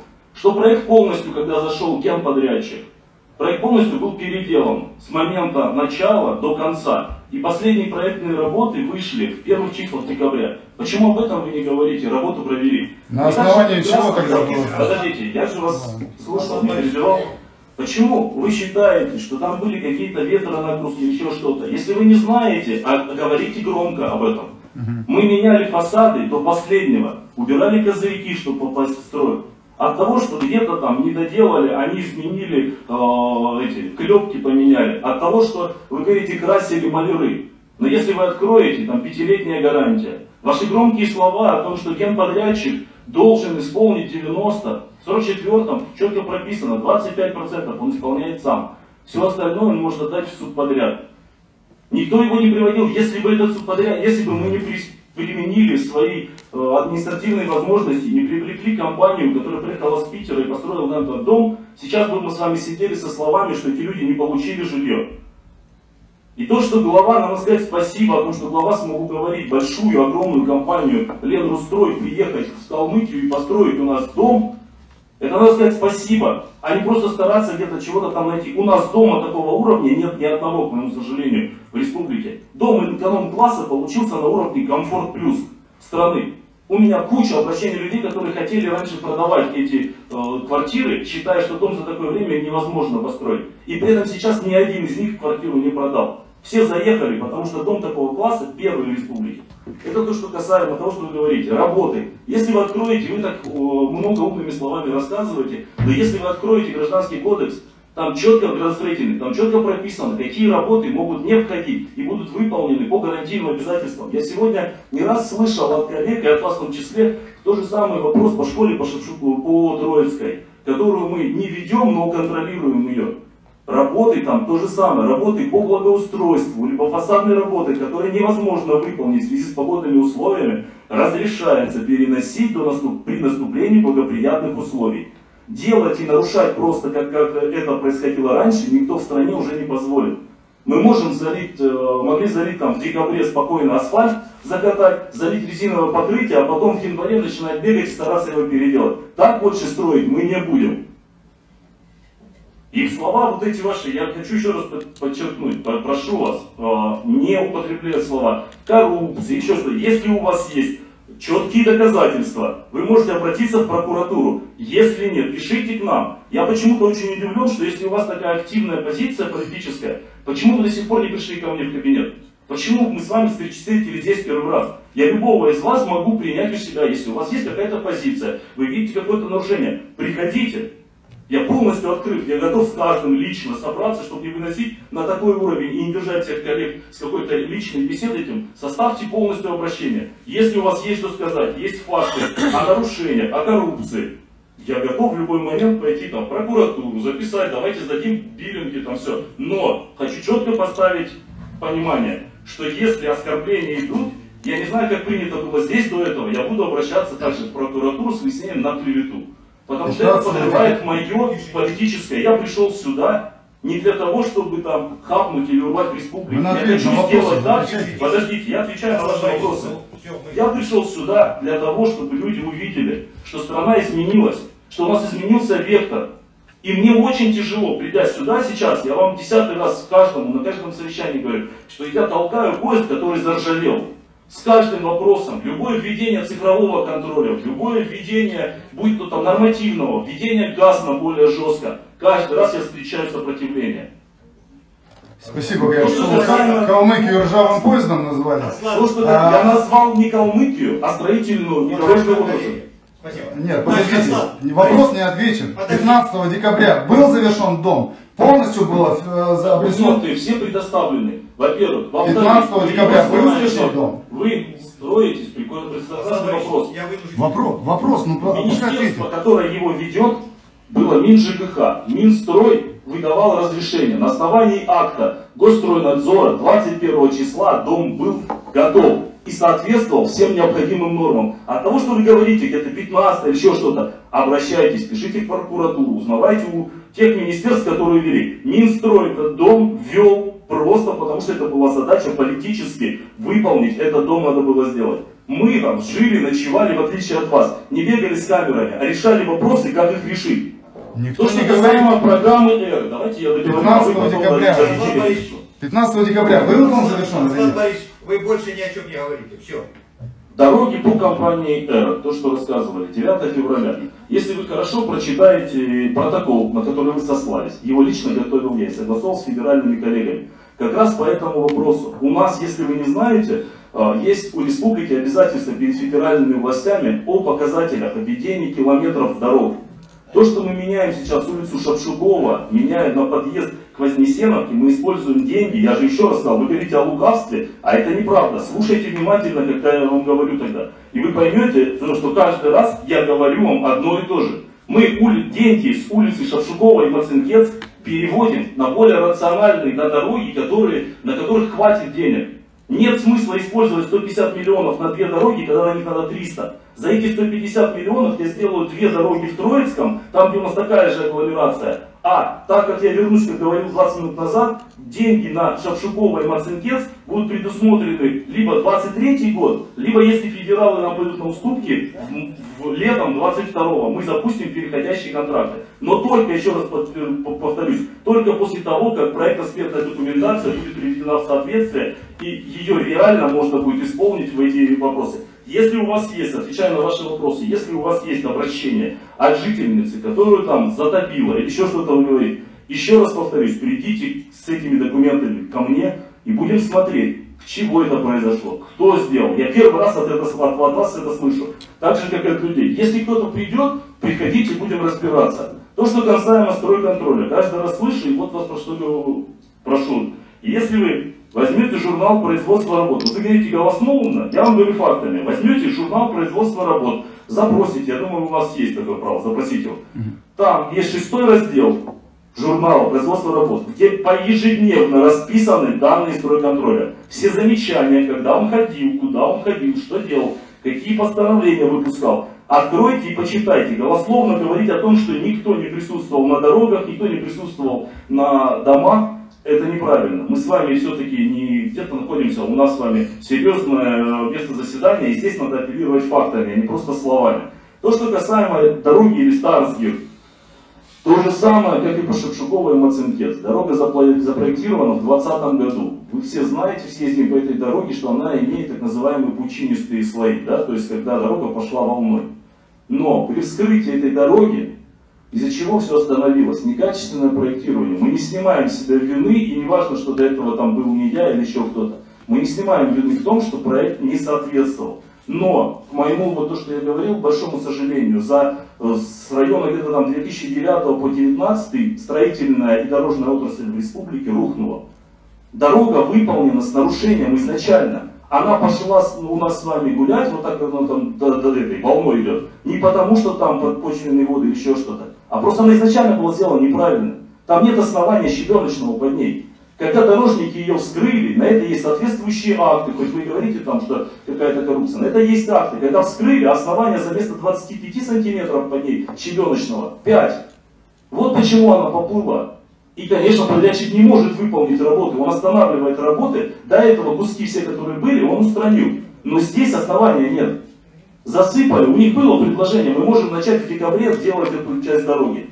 Ну и что это даст нам с вами? Мы просто зальем асфальтом, а через год вы здесь же, находясь, опять скажете, что а вот вы сделали новую дорогу, а она снова играет? Нет, мы так строить не будем. У меня позиция одна и та же. Я лучше на месяц задержу срок, попаду на какие-то штрафные санкции, но сделаю хорошо и качественно. Спасибо. Спасибо. Сессия объявляется закрытой. Компания «Р». 27 сессия на Компания закрытой. Я хочу всех поблагодарить за работу. С Саганом. Целый месяц мы еще можем так друг на друга ласково смотреть. Вот так вот прерывают, не дают 27 договариваться. сессия объявляется закрытой. Все позиции мы выслушали. Обиды ни у кого нет. Все.